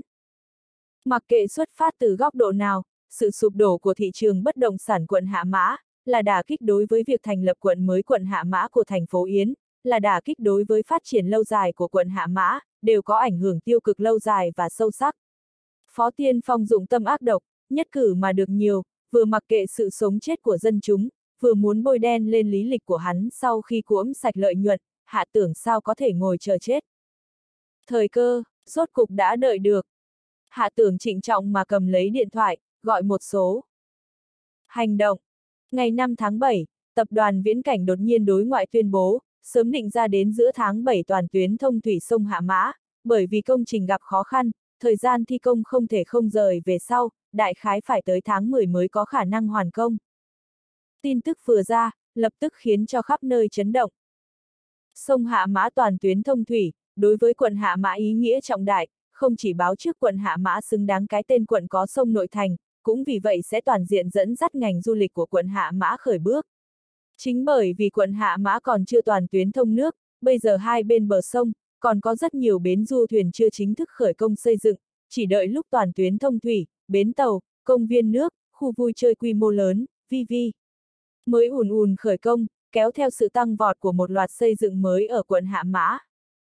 Đồng thời, sông Hạ Mã toàn tuyến thông nước, cũng là mong chờ lớn nhất của nhà đầu tư, người mua nhà đối với quận Hạ Mã, nhất là nhà đầu tư, một lòng nhận định chỉ có sông Hạ Mã toàn tuyến thông nước mới có thể nâng cao giá nhà, bây giờ đột nhiên đẩy lùi thời hạn toàn tuyến thông nước, lập tức liền khiến cho rất nhiều nhà đầu tư mua nhà chậm lại bước chân tiến đến đầu tư quận Hạ Mã, đều quyết định quan sát thêm một khoảng thời gian mới quyết định. Ba ngày sau, một phần số liệu tập hợp đặt lên bàn làm việc của Nguyên Minh Lược, tin tức của tập đoàn Viễn Cảnh vừa tuyên bố, doanh số bán hàng liền giảm xuống 10%. Hay cho kế một tay rút củi dưới đáy nồi rất lợi hại. Nguyên Minh Lượng mới biết được hạ tưởng không phải không có chiêu sau, chỉ là đang đợi một thời cơ mà thôi. Không ngờ, tuyệt đối không ngờ, chiêu sau của hạ tưởng ác độc như vậy, chính là thủ pháp làm chuyện vô bổ. Nguyên Minh Lượng không kìm nổi giận giữ quảng nát một cái chặn giấy thủy tinh ở trên bàn, sau đó gọi điện thoại cho Phó Tiên Phong. Buổi chiều, điện thoại chất vấn của Ủy ban Nhân dân thành phố liền gọi tới Tổng công ty của tập đoàn Viễn Cảnh, kỹ sư công trình kỹ thuật phụ trách công trình khơi thông sông Hạ Mã chính là người theo đuổi vệ tân là Quản Tân Vọng, y kiên nhẫn mà cẩn thận đưa ra giải thích với cuộc điện thoại gọi tới của văn phòng Ủy ban Nhân dân, nói rằng khi khơi thông một đoạn vùng núi Tây Bộ, phát hiện có mạch nước ngầm, phải thực hiện biện pháp cách ly sông Hạ Mã và mạch nước ngầm, bằng không có bao nhiêu nước cũng sẽ bị chảy sạch. Bởi vì nước sông Hạ Mã vốn chính là nước dẫn của đập chứa nước Yến Môn, đập chứa nước Yến Môn cung ứng nước dùng cho người dân toàn thành phố Yến, một con sông nước ngầm thì có thể làm cho nước của đập chứa nước quan trọng của người dân thành phố Yến toàn bộ chảy sạch. Nhân viên công tác của văn phòng đem tình hình báo cáo cho Cao Hải, Cao Hải liền tỉ mỉ nói rõ với Phó Tiên Phong. Phó Tiên Phong giận tím mặt, vỗ bàn ngay trước mặt Cao Hải, muốn Cao Hải lập tức thông báo tập đoàn viễn cảnh, mặc kệ cái giá phải trả có lớn bao nhiêu, mặc kệ đầu nhập bao nhiêu nhân lực tài sản, nhất định phải đúng thời hạn hoàn thành công trình, nếu không Ủy ban Nhân dân thành phố có quyền thay đổi nhà đầu tư khai phá. Cao Hải cũng không rõ mưu mẹo trong đó, không phải vô cùng hiểu sông Hạ Mã liên quan đại kế sinh tử của Nguyên Minh Lược, liên quan so chiêu giữa Hạ Tưởng và Phó Tiên Phong, nhưng ông cũng hiểu rõ quan hệ giữa tập đoàn Viễn Cảnh và Hạ Tưởng, quay người lại thì chuyển cáo thái độ của Phó Tiên Phong với Hạ Tưởng. Hạ Tưởng đang họp ở văn phòng, sau khi nhận được điện thoại của Cao Hải, mỉm cười. Cảm ơn điện thoại của chú Cao, trong lòng cháu biết rõ. Chuyện này chú cũng không cần khó xử, chỉ lo truyền đạt xuống là được, có khó khăn gì, tập đoàn viễn cảnh tự có biện pháp giải quyết. Cao Hải nghe giọng điệu của Hạ Tưởng vô cùng thoải mái, cũng yên tâm, truyền đạt chỉ thị của Phó Tiên Phong cho tập đoàn viễn cảnh. Không ngờ tập đoàn viễn cảnh trả lời cũng rất mạnh mẽ, phải tuân theo thái độ thi công an toàn là nhất, nếu như Ủy ban Nhân dân thành phố nhất định muốn cưỡng ép tiến hành thi công, một khi xuất hiện bất kỳ sự cố an toàn trọng đại nào, tập đoàn viễn cảnh cũng không gánh bất kỳ trách nhiệm nào. Phó Tiên Phong cho rằng thành phố Yến là thành phố phương Bắc khô hạn ít mưa, sẽ không có thiên tai như mưa to và lũ lụt, cho dù có, trăm năm có một thì ông ta có thể nhìn thấy được sao.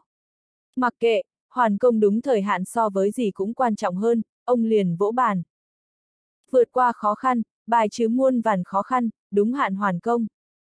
Nhưng tập đoàn viễn cảnh vẫn là không nể mặt ông, ngày hôm sau liền mở ra cuộc họp báo, đối ngoại tuyên bố bởi vì điều kiện địa chất vô cùng phức tạp, đình công nửa tháng, mời chuyên gia nước ngoài đến nghiên cứu thực địa, một lần nữa thiết kế lại phương án thông nước, rồi khởi công lại. Phó Tiên Phong còn muốn mạnh mẽ, cứng rắn áp chế, thị trường chính là thị trường, không thể so sánh với chức vụ phó bí thư thành ủy trước kia, ông mở hội nghị công tác chính phủ, chuẩn bị phái ra tổ công tác đến đội thi công tập đoàn viễn cảnh tiến hành giám sát thi công. Hội nghị còn chưa kết thúc thì đã nhận được điện thoại từ tỉnh ủy gọi đến. Thị trưởng phó, tôi là Cao Tấn Chu. Cao Tấn Chu là ủy viên thường vụ phó chủ tịch tỉnh, tuy rằng cùng phó tiên phong đều là cấp phó tỉnh, nhưng phạm vi quyền hạn của phó tiên phong nhỏ hơn, chỉ là tương đương với hưởng thụ đãi ngộ cấp phó tỉnh, mà Cao Tấn Chu lại là lãnh đạo tỉnh danh chính ngôn thuật, bởi vậy giọng nói của ông tuy rằng thản nhiên, nhưng lại có một mùi vị mệnh lệnh. Tập đoàn viễn cảnh căn cứ tinh thần thi công khoa học, là thái độ chịu trách nhiệm vì quận Hạ Mã vì thành phố Yến, phương diện ủy ban nhân dân thành phố không nên can thiệp ý nghĩ kinh doanh bình thường của xí nghiệp. Rất rõ ràng, tập đoàn viễn cảnh đưa ra Cao Tấn Chu đến đè ép Phó Tiên Phong. Phó Tiên Phong cố nén cơn giận. Phó Chủ tịch tỉnh Cao, quyết định của tập đoàn viễn cảnh bất lợi cho phát triển kinh tế quận Hạ Mã, tôi tạo áp lực cho bọn họ, cũng là suy xét từ đại cục. Cứ chờ đợi trước, xem chuyên gia nước ngoài đến rồi kết luận thế nào, làm việc qua loa, dễ dàng làm trò cười cho người trong nghề, nếu chẳng may sau khi chuyên gia nước ngoài đến đây, cho ra kết luận giống với kết luận mà nhân viên kỹ thuật tập đoàn viễn cảnh đưa ra, chẳng phải là làm cho Ủy ban Nhân dân thành phố mất mặt sao. Cúp điện thoại của Cao Tấn Chu, Phó Tiên Phong chỉ cảm thấy một cơn giận dữ dồn nén trong lồng ngực không thể nào giải phóng, suýt chút tức giận đến muốn ném đổ vật, lại nhớ lại bản thân hiện là thân phận thị trường, nhẫn nhịn, vẫn là không quẳng cây bút máy pai trong tay. Nếu chỉ là Cao Tấn Chu ra mặt, thể diện của Phó Chủ tịch tỉnh thì ông có thể không nể mặt, nhưng tập đoàn viễn cảnh một sáng một tối, đã đem chuyện này công khai, khi đưa ra Cao Tấn Chu, đồng thời còn mở cuộc họp báo, rõ ràng là cách làm không để đường rút lui. Phó Tiên Phong cũng biết người ủng hộ của tập đoàn viễn cảnh ở trong thành ủy và ủy ban nhân dân thành phố rất nhiều, cũng quả thật vì thành phố Yến làm ra không ít cống hiến, ông cũng thật không làm gì được tập đoàn viễn cảnh. Hạ tưởng, thật hay cho ngươi, thủ đoạn cứng rắn, mạnh mẽ, có sáng có tối, chẳng những cao minh, hơn nữa làm cho người ta không chê vào đâu được, thật sự là khinh người quá đáng. Phó Tiên Phong tức giận đến đỏ mặt tía tai, ngồi ở văn phòng hờn dỗi, nhưng rồi không làm gì được hạ tưởng. Ngồi vài phút, mới nhớ ra vấn đề trang trại chăn nuôi của tập đoàn Tứ Nghiêu hẳn là đã có tin tốt, làm thế nào mà làm một chuyện nhỏ phải lâu như thế. Ông không khỏi có chút tức giận, cầm điện thoại lên lại gọi cho Dương Quốc Anh.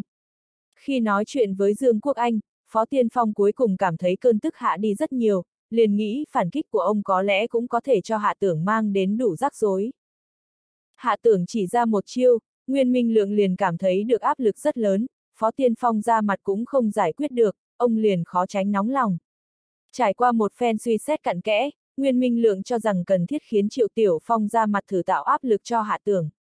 Cùng lúc đó, ông cũng suy xét tới lợi dụng tài chính hơn một tỷ hiện có trong tay, sợ gì chia cho hạ tưởng một hai trăm triệu, chỉ cần có thể khiến cho kế hoạch của ông ta có thể thuận lợi thực thi, chỉ cần hạ tưởng nhượng bộ, mọi thứ đều dễ thương lượng.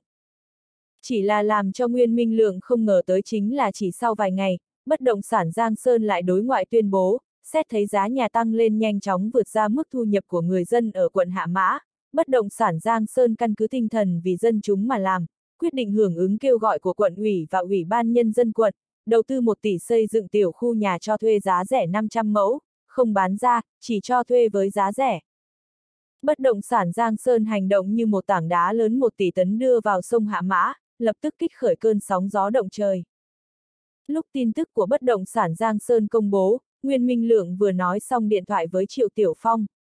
Triệu Tiểu Phong cho ông ta kiến nghị là tìm Hạ Tưởng nói chuyện, Hạ Tưởng chịu nhượng bộ là tốt nhất Hạ Tưởng cũng khẳng định sẽ nhượng bộ, mỗi người đều có lợi thế, Hạ Tưởng cũng không ngoại lệ, làm rõ Hạ Tưởng rốt cuộc muốn gì nếu chẳng may Hạ Tưởng nói thế nào cũng không chịu nhượng bộ, thì trực tiếp đem tiểu khu Giang Sơn như họa của bất động sản Giang Sơn thu mua là xong chuyện, chẳng qua là một tỷ thôi chẳng phải sao. Vấn đề có thể dùng tiền để giải quyết đều không phải là vấn đề. Có thể nói đề nghị của Triệu Tiểu Phong là đề nghị ổn thỏa nhất an toàn nhất, Nguyên Minh Lượng thấy Phó Tiên Phong tạm thời ở mặt ngoài không làm gì được hạ tưởng, tuy rằng Phó Tiên Phong dường như cũng chuẩn bị thủ đoạn phía sau, nhưng còn thiếu chút độ lửa, ông quyết định ra mặt cùng hạ tưởng tiến hành đàm phán sau cùng. Bởi vì tin tức của bất động sản Giang Sơn vừa tuyên bố, thị trường bất động sản nóng bỏng của quận Hạ Mã giống như bị tạt một thao nước lạnh, hiệu quả vô cùng rõ ràng, mức độ hạ nhiệt kinh người. Phó Tiên Phong ngồi không yên, Lý Hàm ngồi không yên, Nguyên Minh Lượng ngồi không yên. Phó Tiên Phong lại lập tức mở ra hội nghị công tác Ủy ban Nhân dân thành phố, liền tiến hành thảo luận về hành động của bất động sản Giang Sơn, thảo luận Ủy ban Nhân dân thành phố có phải áp dụng biện pháp tương ứng hay không, có phải nên chế định chính sách tương quan hay không, nghiêm khắc trói buộc hành vi của nhà đầu tư khai phá, không thể tùy tiện lấy hành vi xí nghiệp quấy rối trật tự thị trường bình thường. Phó thị trưởng thường trực Phu Phồn Nhiên và Phó thị trưởng Cao Hải đồng thanh tỏ vẻ phản đối chính phủ can thiệp hành vi buôn bán bình thường của xí nghiệp. Bất động sản Giang Sơn là một nhà đầu tư khai phá bất động sản có tiếng lâu đời của thành phố Yến. Ở thành phố Yến có nhiều kinh nghiệm khai phá, trong thời kỳ quận Hạ Mã mới thành lập đã làm ra cống hiến nổi bật cho trong việc giải phóng mặt bằng và tái định cư của quận Hạ Mã, vẫn luôn cùng chính phủ hợp tác chặt chẽ, là xí nghiệp điển hình có quan hệ tốt đẹp. Huống chi bất động sản Giang Sơn đầu tư nhà cho thuê giá rẻ là vì chính phủ giảm bớt âu lo vì dân chúng suy nghĩ vì điểm xuất phát, Ủy ban Nhân dân thành phố nên mạnh mẽ đề sướng và khen ngợi mới đúng. Hai vị phó thị trưởng có quan hệ khá gần với Phó Tiên Phong lại đồng ý đề nghị của Phó Tiên Phong, đề xuất nên do Ủy ban Nhân dân thành phố ra mặt, tiến hành trói buộc đối với hành vi của bất động sản Giang Sơn, hơn nữa phải tiến hành bàn bạc với bất động sản Giang Sơn. Chỉ là Vu Phồn Nhiên chậm rãi mà nói một câu, lập tức đánh tàn ý niệm trong đầu của mấy vị phó thị trưởng còn lại muốn phụ họa cho Phó Tiên Phong. Phó Chủ tịch Thường trực quận Hạ Mã đồng chí Trần Thiên Vũ đã sớm báo trước với tôi về hành động của bất động sản Giang Sơn, tôi còn chưa kịp báo cáo với Bí Thư Hồ, nhưng mà nghe đồng chí Thiên Vũ nói, đồng chí Hạ Tưởng đã hỏi ý của Bí Thư Hồ rồi, ý kiến của Bí Thư Hồ là. Phu phồn nhiên cố ý tạm dừng một lát, lại liếc mắt nhìn Phó Tiên Phong một cái, nói tiếp. Chỉ cần hành vi của xí nghiệp nằm trong phạm vi hợp pháp, chỉ cần phù hợp quy luật của kinh tế thị trường, chỉ cần không tổn hại lợi ích của quốc gia, chính phủ sẽ không phải can thiệp. Chính phủ muốn can thiệp hành vi của xí nghiệp, là sự thụt lui của thể chế, đồng thời cũng là thể hiện của dục vọng quyền lực của cá biệt nào đó, là có vài đồng chí muốn từ giữa mưu lợi bất chính, mượn cơ hội để đoạt lợi ích cá nhân. Trên đầu chụp xuống một cái mũ to, lập tức làm cho mấy vị phó thị trưởng phái trung gian im miệng. Được, hà tất bởi vì một sự kiện không liên quan đến bản thân mà chuốc họa vào thân, đắc tội với bí thư hồ cũng không phải là chuyện tốt gì. Phó Tiên Phong tức giận xanh mặt. Ban đầu tưởng rằng đảm nhiệm nhân vật số 2, trở thành thị trưởng một thành phố, chắc chắn có thể muốn gió được gió, muốn mưa được mưa, không ngờ, đầu đầu cũng bị cản trở, ngay cả một bất động sản giang sơn nhỏ nhoi cũng không nắm được, quyền uy của thị trường ở đâu. Phó Tiên Phong vô cùng buồn bực, nhưng người trong quan trường, phải tuân thủ quy định, nếu như nhân vật số một Hồ Tăng Chu cũng lên tiếng, ông không thể coi như quyền uy của nhân vật số một không tồn tại, đành phải phất tay, bất đắc dĩ mà tan họp. Tuy nhiên ông vẫn là phái vô tứ đến bất động sản Giang Sơn, lấy danh nghĩa thị sát tiến hành làm khó dễ. Vu Tứ chính là phó thị trưởng mà lần trước tới quận Hạ Mã tham gia lễ truy điệu, y xếp hạng ở giữa trong ủy ban nhân dân thành phố, đối nhân xử thế khá cẩn thận. Sau khi Phó Tiên Phong lên đài, khá gần với Phó Tiên Phong, coi như là một trong những vị phó thị trưởng tín nhiệm của Phó Tiên Phong.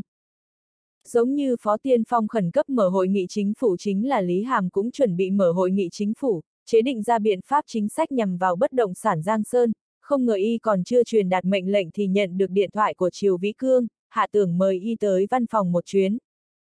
chương 736, một đánh một xoa. Lý Hàm trong lòng giật mình, tới văn phòng của hạ tưởng, nhìn thấy hạ tưởng ngồi ngay ngắn ở sau bàn làm việc, vẻ mặt nghiêm túc, vừa nhìn thấy y tiến vào thì gật đầu nói. Chủ tịch quận Lý, chúng ta thống nhất tư tưởng trước, quận Hạ Mã giá nhà cao, đã nghiêm trọng tới mức nguy hại đến phát triển kinh tế tổng thể của quận Hạ Mã, vì vậy cần thiết áp dụng biện pháp tương ứng bình ổn giá nhà. Bất động sản Giang Sơn là một xí nghiệp lương tâm vì nước vì dân, cố ý vì quận Hạ Mã xây dựng nhà cho thuê giá rẻ, báo cáo đã tới tay tôi, cá nhân tôi cho rằng là một biện pháp không tồi, đáng mở rộng. Về mặt chính phủ nghiên cứu một chút, làm thế nào để bồi thường nhất định với cách làm giúp chính phủ chủ động loại trừ Âu lo giải quyết khó khăn cho bất động sản Giang Sơn. Hạ tưởng vừa vào đề là không để đường lui cho Lý Hàm, trực tiếp là cách nói thống nhất tư tưởng, là khẩu khí không cho thương lượng. Lý Hàm bị giọng điệu của hạ tưởng làm cho trong lòng không vui, bí thư là nhân vật số một không sai, nhưng cũng không thể quá độc đoán chuyên quyền, một chút cũng không thương lượng, trực tiếp vỗ bàn, còn cần chủ tịch quận như y có tác dụng gì.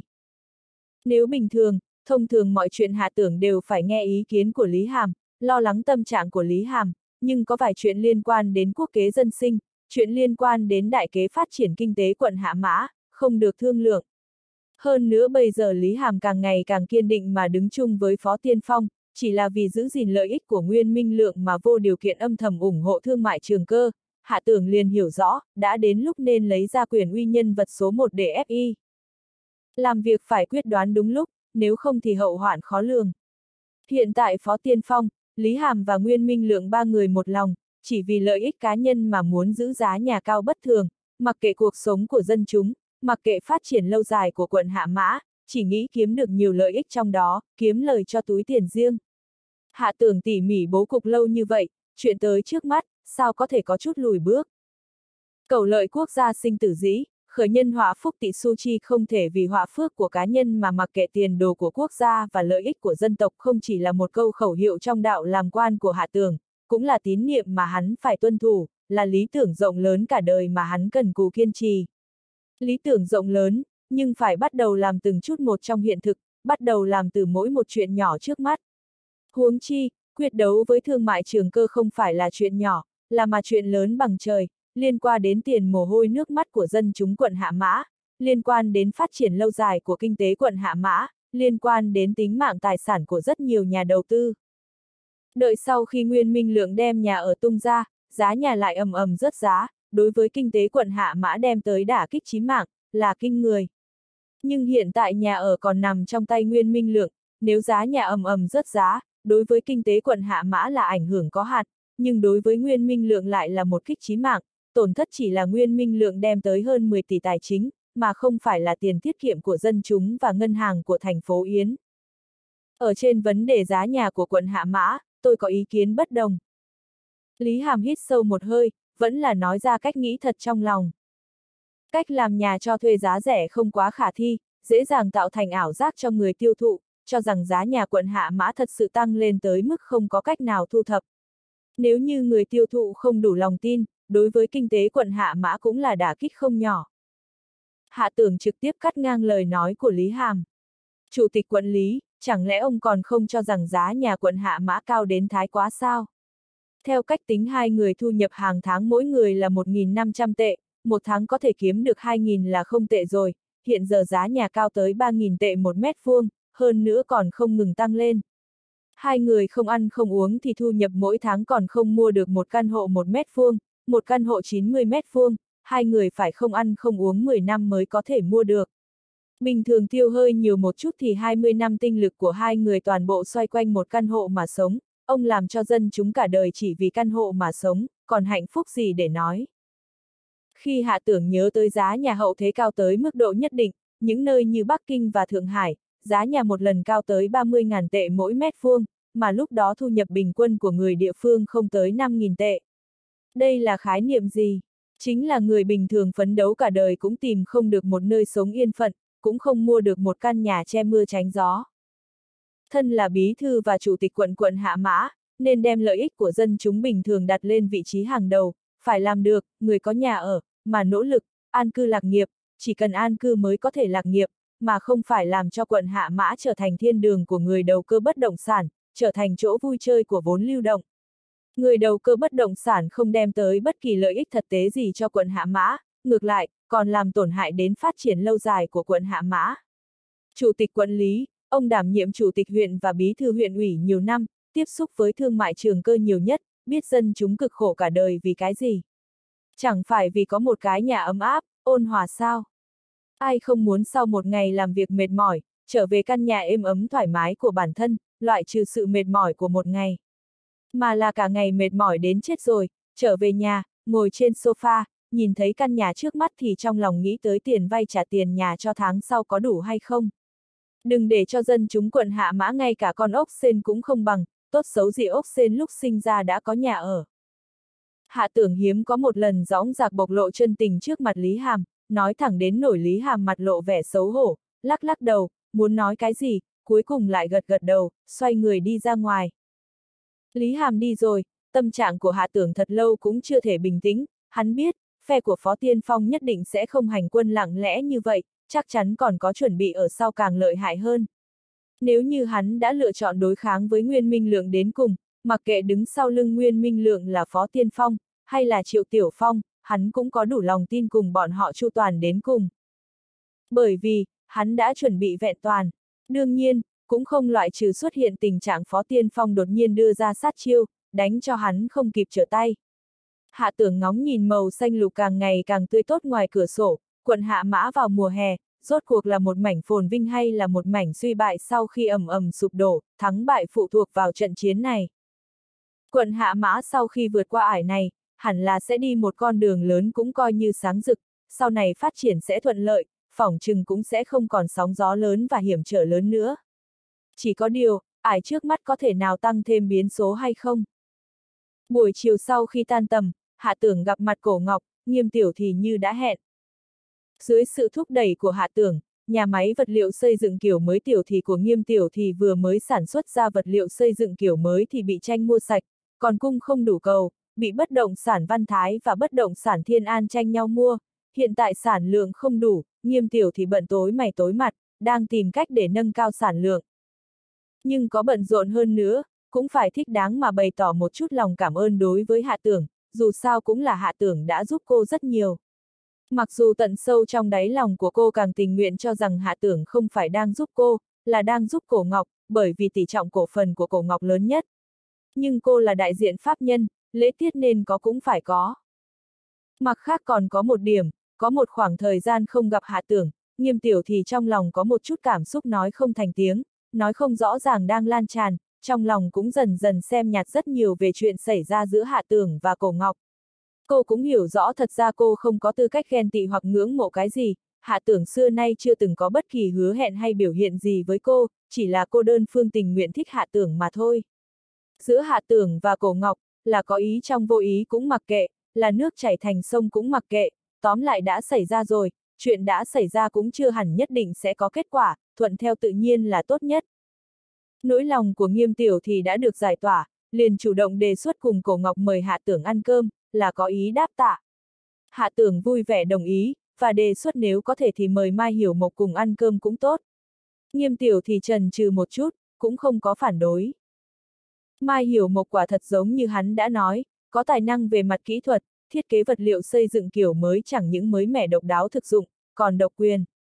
Sau khi đầu tư sản lượng, phản ứng thị trường rất tốt, sau khi nghiêm tiểu thì thương lượng với cổ ngọc, liền cho Mai Hiểu Mộc lấy kỹ thuật để nhập cổ phần, chiếm 10% cổ phần của nhà máy vật liệu xây dựng kiểu mới tiểu thì.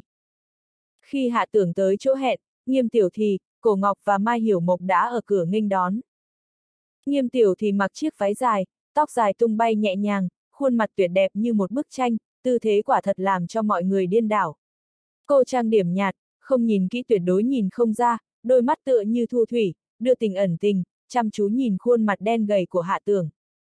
Hắn gầy đi, nghiêm tiểu thì trong lòng một tiếng thở dài, thân là nhân vật số một của quận Hạ Mã, khơi mào một trọng trách lớn như quận Hạ Mã, lại là quận mới, cực kỳ phức tạp, lại cộng thêm đấu tranh chính trị phức tạp mà thảm khốc, nam nhân chính là danh từ thay thế của nan nhân, người đảm đương việc khó trăm công ngàn việc, còn không quên chuyện nhà máy vật liệu xây dựng tiểu thì, quả thật không dễ. Trong nháy mắt, nghiêm tiểu thì không ngờ hơi đau lòng khó hiểu.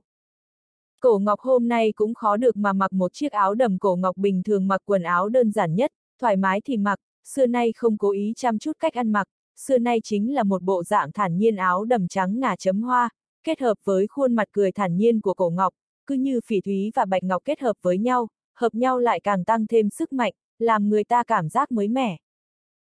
Khác với ánh mắt mang chút u oán của nghiêm tiểu thì là ánh mắt của cổ ngọc mang theo nụ cười nghiêng nghiêng mà liếc mắt nhìn hạ tưởng một cái, nhếch môi, rất hàm xúc rất tinh nghịch mà cười. Trong mắt cổ ngọc, hạ tưởng vẫn như cũ, một chút cũng không thay đổi, tinh thần cao, năng lượng tràn đầy cô vừa không đa nghi như nghiêm tiểu thì, vừa không có tâm tư kín đáo như nghiêm tiểu thì, chỉ nhìn thấy một mặt mà hạ tưởng cố ý biểu lộ bên ngoài, mà không nhìn thấy một mặt khác mà hạ tưởng giấu ở sau lưng. Cổ Ngọc tính cách đơn giản, cũng là ước nguyện ban đầu mà hạ tưởng tình nguyện ở cùng cô. Ở cùng cổ Ngọc, hạ tưởng có thể hoàn toàn thả lỏng, không cần suy nghĩ quá nhiều chuyện, chỉ là đơn thuần mà ở cùng nhau là được, đơn giản mà thuần khiết. Không giống nghiêm tiểu thì, tâm tư kín đáo, còn có ý tưởng khác, làm cho hắn lúc nào cũng có tâm lý đề phòng. Bộ dáng của Mai Hiểu Mộc vượt ra ngoài dự kiến của hạ tưởng, thiếu chút nữa dọa hắn nhảy dựng, chỉ thấy Mai Hiểu Mộc vẻ mặt tang thương, râu mọc đầy, hai mắt ửng đỏ, quầng mắt đen, rõ ràng là thể hiện của vất vả quá độ, ngủ không đủ giấc, hạ tưởng liền thân thiết hỏi han. Hiểu Mộc, công việc quan trọng, sức khỏe càng quan trọng, bộ dạng cậu bây giờ đúng là có chút dọa người. Mai Hiểu Mộc xấu hổ mà cười. Gần đây đang phá một vấn đề khó về kỹ thuật, liên tiếp 3 ngày 3 đêm không có ngủ ngon, lập tức phải đưa ra kết quả rồi, trong lòng rất khẩn trương, có lẽ qua hai ngày sẽ tốt hơn. Cổ Ngọc thè lưỡi. Vấn đề khó về kỹ thuật thì phá được, vấn đề khó về tình cảm thì không dễ phá. Quả thật đã nhắc đến vấn đề người ta không muốn nhắc, dẫn đến ngượng ngùng, Mai Hiểu Mộc mặt đỏ lên, ánh mắt chuyển về phía nghiêm tiểu thì. Nghiêm tiểu thì làm bộ không thấy, đối với tình cảm của Mai Hiểu Mộc, tuy rằng trước đó cô đã nói là nếu như Mai Hiểu Mộc có thể phá được vấn đề khó về kỹ thuật thì cô sẽ suy xét chấp nhận lời tỏ tình của y, nhưng khi chuyện thật sự đã tới trước mắt thì mới phát hiện, chuyện tình cảm quả thật không thể miễn cưỡng. Nghiêm tiểu thì liền đúng lúc chuyển hướng đề tài. Mời bí thư hạ vào ngồi, đứng bên ngoài nói chuyện quá không lễ phép. Nơi nghiêm tiểu thì mời hạ tưởng ăn cơm là một nhà hàng mới mở cách nhà máy vật liệu xây dựng kiểu mới tiểu thì không xa, tên gọi là tôm hương cay. Hạ tưởng không có quá nhiều yêu cầu đối với chuyện ăn uống, khách tùy vào chủ, sau khi tiến vào phòng thì lần lượt ngồi xuống, để cho nghiêm tiểu thì tùy ý sắp xếp là được. Vấn đề sản lượng là một vấn đề lớn cấp bách cần giải quyết trước mắt, từ khi bất động sản Văn Thái và bất động sản Thiên An chủ yếu thúc đẩy nhà ở thông minh và tiết kiệm năng lượng, không ít nhà đầu tư khai phá đến nhà máy tư vấn và mua vật liệu xây dựng kiểu mới. Ngoại trừ nhà đầu tư khai phá của thành phố Yến, nhà đầu tư khai phá của Bắc Kinh và Thiên Tân kể cả các tỉnh khác cũng có không ít người tới tư vấn, triển vọng vô cùng tốt đẹp. Nghiêm tiểu thì nghiêm trang mà hướng về phía hạ tưởng giới thiệu hiện trạng của nhà máy vật liệu xây dựng tiểu thì, bộ dạng giải quyết việc chung, làm cho người ta một chút cũng không hoài nghi tính chuyên nghiệp và trình độ nghiêm túc của cô, hoàn toàn là giọng điệu hướng về lãnh đạo báo cáo công tác. Nhà máy vật liệu xây dựng tiểu thì hiện tại cần xây dựng thêm, cần tuyển thêm người lao động, cần phải xin cho vay, còn phải mời bí thư hạ nâng đỡ đầy đủ trên chính sách. Sự nghiêng lệch mà nghiêm tiểu thì yêu cầu trên chính sách là hợp tình hợp lý. Phương châm chính sách của quận Hạ Mã chính là nâng đỡ công nghiệp kỹ thuật cao, nhà máy vật liệu xây dựng kiểu mới tiểu thì là một xí nghiệp kỹ thuật cao đầu tiên danh chính ngôn thuận của quận Hạ Mã, theo lý nên có được sự ủng hộ của quận ủy và ủy ban nhân dân quận, Hạ Tưởng liền gật đầu tỏ vẻ đồng ý. Trực tiếp đệ trình một báo cáo tới văn phòng của tôi, tôi phê duyệt. Nghiêm tiểu thì thấy Hạ Tưởng đáp ứng sảng khoái, không khỏi mỉm cười. Bí thư Hạ quả nhiên là một quan tốt một lòng vì công, có ngài đảm nhiệm bí thư quận ủy quận Hạ Mã, là may may của người dân quận Hạ Mã. Đối với khích lệ nửa thật nửa giả của nghiêm tiểu thì, Hạ Tưởng không hề để ý mà cười một cái. Nói những lời khách sáo như vậy thì không có ý nghĩa rồi, có phải hay không? Vẫn là nói về chuyện có ích, gần đây có đi thăm chủ tịch tỉnh Phạm hay không? Nghiêm tiểu thì mắt đẹp mang nụ cười, lờ đáng liếc mắt nhìn cổ ngọc một cái, biết hạ tưởng là nói bóng nói gió muốn tìm hiểu hướng đi của Phạm Duệ Hằng, cô khẽ đá cổ ngọc một cái ở dưới chân bàn, ý là để cho cổ ngọc cũng nói mấy câu, bởi vì cổ ngọc vẫn cúi đầu không nói, dường như suy nghĩ cái gì. Không ngờ một chân đá ra, lại cảm thấy không đúng, đã đá lên chân của hạ tưởng, nghiêm tiểu thì lập tức mặt đỏ lên, vội lấy động tác uống trà để che giấu một chút, mới nói. Chủ tịch tỉnh Phạm gần đây không có gì thay đổi, vẫn như cũ, chỉ là siêng đi lại với thủ đô nhiều một chút, ngoài ra thì quan tâm nhất tới chuyện lớn cả đời của Phạm Tranh. Hạ tưởng cũng có biết một ít về hướng đi gần đây của Phạm Duệ Hằng, nhưng điều hắn biết chỉ là mặt ngoài, chỉ là phần mà Phạm Duệ Hằng muốn cho hắn biết, từ trong miệng của nghiêm tiểu thì có lẽ có thể có được tin tức hữu dụng khác. Thường xuyên lui tới thủ đô là rất bình thường, tỉnh Yến cách thủ đô gần, cán bộ lớn nhỏ đều thường xuyên lui tới thủ đô, nếu Phạm Duệ Hằng lui tới nhiều, hiển nhiên là đang vận tác ngai vàng bí thư tỉnh ủy. Tuy rằng thông thường mà nói sau khi Diệp Thạch Sinh đi rồi, Phạm Duệ Hằng có hy vọng thuận lý thành trương mà tiếp nhận chức vụ, nhưng chuyện trên chính trị khi sóng gió đột nhiên thay đổi cũng không ít, nói không chừng sẽ có lúc nguyện vọng không thành. Phạm Duệ Hằng cũng không muốn thất vọng, nếu như không thể cố định ngồi ở tỉnh Yến thì đối với kiếp sống chính trị của ông ở tỉnh Yến mà nói là một lần đả kích không nhỏ. Ngoài ra, ông quan tâm đại sự hôn nhân của Phạm Tranh cũng là một điểm dừng chân nên có của một người cha, Phạm Tranh quả thật cũng nên đám cưới, chỉ là, con gái nhà ai sẽ trở thành con dâu của chủ tịch tỉnh đương nhiệm, bí thư tỉnh ủy tương lai. Đối với chuyện nghiêm tiểu thì vô ý đá hắn một cái, hạ tưởng không có nghĩ nhiều, trực tiếp liền đoán được hẳn là nghiêm tiểu thì đá sai rồi. Nghiêm tiểu thì tuy rằng to gan, nhưng dù sao có một khoảng thời gian không có qua lại với cô, cô ở trước mặt hắn cũng có chút gò bó, hẳn là sẽ không ngay trước mặt mấy người mà âm thầm có động tác bất nhã gì. Nghiêm tiểu thì cười tủm tỉm mà nhìn cổ ngọc, còn nói. Phạm tranh thích cổ ngọc, tuy nhiên cổ ngọc thích người khác. Cổ ngọc đỏ mặt, nhưng lại không kìm nổi liếc mắt nhìn hạ tưởng một cái, dường như đang trả lời nghiêm tiểu thì là cô thích ai cô đưa tay nhéo nghiêm tiểu thì một cái. Đừng cười em, chuyện giữa chị và hiểu mộc mới là dối, còn có tâm tư mà nói em. Vẫn là xử lý chuyện của chị trước quan trọng hơn. Nghiêm tiểu thì liếc cổ ngọc một cái. Chuyện của chị dễ giải quyết, cũng là em rắc rối lớn, không nói rõ là em thích ai, một phạm tranh, một trịnh nghị thì đủ khiến em phiền toái rồi. Trịnh nghị có một khoảng thời gian không lộ diện, nhà máy linh kiện của tập đoàn chúng đại đã khánh thành, chính là ở gần phía đông của nhà máy vật liệu xây dựng tiểu thì. Hạ tưởng lần này tới nhà máy vật liệu xây dựng tiểu thì, cũng có ý nghĩ khảo sát nhà máy linh kiện một chút. Bởi vì mặc kệ là trang trại chăn nuôi của tập đoàn Tứ Nghiêu hay là nhà máy linh kiện của tập đoàn Chúng Đại, hắn cũng không có tham gia nghi thức khánh thành, đều do Phó Tiên Phong và Lý Hàm ra mặt. Hắn không phải bị đại diện thì là không sắp xếp được thời gian, tóm lại, rất rõ ràng mà tiết lộ một tin tức ra bên ngoài chính là trang trại chăn nuôi và nhà máy linh kiện không phải đầu tư qua tay hạ tưởng. Gạt bỏ không đề cập tới diễu cợt giữa nghiêm tiểu thì và cổ ngọc, hạ tưởng bỗng nhiên ý thức được một vấn đề ác liệt, lúc này liền hỏi. Cổ ngọc, gần đây chính nghị ngoại trừ bận rộn nhà máy linh kiện, có tiết lộ với em là anh ta đang làm chuyện gì khác hay không? chương 737, giai đoạn thứ hai chiêu thế dùng hết. Cổ Ngọc bị hạ tưởng kinh ngạc mà hỏi, cũng là sửng sốt, nghĩ rằng hạ tưởng hoài nghi cô và trịnh nghị lui tới thân thiết, không khỏi không vui nói. Làm sao em biết, anh hỏi em, em đi hỏi ai? Chẳng lẽ còn muốn trịnh nghị ở lại mời em dùng cơm, để em tiện hỏi rõ anh ta? Mỗi lần anh ta đến, đều bị em không nói lời nào mà đuổi đi, ai quản anh ta bận rộn cái gì? Hạ tưởng nghe ra sự tức giận trong lời nói của cổ ngọc, không khỏi cười. Anh chỉ hỏi em có nghe trịnh nghị thổi phồng cái gì hay không, em không có nghe được thì thôi, không cần phải mất hứng. Cổ Ngọc liền lập tức hả giận, nghiêng đầu suy nghĩ, lại nghĩ tới cái gì. Trịnh Nghị dường như nói qua anh ta ở thủ đô gặp qua con trai của phó thủ tướng gì đó, nói là có việc kinh doanh gì có lợi nhuận trên 30%, anh ta cũng muốn đầu tư, phó tiên phong không đồng ý, anh ta liền có chút tức giận. Anh ta lại nói, anh ta chuẩn bị lấy một tỷ từ trong tay ba anh ta đến đầu tư bất động sản tại quận Hạ Mã, chuẩn bị kiếm một khoản tiền lớn. Trịnh Nghị cũng có một miếng đất ở bên thôn Thành Tây, vẫn luôn để chống không có khai phá. Miếng đất thôn Thành Tây, chia thành 4 phần, bất động sản Văn Thái một phần, bất động sản Nam Tân và bất động sản Quảng Hạ mỗi công ty một phần, còn một phần thuộc về Trịnh Nghị.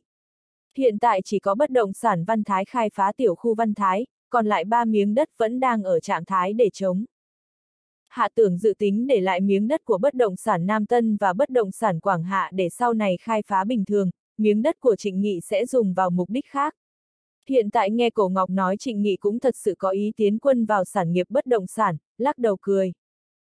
Lần sau anh ta tìm em nữa, có nói đến việc tiến quân bất động sản nữa, thì em nói cho anh ta biết, thị trường bất động sản mạo hiểm rất lớn, người bình thường chơi không nổi đâu, khuyên anh ta từ bỏ ý định đi là vừa. Cổ Ngọc lập tức nghe ra ngụ ý của hạ tưởng. Anh muốn em dùng phép khích tướng lừa trịnh nghị mắc mưu. Sao có thể gọi là lừa? Hạ tưởng ha hả cười, binh bất hiếm trá, mưu kế trong chiến tranh gọi là binh pháp, sách lược trên thương trường gọi là mưu trí, hắn chẳng qua là thuận nước đẩy thuyền biết thời biết thế, mà thôi. Đây gọi là khích lệ đầu tư, làm ra cống hiến vì xây dựng kinh tế quận Hạ Mã. Buổi chiều trở lại quận ủy, vừa mới vào văn phòng, Hạ Tưởng liền có được tin tức của Lý Thấm, Nguyên Minh Lượng hành động rồi, lần nữa ra mặt tiếp xúc với bất động sản Giang Sơn, đề xuất đồng ý thu mua toàn bộ khu chung cư của bất động sản Giang Sơn với giá cao, đưa ra cái giá khiến người ta động lòng.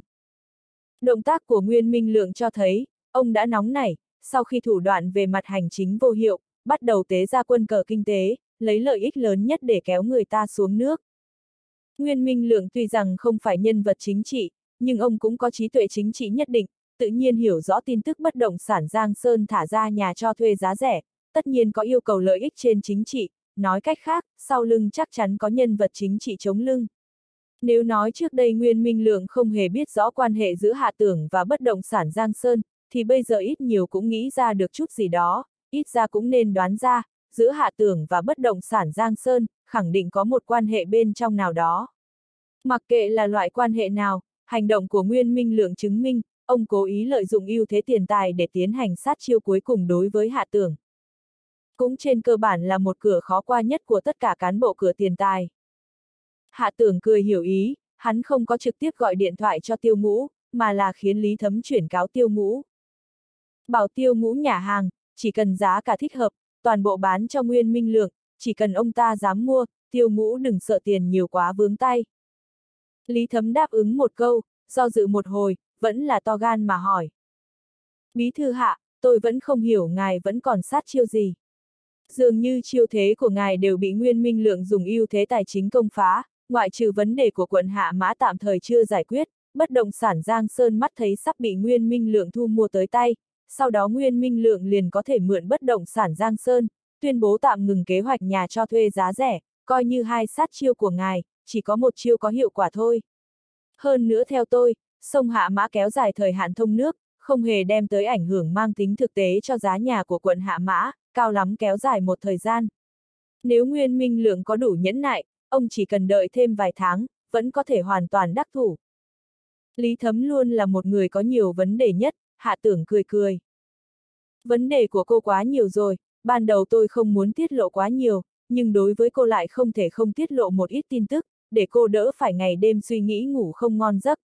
Trên thực tế, vấn đề mà cô nói, toàn bộ nói tới điểm chính, bất động sản Giang Sơn sau khi bán cho Nguyên Minh Lượng, quận Hạ Mã ngoại trừ Sơn Thủy Tương Liên Thành của tập đoàn Đà Tài, dường như đã không còn khu chung cư nào không dưới sự khống chế của thương mại trường cơ, hơn nữa quận Hạ Mã cũng dường như không còn đất để duyệt nữa, nhưng trên chính trị, thủ đoạn luôn có thể liên tiếp xuất hiện. Hạ tưởng nói là phải tiết lộ lý thấm một ít gì đó, trên thực tế vẫn là nói đến điểm mấu chốt là ngừng. Rất nhanh thì cô có thể nhìn thấy được, không cần nóng vội. Lý thấm lòng tràn đầy hy vọng nghĩ đến là có thể nghe được đáp án, không nghĩ tới hạ tưởng vẫn là đòn gió, không khỏi vừa tức vừa vội, vừa tức vừa cười. Ngài là lãnh đạo gì? Cố ý dụ dỗ người ta, cố ý để người ta ngủ không ngon. Có thể cảm thấy câu sau quá mức không nghiêm túc hơn nữa dễ dẫn tới nghĩa khác, cô to gan nói một câu. Tuy rằng tôi thích tề Á Nam, nhưng cũng không thể cản trở tôi yêu thích ngài. Điện thoại của Lý Thấm Cúc rồi, hạ tưởng cầm ống nghe, bất đắc dĩ cười. Có phụ nữ yêu thích đàn ông dịu dàng, có phụ nữ thích đàn ông mạnh mẽ, cứng rắn, Lý Thấm hiển nhiên thuộc loại thứ hai. Ngày thứ ba, Hạ Tưởng liền nhận được điện thoại của Tiêu Ngũ, đã thỏa hiệp với Nguyên Minh Lượng. Nguyên Minh Lượng đề xuất điều kiện là, toàn bộ tiếp nhận khu chung cư hiện có của bất động sản Giang Sơn, giá cả cao hơn 500 tệ một mét vuông so với giá cả bất động sản Giang Sơn đối ngoại công bố, hơn nữa toàn bộ trả tiền một lần. Đương nhiên, ông cộng thêm điều kiện hà khắc là, tiêu thụ bên ngoài và hình tượng đối ngoại của bất động sản Giang Sơn, toàn bộ do thương mại trường cơ quản lý, sau khi ký kết hợp đồng, toàn bộ các khoản tiền của thương mại trường cơ phải chuyển gửi tới tài khoản trong vòng 36 tiếng, thương mại trường cơ toàn bộ tiếp nhận tiêu thụ trong vòng 24 tiếng, đồng thời, bất động sản Giang Sơn ra mặt làm sáng tỏ vấn đề nhà cho thuê giá rẻ, chẳng những phải tuyên bố tiêu hủy về việc xây dựng nhà cho thuê giá rẻ. Hơn nữa còn phải phát biểu ngôn luận có lợi cho giá nhà dâng lên. Nói cách khác, thương mại trường cơ tặng bất động sản Giang Sơn một phần đại lễ, khiến bất động sản Giang Sơn không cần tốn nhiều sức thì kiếm được nhiều lợi nhuận, nhưng điều kiện tiên quyết là, chẳng những quyền tiêu thụ khu chung cư đang xây dựng của bất động sản Giang Sơn thuộc sở hữu của thương mại trường cơ, hình tượng và tuyên truyền đối ngoại của bất động sản Giang Sơn cũng trong thời gian ngắn phải nghe theo chỉ huy của thương mại trường cơ. Tiêu ngũ trải qua một phen cò kè mặc cả, một mực chắc chắn giá cả có thể chấp nhận, nhưng nói rõ không thể công bố, chỉ đồng ý lặng yên không một tiếng động không tiếp tục tiến hành, không đồng ý công khai tự tát vào miệng mình kế hoạch nhà cho thuê giá rẻ vừa tuyên bố thì phải vội vàng nhảy ra nuốt lời, không có lợi cho hình tượng xí nghiệp của bất động sản Giang Sơn. Bởi vì tiêu ngũ kiên trì, cuối cùng Nguyên Minh Lượng cũng đồng ý điều kiện của bất động sản Giang Sơn, cuối cùng hai bên nhất trí, thương mại trường cơ lấy giá 1 tỷ tệ tiếp nhận tất cả khu chung cư đang xây dựng của bất động sản Giang Sơn.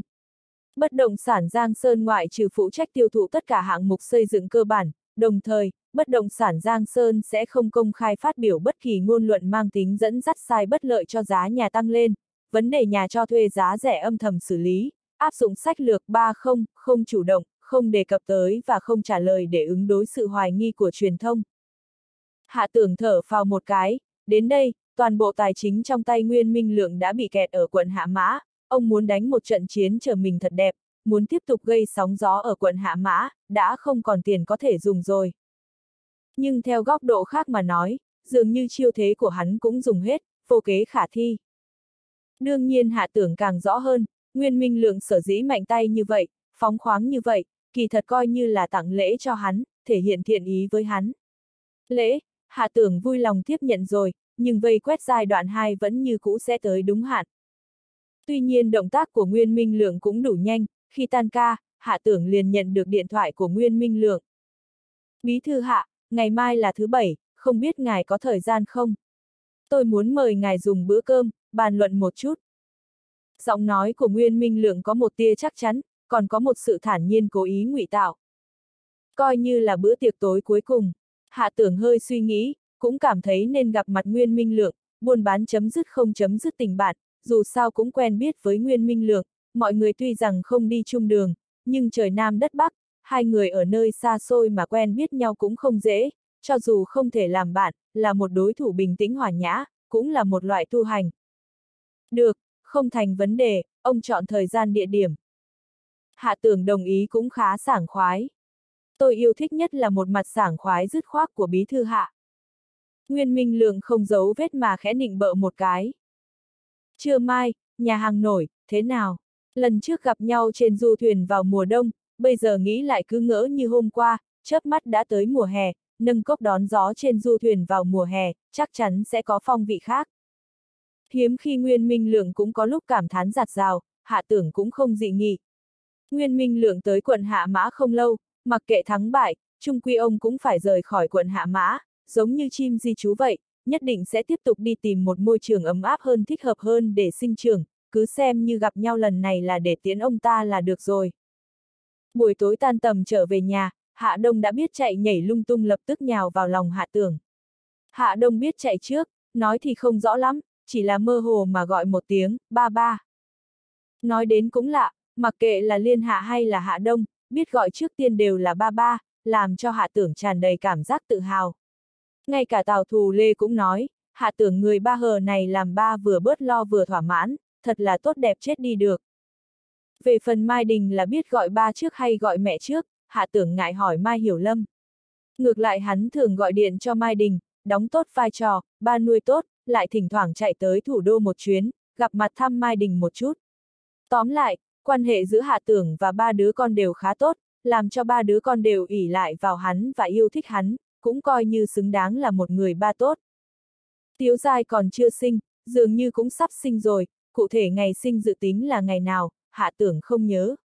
Khoảng thời gian trước thỉnh thoảng cũng mượn cơ hội tới thủ đô họp hoặc làm việc để ghé thăm Tiếu Giai. Tiếu Giai mang bầu, vẻ mặt hạnh phúc, trên mặt lúc nào cũng tràn đầy hào quang mẫu tính. Phụ nữ tới độ tuổi nhất định, mẫu tính trong người sẽ bộc phát, sẽ tràn đầy kỳ vọng đối với trẻ con, cũng khát vọng sinh một đứa con cùng cô nương tựa lẫn nhau. Quận Hạ Mã bởi vì sự dung chuyển và sự hỗn loạn của thị trường bất động sản, nghiệp vụ môi giới không dễ khai triển, Tiếu Giai liền để cho Tùng Phong Nhi ở bên cạnh. Từ sau sự kiện lần trước bị Bạch Chiến mặc bắt đi, Tùng Phong Nhi bình thường cảnh giác rất nhiều, cũng ít khi một mình ra ngoài nữa, cho dù là ra ngoài cũng có bạn gái và vệ sĩ đi theo. Còn Bạch Chiến mặc từ sau sự kiện lần trước, bị hạ tưởng đánh ngất, bị phó tiên tiên lửa thiêu nhà riêng, liền an phận đi rất nhiều, cũng không còn lộ diện nữa, cũng không còn nghe thấy bất cứ tin tức gì liên quan tới ông ta. Hạ tưởng đối với đồ cổ không có nghiên cứu gì, nhưng sau sự kiện cũng nghe Phó Tiên Tiên vô tình nhắc tới, Bạch Chiến mặc tổn thất thê thảm và nghiêm trọng. Phó Tiên Tiên sau này thật sự tới nhà máy vật liệu xây dựng kiểu mới tiểu thì đi làm, ngay từ đầu còn ngày ngày quấn quýt lấy Mai Hiểu Mộc, sau này nghe nói dường như thật sự đã từ bỏ ý định, liền ba ngày đánh cá hai ngày phơi lưới, làm việc không có lòng kiên trì, nửa đường bỏ cuộc mà đi làm, nhưng cũng quả thật làm ra không ít thành tích cho con đường mở rộng tiêu thụ của nhà máy vật liệu xây dựng kiểu mới tiểu thì, kéo tới không ít khách hàng từ thủ đô. Trên căn bản vật liệu xây dựng mà nhà máy vật liệu xây dựng tiểu thì bán tới thủ đô toàn là công lao của Phó Tiên Tiên.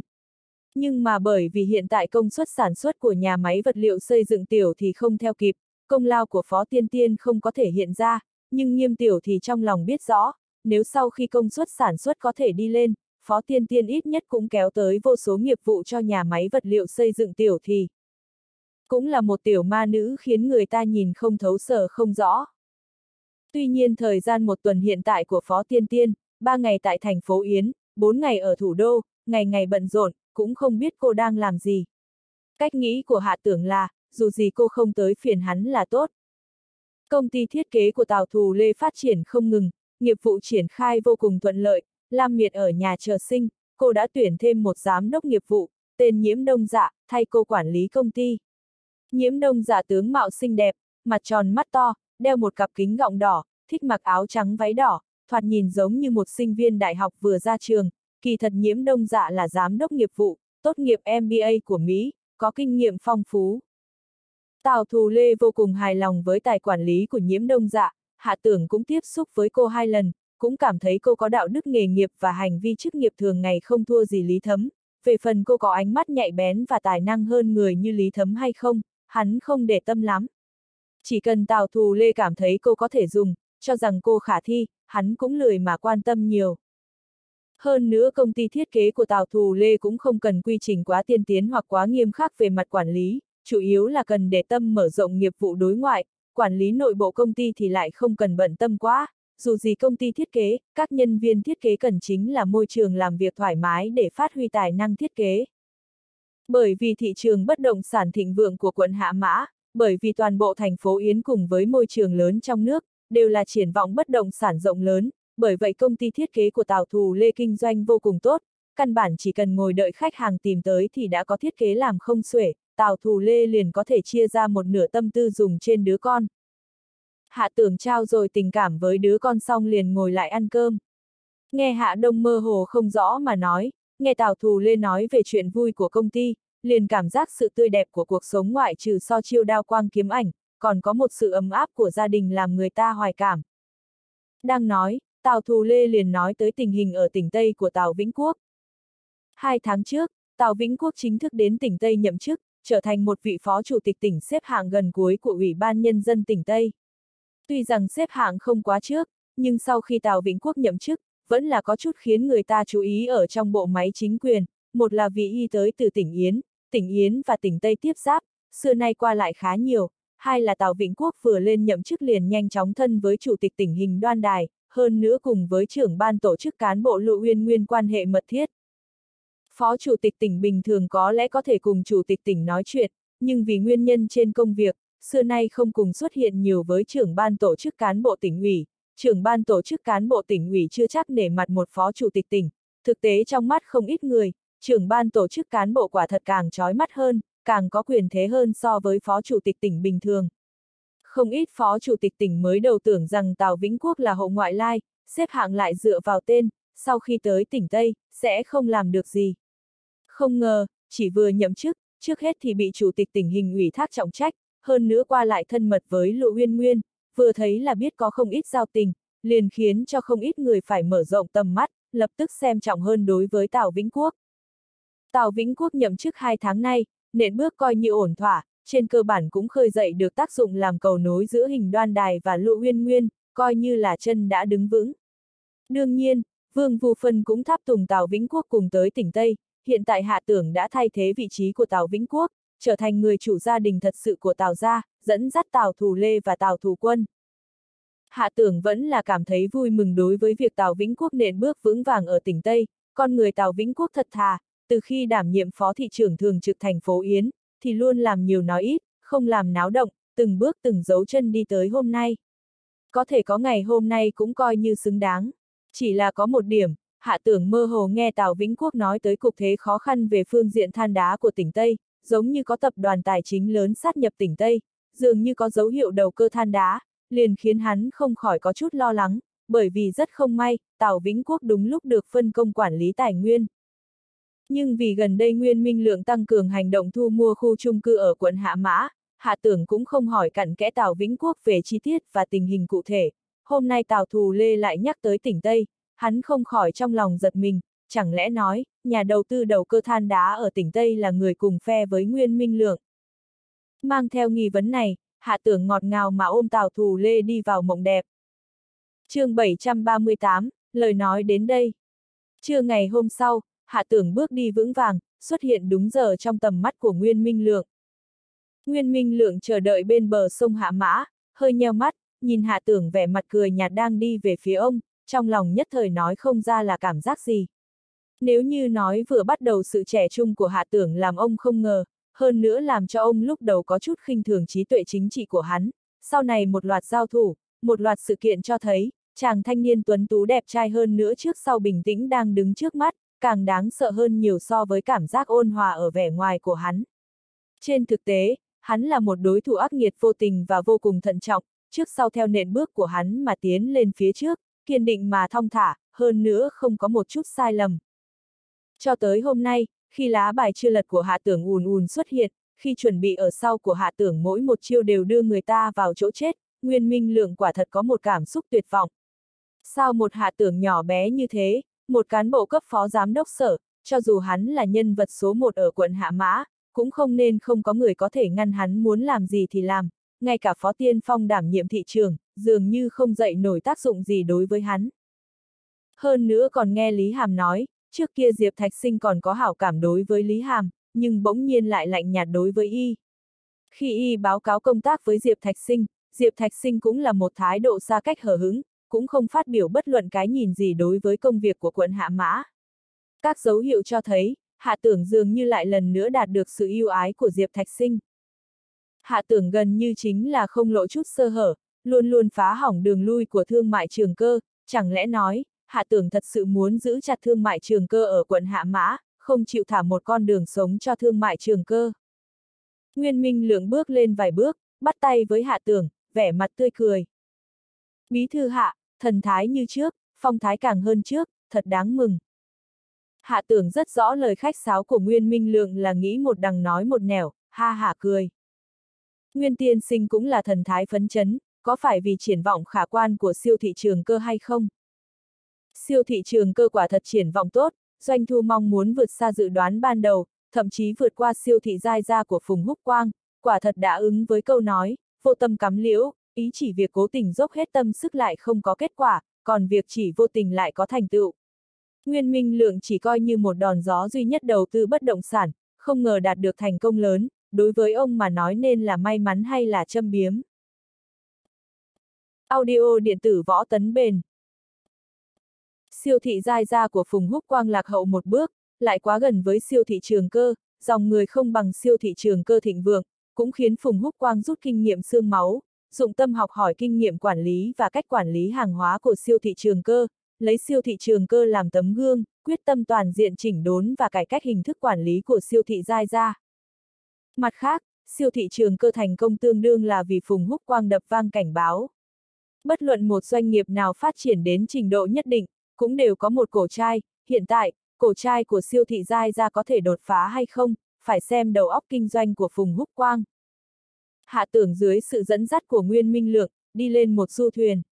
Nhà hàng vẫn là nhà hàng mà lúc Tết Nguyên Minh Lượng hẹn hắn ăn cơm, nhưng mà so với mùa đông lạnh giá, nhà hàng nổi hiện nay quả thật rất đông, kín người hết chỗ, hơn nữa còn phải đặt chỗ trước ba ngày, nếu không đừng nói có thể ngồi trên du thuyền, ngay cả những chỗ ngồi bình thường gần mép thuyền cũng không có. Nguyên Minh Lượng mời hạ tưởng lên thuyền so với du thuyền lần trước, ông chủ nhà hàng hiển nhiên đã tăng thêm đầu tư, bên trong du thuyền chẳng những không gian lớn hơn rất nhiều, hơn nữa có thêm không ít thiết bị. Một chiếc du thuyền cỡ chung có thể chứa ít nhất hơn 10 người, vừa có thể mở cửa sổ, lại có thể đóng cửa sổ, thậm chí còn có thể cung cấp các hạng mục như bạn nhảy hát đệm, vi vi, có thể nói cái gì cần có đều có, chỉ cần có tiền, đều có thể chơi thoải mái. Tuy rằng chỉ có hai người, nhưng Nguyên Minh Lượng vẫn lấy một du thuyền cỡ chung, để thể hiện tôn trọng. Bên trong bố trí vô cùng tinh mỹ, hơn nữa rộng rãi thoáng mát. Sau khi lên thuyền ngồi, gió lạnh phất phơ, nhìn bên ngoài cửa sổ nước sông cuồn cuộn, quả thật làm cho người ta tinh thần sảng khoái. Hạ tưởng sau khi hưởng thụ giây phút thư giãn, lại thu hồi tinh thần, hắn biết, buổi gặp mặt hôm nay có thể sẽ không thoải mái. Nguyên Minh Lượng càng là không có lòng dạ để ý phong cảnh bên ngoài cửa sổ, ông cố gắng làm ra vẻ mặt bình tĩnh trước mặt hạ tưởng, tuy rằng đã thành công thu mua bất động sản Giang Sơn, nhưng không biết vì sao, bắt đầu từ giây phút nhìn thấy hạ tưởng, trong lòng ông nặng chịu khó hiểu. Chẳng lẽ nói, sau khi ông làm ra nhượng bộ cực lớn, hơn nữa biểu hiện ra đủ thành ý, hạ tưởng vẫn không chịu tha cho thương mại trường cơ, chẳng lẽ muốn đuổi tận giết tuyệt. Nguyên Minh lượng kính rượu với hạ tưởng. Bí thư hạ, tôi kính ngài một ly. Tôi tới thành phố Yến cũng có một thời gian, cơ hội cùng ngồi ăn cơm với ngài không nhiều, cũng không có giao tình quá sâu nặng, nhưng giữa người và người, không nhất định phải thường xuyên ngồi với nhau mới coi là bạn, có những người bạn là bạn nhậu, có những người bạn là bạn tri kỷ tôi luôn cho rằng, giữa tôi và ngài, coi như là bạn bè tri kỷ có sự ăn ý nhất định. Hạ tưởng gật đầu cười, một hơi cạn sạch ly rượu. Kỳ thật tôi vẫn luôn rất khâm phục thủ đoạn của Nguyên Tiên Sinh, nếu như không phải thời vận không đủ, Nguyên Tiên Sinh kỳ thật đã thành công rồi, chỉ đáng tiếc là có một câu ngạn ngữ nói rất hay, người tính không bằng trời tính, giữa ông và tôi tuy rằng là bạn tri kỷ, nhưng lại, đạo bất đồng bất tương vi mưu, nghĩa là không cùng chí hướng thì khó mà có thể cùng nhau mưu cầu sự nghiệp tri kỷ ở đây không phải là tình bạn có thể thoải mái nói chuyện, lại là đao quang kiếm ảnh. Nguyên Minh lượng sắc mặt trầm xuống, ngẩn người, vẫn là miễn cưỡng cười. Đạo bất đồng bất tương vi mưu, nhưng mỗi người đều có giới hạn của bản thân, bí thư hạ, đưa ra cái giá, mọi người có gì dễ thương lượng, không cần thiết phải phân ra thắng bại, kỳ thật chúng ta cũng có thể cùng thắng. Lúc này du thuyền trôi nổi lắc lư tới giữa hồ, nước sông của sông Hạ Mã không phải đục ngầu, có thể nhìn thấy trong nước có cá bơi lội qua lại. Hạ tưởng nhất thời có hào hứng, giơ tay lấy một ít thức ăn dành cho cá trên thuyền có để sẵn thức ăn dành cho cá, chính là chuyên dùng để khách cho cá ăn cho cá trong nước ăn xong, sau đó vỗ tay, cười. Nguyên tiên sinh cho rằng giới hạn của tôi đáng giá bao nhiêu tiền. Nguyên Minh Lượng do dự một chút, nói nhiều, sợ bản thân thiệt thòi, nói ít, sợ hạ tưởng mất hứng, liền lấy một trị số trung gian. 150 triệu, kết giao bằng hữu hẳn là rất có thành ý. 150 triệu. Hạ tưởng cũng hơi giật mình, nếu như hắn nhận lấy, e rằng sẽ mang tội ăn một khoản hối lộ lớn ở trong nước, có người tham quan nào dám một lần nhận hối lộ 150 triệu. Không phải không dám, là cái giá của một tên tham quan bình thường, không đáng cái giá 150 triệu lớn như vậy. Không thể không nói, Nguyên Minh Lượng thật đúng là xem trọng hắn, đưa ra lợi thế khá cao. Đổi lại người bình thường, tuyệt đối sẽ bị đánh ngã. Thử nghĩ có bao nhiêu người khi đứng trước khoảng tiền lớn 150 triệu có thể sắc mặt không đổi. Dù là hạ tưởng cũng lập tức ngừng hô hấp. Hạ tưởng cũng không phải bởi vì tham khoản tiền lớn mà ngừng hô hấp, mà là vì vốn gốc mà Nguyên Minh Lượng bỏ ra. Hắn trầm mặc một lát, sắc mặt không thay đổi, hơi lắc đầu. Quân tử ái tài, thủ chi hữu đạo quân tử yêu tài chính đáng, không thích tài bất nghĩa. Tôi cũng yêu tài, cũng muốn ngồi yên mà có hàng tỷ của cải, nhưng tôi không muốn tiền của tôi một là lai lịch bất chính, hai là sau lưng có xương máu của dân chúng. Nguyên tiên sinh, tiền nhiều cũng sẽ cắn tay, vẫn sẽ hại chết người. Nguyên Minh lượng sắc mặt thay đổi, lại cố gắng khôi phục bình tĩnh, còn gặn cười. Tôi đã thu mua bất động sản Giang Sơn, bí thư hạ, hiện tại toàn bộ nhà ở của quận Hạ Mã đều trong tay tôi, ngài còn có thể có thủ đoạn gì để ngăn cản tôi. Tôi ra 150 triệu, chỉ là vì muốn kết giao người bạn, nhằm biểu đạt lòng kính trọng đối với ngài, nhằm khiến cho tập đoàn viễn cảnh hoàn thành công trình đúng thời hạn. Sự kính trọng của ông quá đắt, tôi hưởng không nổi. Hạ tưởng cười khẽ một chút, khoát tay. Sông Hạ Mã thông nước sớm hay muộn, ảnh hưởng đối với ông không lớn lắm, cao lắm kéo dài một ít thời gian, mà không thể tạo thành ảnh hưởng chí mạng đối với kế hoạch của ông, chẳng lẽ nói, ông ngay cả hai tháng cũng không đợi được. Có phải muốn kịp thời từ quận Hạ Mã thoát thân, muốn đến nơi khác tiếp tục đầu tư hạng mục khác, ví dụ như than đá. Hạ tưởng nâng ly ra hiệu với Nguyên Minh Lượng, thử thăm dò tung ra nghi vấn trong lòng hắn. Mặc kệ như thế nào, Nguyên Minh Lượng là một trong những đối thủ lớn nhất của hắn trong giai đoạn hiện nay, ngoại trừ vì lập trường bất đồng mà không có cách nào tránh đứng đối lập với hắn, trong các phương diện khác, hắn cũng xem trọng Nguyên Minh Lượng. Nguyên Minh Lượng bình tĩnh, cơ trí, đối nhân xử thế có nhiều điểm có thể học hỏi hơn so với Phó Tiên Phong, thủ đoạn sử dụng cũng đều rõ ràng công khai, thậm chí có thể nói, so với Phó Tiên Phong còn đáng tôn kính hơn. Vừa lúc hôm nay mượn cơ hội gặp mặt lần cuối với Nguyên Minh Lượng hạ tưởng nghĩ, hẳn là lần gặp sau cùng, từ nay về sau, chính là thế cục không chết không chịu thôi, hắn và Nguyên Minh Lượng có độ lượng, cũng không có khả năng ngồi cùng một chỗ nâng ly nói chuyện thoải mái nhớ lại tình cảnh Tào Vĩnh Quốc ở tỉnh Tây, không ngại thuận miệng hỏi, dù sao hiện tại mọi người tuy rằng không nói rõ, trên thực tế, giữa lời nói sắc bén, rất nhiều sự tình đều đã công khai. Nguyên Minh Lượng không ngờ hạ tưởng chuyển đề tài, suy nghĩ, vừa không thừa nhận lại không phủ nhận. Có phải đầu cơ than đá hay không vẫn chưa tiện nói, nhưng hiện tại quả thật là thời cơ tốt nhất để rời khỏi quận Hạ Mã, không thể kéo dài thêm, nhưng bí thư hạ lại không muốn tôi rời khỏi, 13 tỷ tài chính, ngài cũng không thể một hơi nuốt vào, lòng tham không đáy như rắn nuốt voi, cũng sẽ nghẹn mà chết, hay là mọi người anh tốt tôi tốt, mọi người đều được lợi. Không có gì là mọi người đều được lợi, nguyên tiên sinh, ông cũng biết rõ lợi nhuận mà ông cần là tiền xương máu của dân chúng, là trả giá với hình thức cướp đoạt hút máu để phá hủy toàn bộ kinh tế của quận Hạ Mã. Còn tôi, thân là bí thư quận ủy quận Hạ Mã, điều cần làm chính là bảo vệ tiền tiết kiệm cả đời của dân chúng không bị người ta cuỗm sạch, không trở thành lợi nhuận vốn lưu động. Chúng ta căn bản chính là người của hai doanh trận, không có chỗ nào có thể thương lượng. Dân chúng. Nguyên Minh Lượng khinh miệt mà cười. Dân chúng vốn là sức lao động rẻ tiền cống hiến lợi nhuận cho chúng ta, là bước thang người cho người làm quan dẫm lên để thăng chức. Bí thư hạ thật sự biết nói đùa, hiện tại người làm quan, có bao nhiêu người để tâm tới dân chúng. Hơn nữa, dân chúng có tác dụng gì đối với người làm quan? Thăng quan, không cần phiếu bầu của dân chúng. Phát tài, không cần danh tiếng của dân chúng. Ngài nói xem, ngài để tâm tới dân chúng, có thể có được hồi báo gì từ trên người họ. Nguyên Minh Lượng không tin lời nói của Hạ Tưởng, cho rằng Hạ Tưởng chẳng qua là tự mình quảng cáo dùng ben, tự cho là thanh cao mà thôi, không phải cố làm ra vẻ huyền bí, chính là muốn nâng cao giá, chê ông ra giá quá thấp. Nguyên Minh Lượng trong lòng mơ hồ tức giận, nếu 150 triệu còn chê ít, Hạ Tưởng cũng quá xấu. Hạ tưởng phỏng chừng không biết đã có được bao nhiêu hồi báo từ trong tay các nhà đầu tư khai phá khác, hiện lại dễ dàng đến tay 150 triệu, cả đời đều không phải lo chuyện cơm áo, quả nhiên còn ở trước mặt ông ra vẻ làm quan đường hoàng mà nói ra nào là vì lợi ích dân chúng, quả thật là làm trò cười cho thiên hạ. Hạ tưởng nghe ra giọng điệu khinh thường của Nguyên Minh Lượng, cũng trong lòng rất là không vui. Hắn kính nể doanh nghiệp kiếm tiền trung thực, càng kính nể doanh nghiệp có lương tâm, kính ngưỡng nhà từ thiện làm việc thiện vì dân vì nước, chỉ duy nhất không kính nể đám người không nhất định dựa vào thủ đoạn gì để làm giàu, sau khi có tiền, không an phận thủ thường, không làm đến nơi đến chốn, chỉ muốn dựa vào đầu cơ trục lợi để kiếm lợi nhuận, người như vậy, cho dù có hàng tỷ của cải, có cuộc sống giàu sang người người ngưỡng mộ, trong con mắt của hạ tưởng, cũng là bại hoại trên nhân cách, là người như châu chấu. Là tồn tại của ký sinh trùng.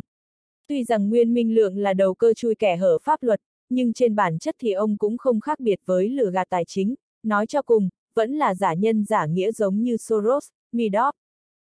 Nguyên tiên sinh, tôi chỉ muốn nói với ông một câu.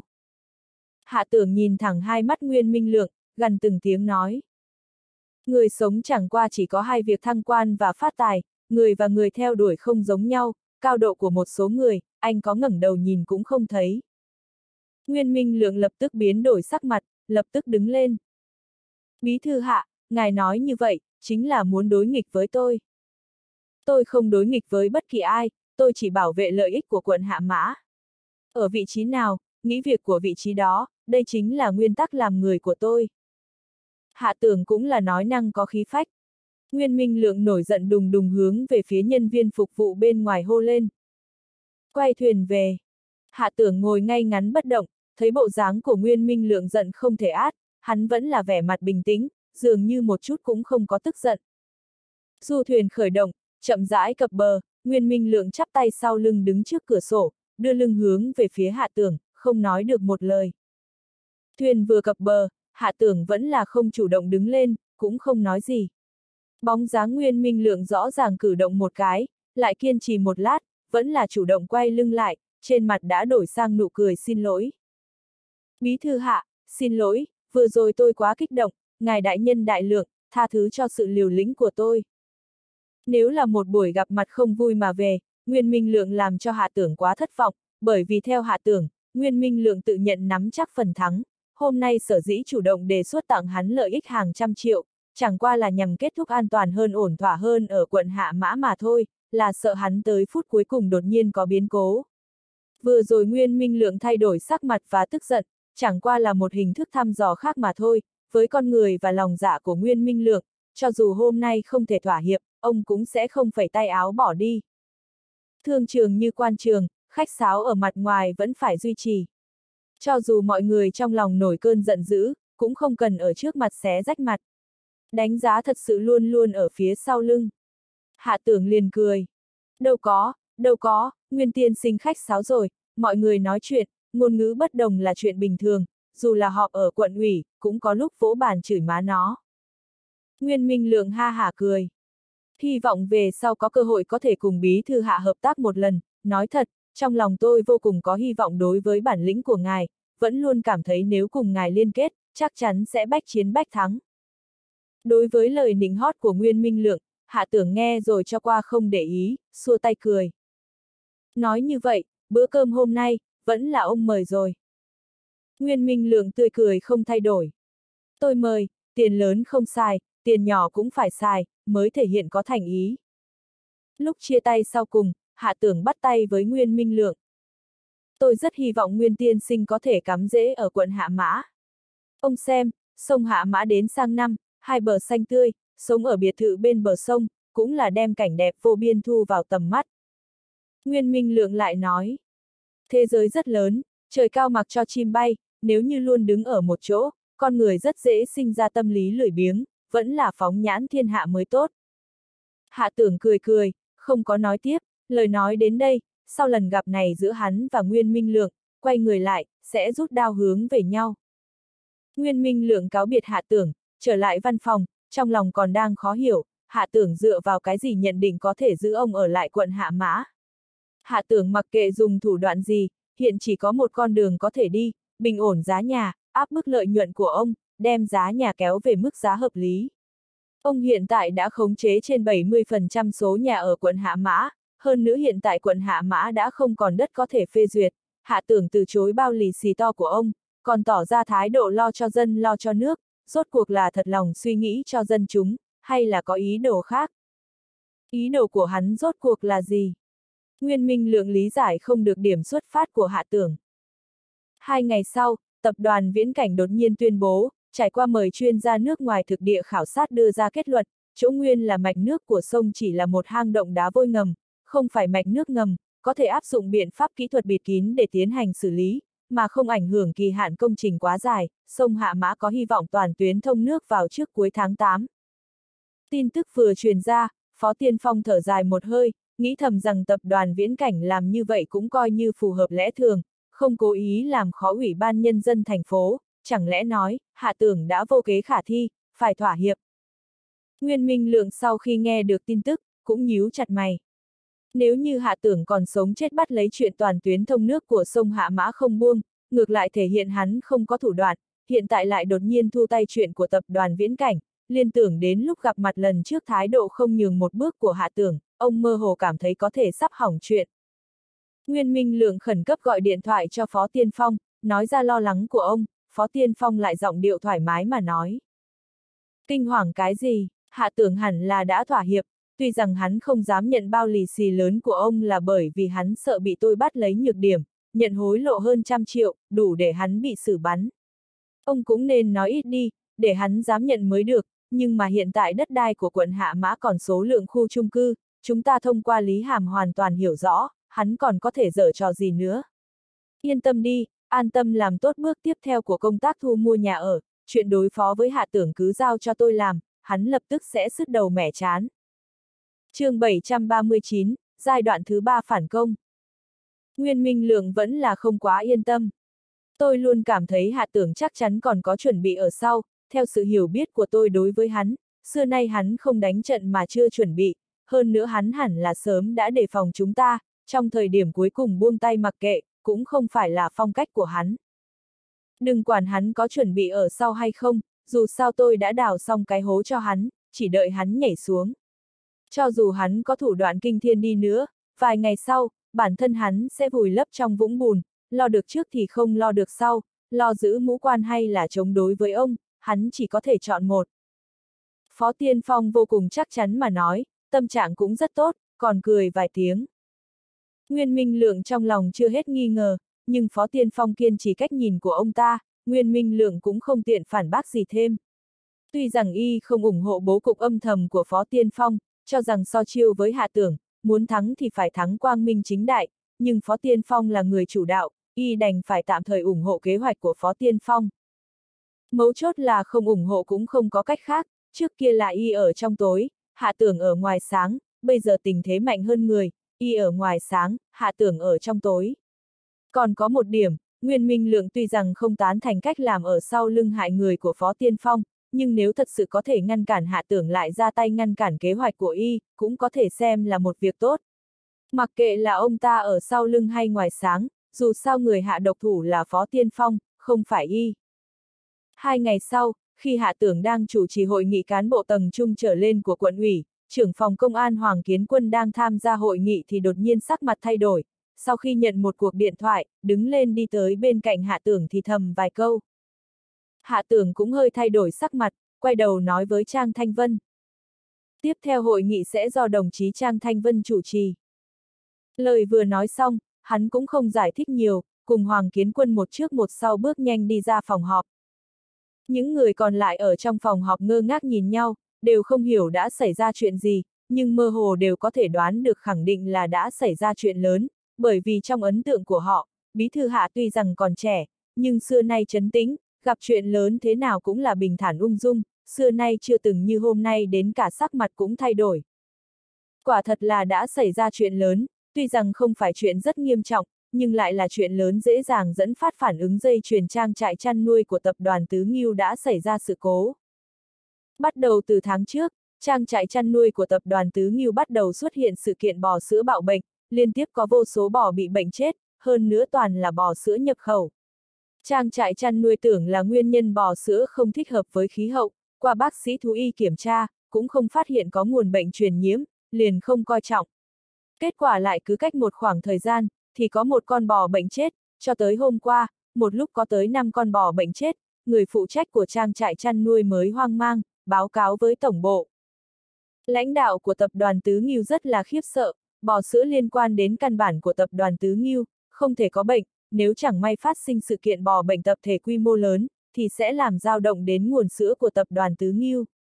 Đồng thời, càng không thể để lộ tin tức, nếu không khiến cho thị trường khủng hoảng, làm cho hình tượng tập đoàn Tứ Nghiêu bị hao tổn, sản lượng tiêu thụ giảm xuống, ai cũng không thể gánh nổi trách nhiệm. Tập đoàn Tứ Nghiêu không chỉ là xí nghiệp hạng sao của thành phố Yến, cũng là tập đoàn siêu lớn đứng nhất nhì tại tỉnh Yến, cũng có sức ảnh hưởng hết sức quan trọng trong cả nước, là một trong 10 xí nghiệp sữa bột mạnh nhất trong nước. Có thể nói tập đoàn Tứ Nghiêu một khi có chuyện, chẳng những thành ủy và ủy ban nhân dân thành phố sẽ vô cùng chú ý, ngay cả tỉnh ủy và ủy ban nhân dân tỉnh cũng sẽ nhìn chằm chằm không buông, hơn nữa còn có khả năng ảnh hưởng toàn bộ tiền đồ của ngành chế biến sản phẩm từ sữa, không phải là chuyện nhỏ. Nghe xong Hoàng Kiến Quân báo cáo, hạ tưởng cảm giác đầu tiên chính là, chẳng lẽ là chất lượng nước của quận Hạ Mã có vấn đề. Lại suy nghĩ, quận Hạ Mã gần huyện Thường Sơn, trang trại chăn nuôi trước đó của tập đoàn Tứ Nghiêu là xây ở huyện Thường Sơn, so với vị trí của trang trại chăn nuôi hiện tại, cùng lắm chỉ xê xích nhau hơn 10 km, nhưng chênh lệch 10 km, chất lượng nước có thể làm cho bò sinh bệnh sao? Nhưng sau lời nói của Hoàng Kiến Quân, lập tức làm cho hạ tưởng trong lòng nảy sinh cảnh giác. Lãnh đạo, sau khi trang trại chăn nuôi của tập đoàn Tứ Ngưu xảy ra vấn đề, mới bắt đầu là che giấu báo cáo, sau đó không che giấu được mới báo cáo tới Tổng bộ. Sau khi Tổng bộ biết được tình hình, lập tức phản ảnh tình hình với Ủy ban Nhân dân thành phố, bây giờ Ủy ban Nhân dân thành phố đang họp nghiên cứu đối sách, vừa rồi tôi nhận được điện thoại của một ông bạn còn là lén lút gọi tới, bởi vì thị trưởng phó đã đưa ra mệnh lệnh, phải nghiêm ngặt tránh để tin tức tiết lộ ra ngoài. Hoàng Kiến Quân vẻ mặt thần bí, cũng vì y có thể nhận được tin tức sớm nhất mà muốn lập công với Hạ Tưởng. Hạ Tưởng trong lòng rung lên một cái, liên tưởng đến thế cục của quận Hạ Mã sắp kích nổ, lập tức ngửi được một mùi vị âm mưu. Tập đoàn Tứ Nghiêu phối hợp một trò hay, đánh vòng đi qua mặt quận ủy và ủy ban nhân dân quận Hạ Mã mà không báo, báo thẳng sự việc tới ủy ban nhân dân thành phố, hiển nhiên là muốn làm cho quận Hạ Mã khó xử, nói cách khác, là cố ý thiết kế một cái bẫy cho hắn. Nói không chừng khi báo cáo với Ủy ban Nhân dân thành phố, tập đoàn Tứ Nghiêu đã đưa ra kết luận bất lợi cho quận Hạ Mã, đã chuẩn bị xong chứng cứ khiến cho quận ủy và Ủy ban Nhân dân quận Hạ Mã gánh vác hết thảy trách nhiệm. Hạ tưởng híp mắt suy nghĩ một lát, chỉ thị Hoàng Kiến Quân. Lập tức động viên, điều động toàn bộ lực lượng cảnh sát, chuẩn bị hành động bất cứ lúc nào. Hoàng Kiến Quân khó hiểu. Lãnh đạo, mấy con bò đã chết, không phải chuyện lớn lao gì, cùng lắm ủy ban nhân dân quận ra mặt phái một phó chủ tịch quận qua đó thị sát một chút, an ủi một chút, hơi biểu hiện bồi thường một chút chầm SAO còn cần xuất ra lực lượng cảnh sát. Hạ tưởng vẻ mặt ác liệt nói. Sự tình không đơn giản như vậy. Nếu tập đoàn Tứ Nghiêu muốn ủy ban nhân dân quận bồi thường, hẳn là trước tiên thông báo trong quận, mà không trực tiếp báo cáo với thành phố. Hoàng Kiến Quân vẫn là lần đầu tiên nhìn thấy bộ dạng đối mặt với địch thủ lớn của Hạ Tưởng, lập tức khẩn trương lên. Vâng, lập tức làm ngay. Hoàng Kiến Quân xoay người vừa đi, Hạ Tưởng lập tức gọi điện thoại cho Hồ Tăng Chu. Bí thư Hồ, chuyện của trang trại chăn nuôi tập đoàn Tứ Nghiêu, ngài có nghe chưa? Hồ Tăng Chu đang ở văn phòng cùng trưởng ban thư ký thành ủy Nhạc Minh nói chuyện, điện thoại của Hạ Tưởng trực tiếp gọi đến bàn làm việc của ông trong số các bí thư quận huyện, ngoại trừ bí thư quận ủy quận thị Bắc Tôn Ái Dũng bởi vì nguyên nhân là ủy viên thường vụ thành ủy, có thể trực tiếp gọi điện cho ông, những người khác đều phải thông qua thư ký, hạ tưởng là bí thư quận ủy bình thường duy nhất thông qua sự cho phép đặc biệt của ông có thể trực tiếp gọi cho số điện thoại quan trọng của ông thấy là hạ tưởng gọi tới. Ông khẽ gật đầu một cái với nhạc minh, liền trực tiếp nghe máy. Vừa mới nghe nói, bên ủy ban nhân dân thành phố đang họp, có thể qua một khoảng thời gian mới có kết quả, sao hả? Hồ Tăng Chu nghe ra giọng điệu hạ tưởng hơi lo lắng, còn có chút khó hiểu vì sao hạ tưởng cũng ngạc nhiên đối với chuyện mấy con bò bệnh chết. Hạ tưởng hơi trầm ngâm, vẫn là nói ra. Tập đoàn Tứ Nghiêu không có chào hỏi với bên quận, trực tiếp đem chuyện này báo với thành phố, trong đó có thể sẽ có chút hiểu lầm. Hiểu lầm, Hồ Tăng Chu hiểu ra gì đó, suy nghĩ, nói một câu. Trong lòng tôi biết rõ, chuyện của thành phố, tôi sẽ chú ý nhiều hơn một chút, trong quận, cậu thận trọng đối đãi là được. Ý ban đầu của Hạ Tưởng chính là khiến cho Hồ Tăng Chu cảnh giác Phó Tiên Phong mượn đề tài để nói chuyện của mình, thấy Bí Thư Hồ hiểu ra gì đó, cũng liền yên tâm. Vừa mới buông điện thoại, di động nhận được một tin nhắn, mở ra xem, là Cao Hải gửi tới, trên đó chỉ ngắn ngủi vài chữ, tập đoàn Tứ Nghiêu đem sự tình đẩy lên trên không thông qua quận Hạ Mã, thị trưởng phó rất là tức giận, muốn hỏi tội quận Hạ Mã. Phỏng chừng là Cao Hải lén lút gửi đi trong lúc họp, bởi vì Cao Hải có hai chiếc di động, Phó Tiên Phong cho dù nghiêm ngặt phòng tránh tin tức tiết lộ ra ngoài, cũng khó mà phòng tránh. Kẻ sướng người họa, quả nhiên muốn mổ xẻ quận hạ mã. Hạ tưởng không trả lời tin nhắn của Cao Hải, hắn cũng biết Cao Hải là cố ý nhắc nhở hắn trước, khiến hắn nghĩ kế sách ứng đối. Làm sao bây giờ? Hạ tưởng lâm vào trầm tư. Hắn luôn đề phòng chiêu phản bác sau cùng của Phó Tiên Phong, cũng hiểu rõ Phó Tiên Phong muốn phối hợp với Nguyên Minh Lượng, khẳng định sẽ không ngồi chờ, sẽ đưa ra thủ đoạn, tính tới tính lui, không ngờ Phó Tiên Phong lấy trang trại chăn nuôi của tập đoàn Tứ Nghiêu để gây chuyện. Chẳng lẽ chính là muốn hắn kích nổ sự kiện chất phụ ra sữa bột trước thời hạn. Đối với sự kiện Tứ Nghiêu khi nào dẫn phát, Hạ tưởng gần đây bận rộn với cuộc chiến sau cùng, vẫn luôn không có nghiêm túc suy nghĩ. Không ngờ, may mắn thế nào, Phó Tiên Phong không ngờ chủ động lấy tập đoàn Tứ Nghiêu khơi mào sự tình, chẳng qua là dựa vào quầng sáng vô cùng trói lọi của tập đoàn tứ nghiêu xí nghiệp thuộc hàng sao, trong thành phố và trong tỉnh đều phải kiên kỵ một chút, xem trọng một chút, vì thế, nếu tập đoàn tứ nghiêu gặp chuyện không may, tất nhiên sẽ dẫn tới sự chú ý của hai cấp tỉnh và thành phố, mà hắn thân là bí thư quận ủy, nhân vật số một, phải có thái độ đoan chính, phải đối đãi nghiêm túc, không thể có chút buông lỏng. Phó Tiên Phong cần có lẽ không chỉ là thuật thoát thân khiến hắn xoay chuyển sự chú ý, khiến hắn ốc còn không mang nổi mình ốc, không có cách nào phân thân để ra tay lần cuối đối phó Nguyên Minh Lượng, hoặc mượn chuyện này làm cho hắn sứt đầu mẻ chán, mệt mỏi ứng phó. Nói không chừng, còn muốn làm cho hắn sau khi trải qua sự kiện của tập đoàn Tứ Nghiêu, té một cái ngã nhào mới càng đẹp mắt. Rốt cuộc có phải thừa cơ kích nổ sự kiện Tứ Nghiêu trước thời hạn hay không?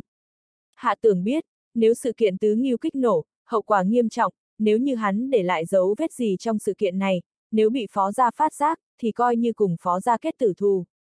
Nếu chẳng may bị phó gia tuyên truyền rộng rãi, sẽ dẫn tới ba nhà khác đều nảy sinh đề phòng với hắn. Dù gì mỗi gia tộc đều có nhúng tay vào ngành nghề của chính mình, sự ra tay của hắn, là phá hoại quy tắc ngầm của ngành. Sự kiện sữa bột của đời sau tập đoàn Tứ Nghiêu, kỳ thật nội bộ tập đoàn sớm đã ý thức được vấn đề, nhưng vẫn là bị thành phố Yến và tỉnh Yến cưỡng ép đè ép xuống, sau đó trẻ sơ sinh bị bệnh quá nhiều, sau khi không thể nào che miệng truyền thông toàn quốc đồng loạt lên án, mới toàn bộ lộ ra. Lúc này ngược lại là một cơ hội tuyệt hảo, bởi vì sự tình là Phó Tiên Phong chủ động khơi mào, mượn lực đẩy lực hẳn là có thể làm cho sự tình lộ ra càng tự nhiên hơn chút, nhưng lại có một vấn đề khó, chính là hạ tưởng còn không rõ rốt cuộc hiện tại trong sữa bột của tập đoàn Tứ Nghiêu, có phải đã có chất phụ ra hay không. Phải xác định có chất phụ ra hay không mới là điểm mấu chốt, hạ tưởng đắn đo suy nghĩ một phen, hạ quyết tâm, cơ hội không thể để mất, mất rồi sẽ không tới nữa, nếu như Phó Tiên Phong chủ động đụng vào hỏng súng, thì đừng trách hắn sao không khách sáo. Sau khi một sự kiện tứ nghiêu kích nổ, xem cuối cùng sẽ sản sinh phản ứng dây chuyền lớn thế nào. Về phần hắn làm thế nào ẩn mình trong sự kiện, không bị người ta phát giác mà hoàn thành hành động vĩ đại châm mồi lửa, tin rằng có thể tìm được một điểm chen vào tốt nhất. Điện thoại không hề có dấu hiệu mà vang lên, hạ tưởng vội vàng tiếp nghe điện thoại, bên trong truyền đến giọng nói nổi giận đùng đùng của Phó Tiên Phong. Đồng chí hạ tưởng, mời cậu cùng đồng chí Lý Hàm tới thành ủy họp. Thị trưởng đích thân gọi điện tới truyền đạt chuyện họp, hơn nữa giọng điệu không tốt, người trong quan trường, ai cũng biết rõ là phước không phải là họa, là họa không thể tránh, tuyệt đối không phải chuyện tốt từ trên trời giáng xuống. Hạ tưởng cũng không hỏi nhiều, lập tức đồng ý. Vâng, thị trưởng phó, lập tức tới. Buông điện thoại của phó tiên phong, hạ tưởng sừng sốt trong chốc lát, lại gọi ra một cuộc điện thoại. Có thể tuyên bố rồi. Khi hạ tưởng và Lý Hàm đuổi tới thành ủy, đi thẳng vào văn phòng của thị trưởng Trong văn phòng, hai người phó tiên phong và vô tứ ngồi đối diện nhau, sương khói lượn lờ, trên bàn toàn là tàn thuốc. Diễn kịch cũng khá hay, thuốc hút khá nhiều, cũng không sợ bị sặc.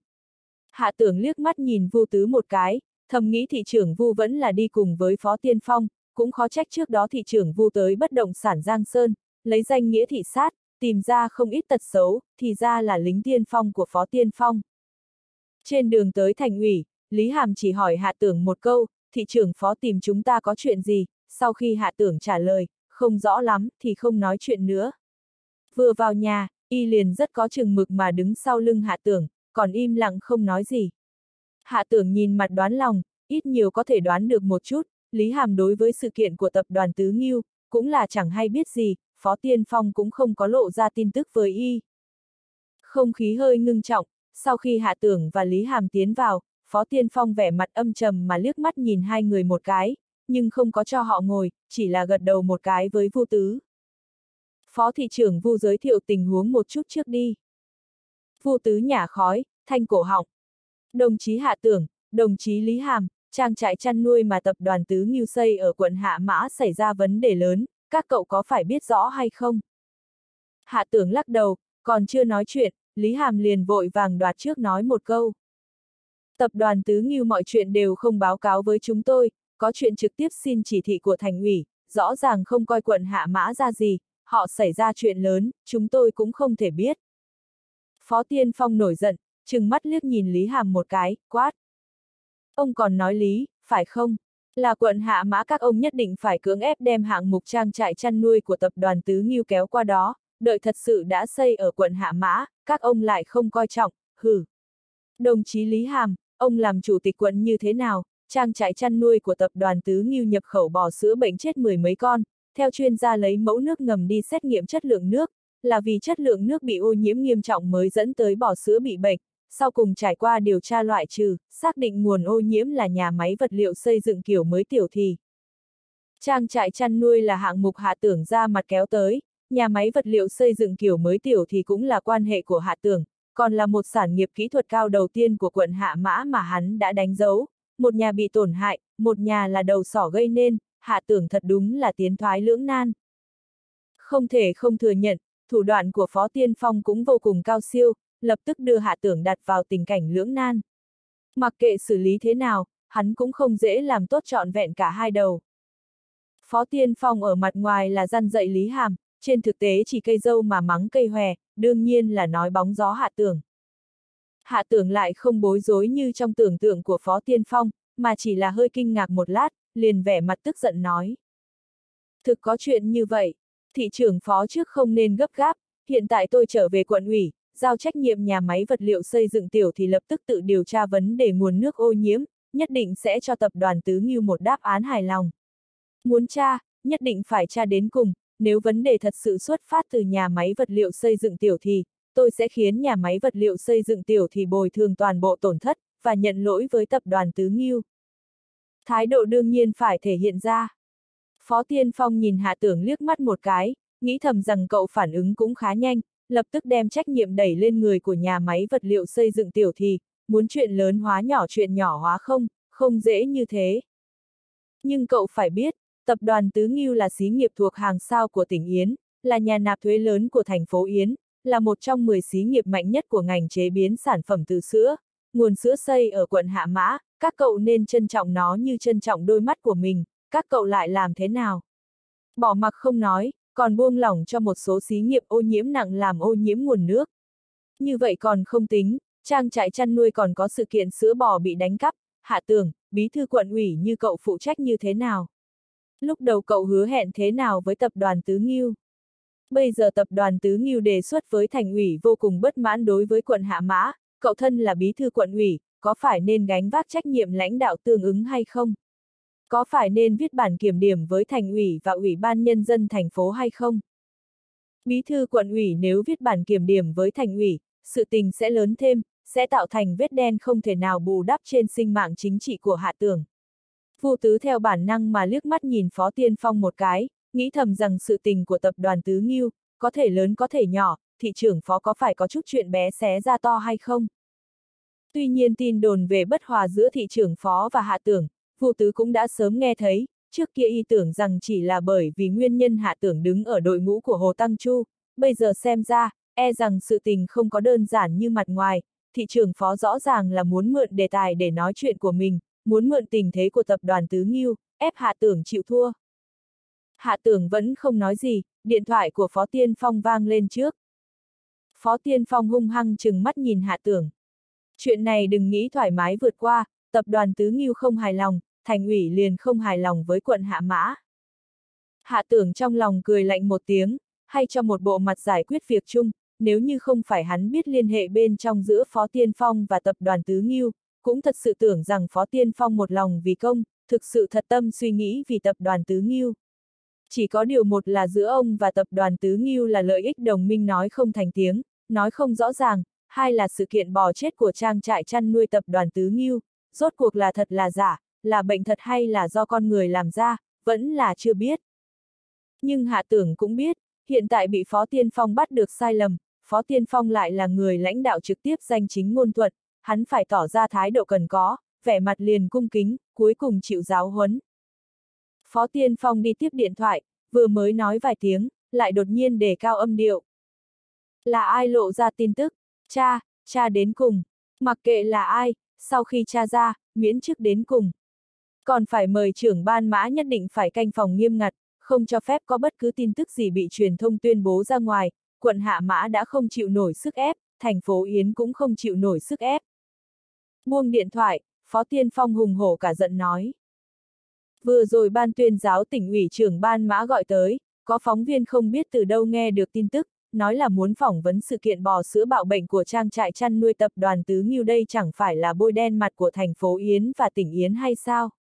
Hạ tưởng, quận Hạ Mã phải bảo đảm không thể có bất kỳ tin tức nào truyền ra ngoài, bằng không, thành ủy sẽ hỏi tội cậu. chương 740, giáp mặt một đao, sau lưng một súng. Hạ tưởng vội vàng gật đầu. Dạ, dạ, tôi sẽ bảo đồng chí Đằng Phi chú ý chặt chẽ việc lui tới của phóng viên truyền thông, phát triển tinh thần phòng nước phòng trộm phòng phóng viên, không cho phép có bất cứ phóng viên nào ở nơi khác tới quận Hạ Mã tiến hành phỏng vấn, bảo đảm khống chế sự kiện trong phạm vi quận Hạ Mã. Lại mời ra Mã Tiêu phối hợp diễn trò. Hạ tưởng trong lòng cười thầm, so với hắn, Phó Tiên Phong mới là người lo lắng sự kiện trang trại chăn nuôi bị lộ nhất, bởi vì một khi sự kiện bò chết bị giới truyền thông tin tức công bố, lượng tiêu thụ của tập đoàn Tứ Nghiêu khẳng định giảm mạnh, bị hao tổn chính là bản thân Phó Tiên Phong. Không ngờ, Phó Tiên Phong còn áp dụng biểu diễn trong ngoài phối hợp để tăng thêm nhiều áp lực cho hắn, cũng thật là tính toán chu toàn. Cam đoan, cam đoan của cậu có thể dùng được sao? Phó Tiên Phong dường như càng nói càng tức, ở trong phòng vòng vòng vài bước, bóp một tiếng vỗ bàn. Hạ tưởng, cậu nói xem, tiếp theo cậu phải làm thế nào mới có thể khiến thành ủy và ủy ban nhân dân thành phố yên tâm. Động một cái thì lấy danh nghĩa của thành ủy và ủy ban nhân dân thành phố đẻ hắn, hạ tưởng cũng là cảm thấy đau đầu, hiện tại Phó Tiên Phong là Phó Bí Thư Thành ủy, thị trường, quả thật có thể đại diện thành ủy và ủy ban nhân dân thành phố. Trên quan trường, khiến người ta bất đắc dĩ nhất chính là trả thù cá nhân, dơ lên tấm bảng vì nước vì dân để làm việc riêng, khiến người ta biết rõ sau lưng sự hiên ngang lẫm liệt của ông ta, kỳ thật ẩn chứa hoàn toàn là một ý đồ cá nhân, lại không thể khuất phục quy củ trong quan trường quy củ lớn hơn trời, không có quy củ không được vẹn toàn, không theo quy củ sẽ bị cả một quan trường bài trừ ra bên ngoài.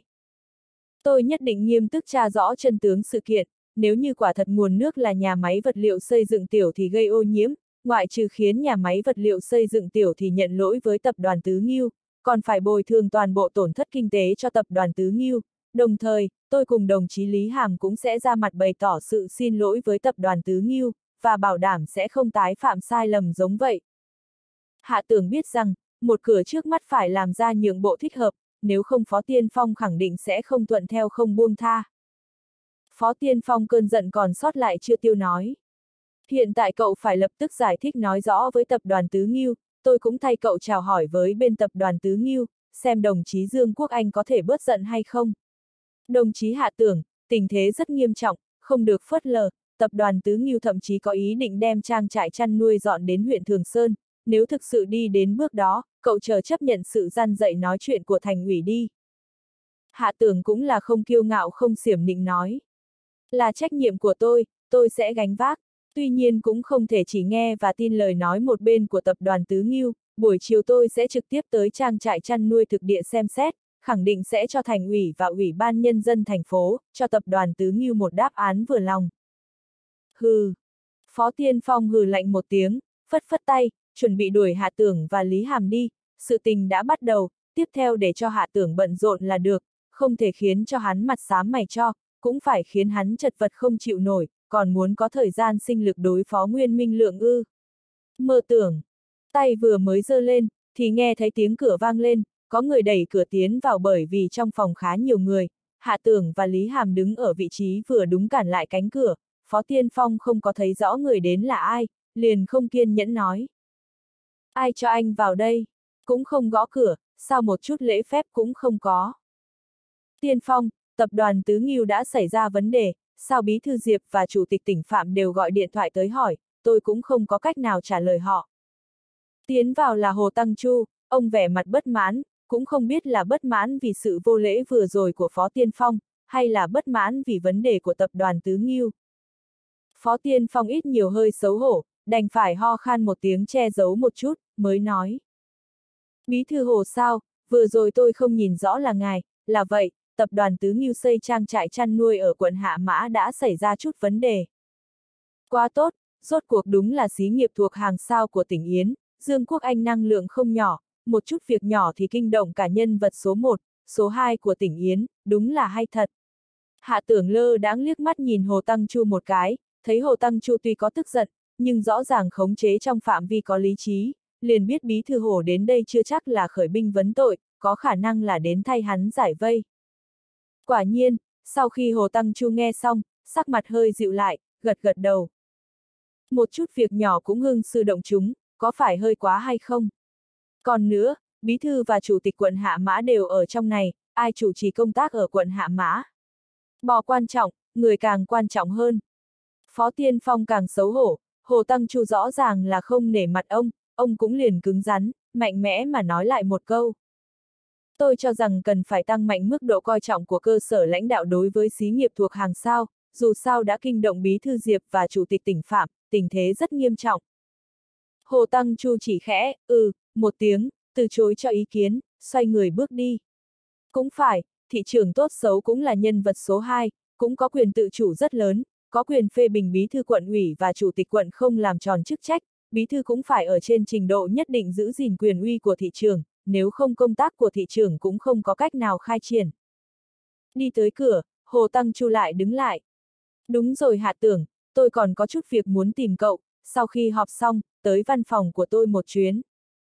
Rõ ràng là cho Phó Tiên Phong xem sắc mặt, người mà nhân vật số 2 răn dậy, lại được nhân vật số một đích thân đề xuất có chuyện muốn nói, ai cũng có thể nhìn ra là chuyện gì. Hồ Tăng Chu đi rồi, Phó Tiên Phong sắc mặt xanh mét, muốn phát tác lại cảm thấy rất mất mặt, muốn tiếp tục giáo huấn hạ tưởng vài câu, bỗng nhiên lại không có từ nào để nói, vừa định phất tay đuổi hạ tưởng đi, dù sao vẫn còn vô số chuyện rắc rối đang chờ hạ tưởng, đủ để ông uống một bình trà không ngờ còn chưa lên tiếng, điện thoại lại vang lên. Phó Tiên Phong không kiên nhẫn mà nhìn thoáng qua số điện thoại gọi đến, bỗng nhiên giật mình, là Nguyên Minh Lượng.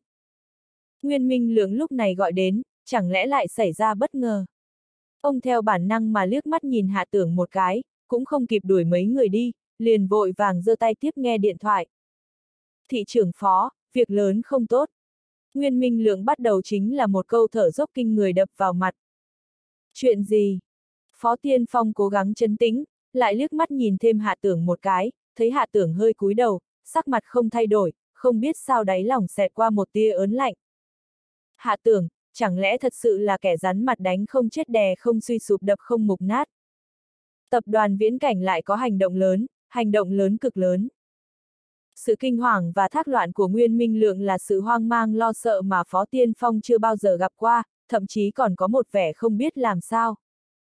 Tập đoàn Viễn Cảnh vừa mới tuyên bố, sông Hạ Mã sẽ vào trung tuần tháng 7 toàn tuyến thông nước trước thời hạn. Phó Tiên Phong sừng sốt. Thông nước trước là chuyện tốt, ông gấp cái gì? Nguyên Minh Lượng có thể là duyên cớ quá gấp, thở dốc, lời chỉ nói một nửa thì bị Phó Tiên Phong chen ngang, bây giờ mới lấy lại tinh thần, thở hổn hển mà nói. Ngài hãy nghe tôi nói, thị trưởng phó, tập đoàn viễn cảnh thông nước trước thời hạn không phải là vì chúng ta, là vì bản thân họ, vì tập đoàn viễn cảnh đồng thời còn tuyên bố, mấy trăm mẫu đất hai bờ sông Hạ Mã vốn định xây khu vui chơi và bến tàu, tập đoàn viễn cảnh toàn bộ cải biến làm khu chung cư, và đồng thời còn tuyên bố đem một tỷ đầu tư xây dựng tiểu khu xanh hóa hình thức hoa viên đầu tiên của tỉnh Yến trong công viên nước. Phó Tiên Phong chỉ cảm thấy đại não, ong, một tiếng, suýt chút không đứng vững, tay cầm điện thoại thậm chí có chút run rẩy quá độc ác, quá bất ngờ, thủ đoạn này của tập đoàn viễn cảnh rất tuyệt, quả thực là giáp mặt một đao, sau lưng một súng,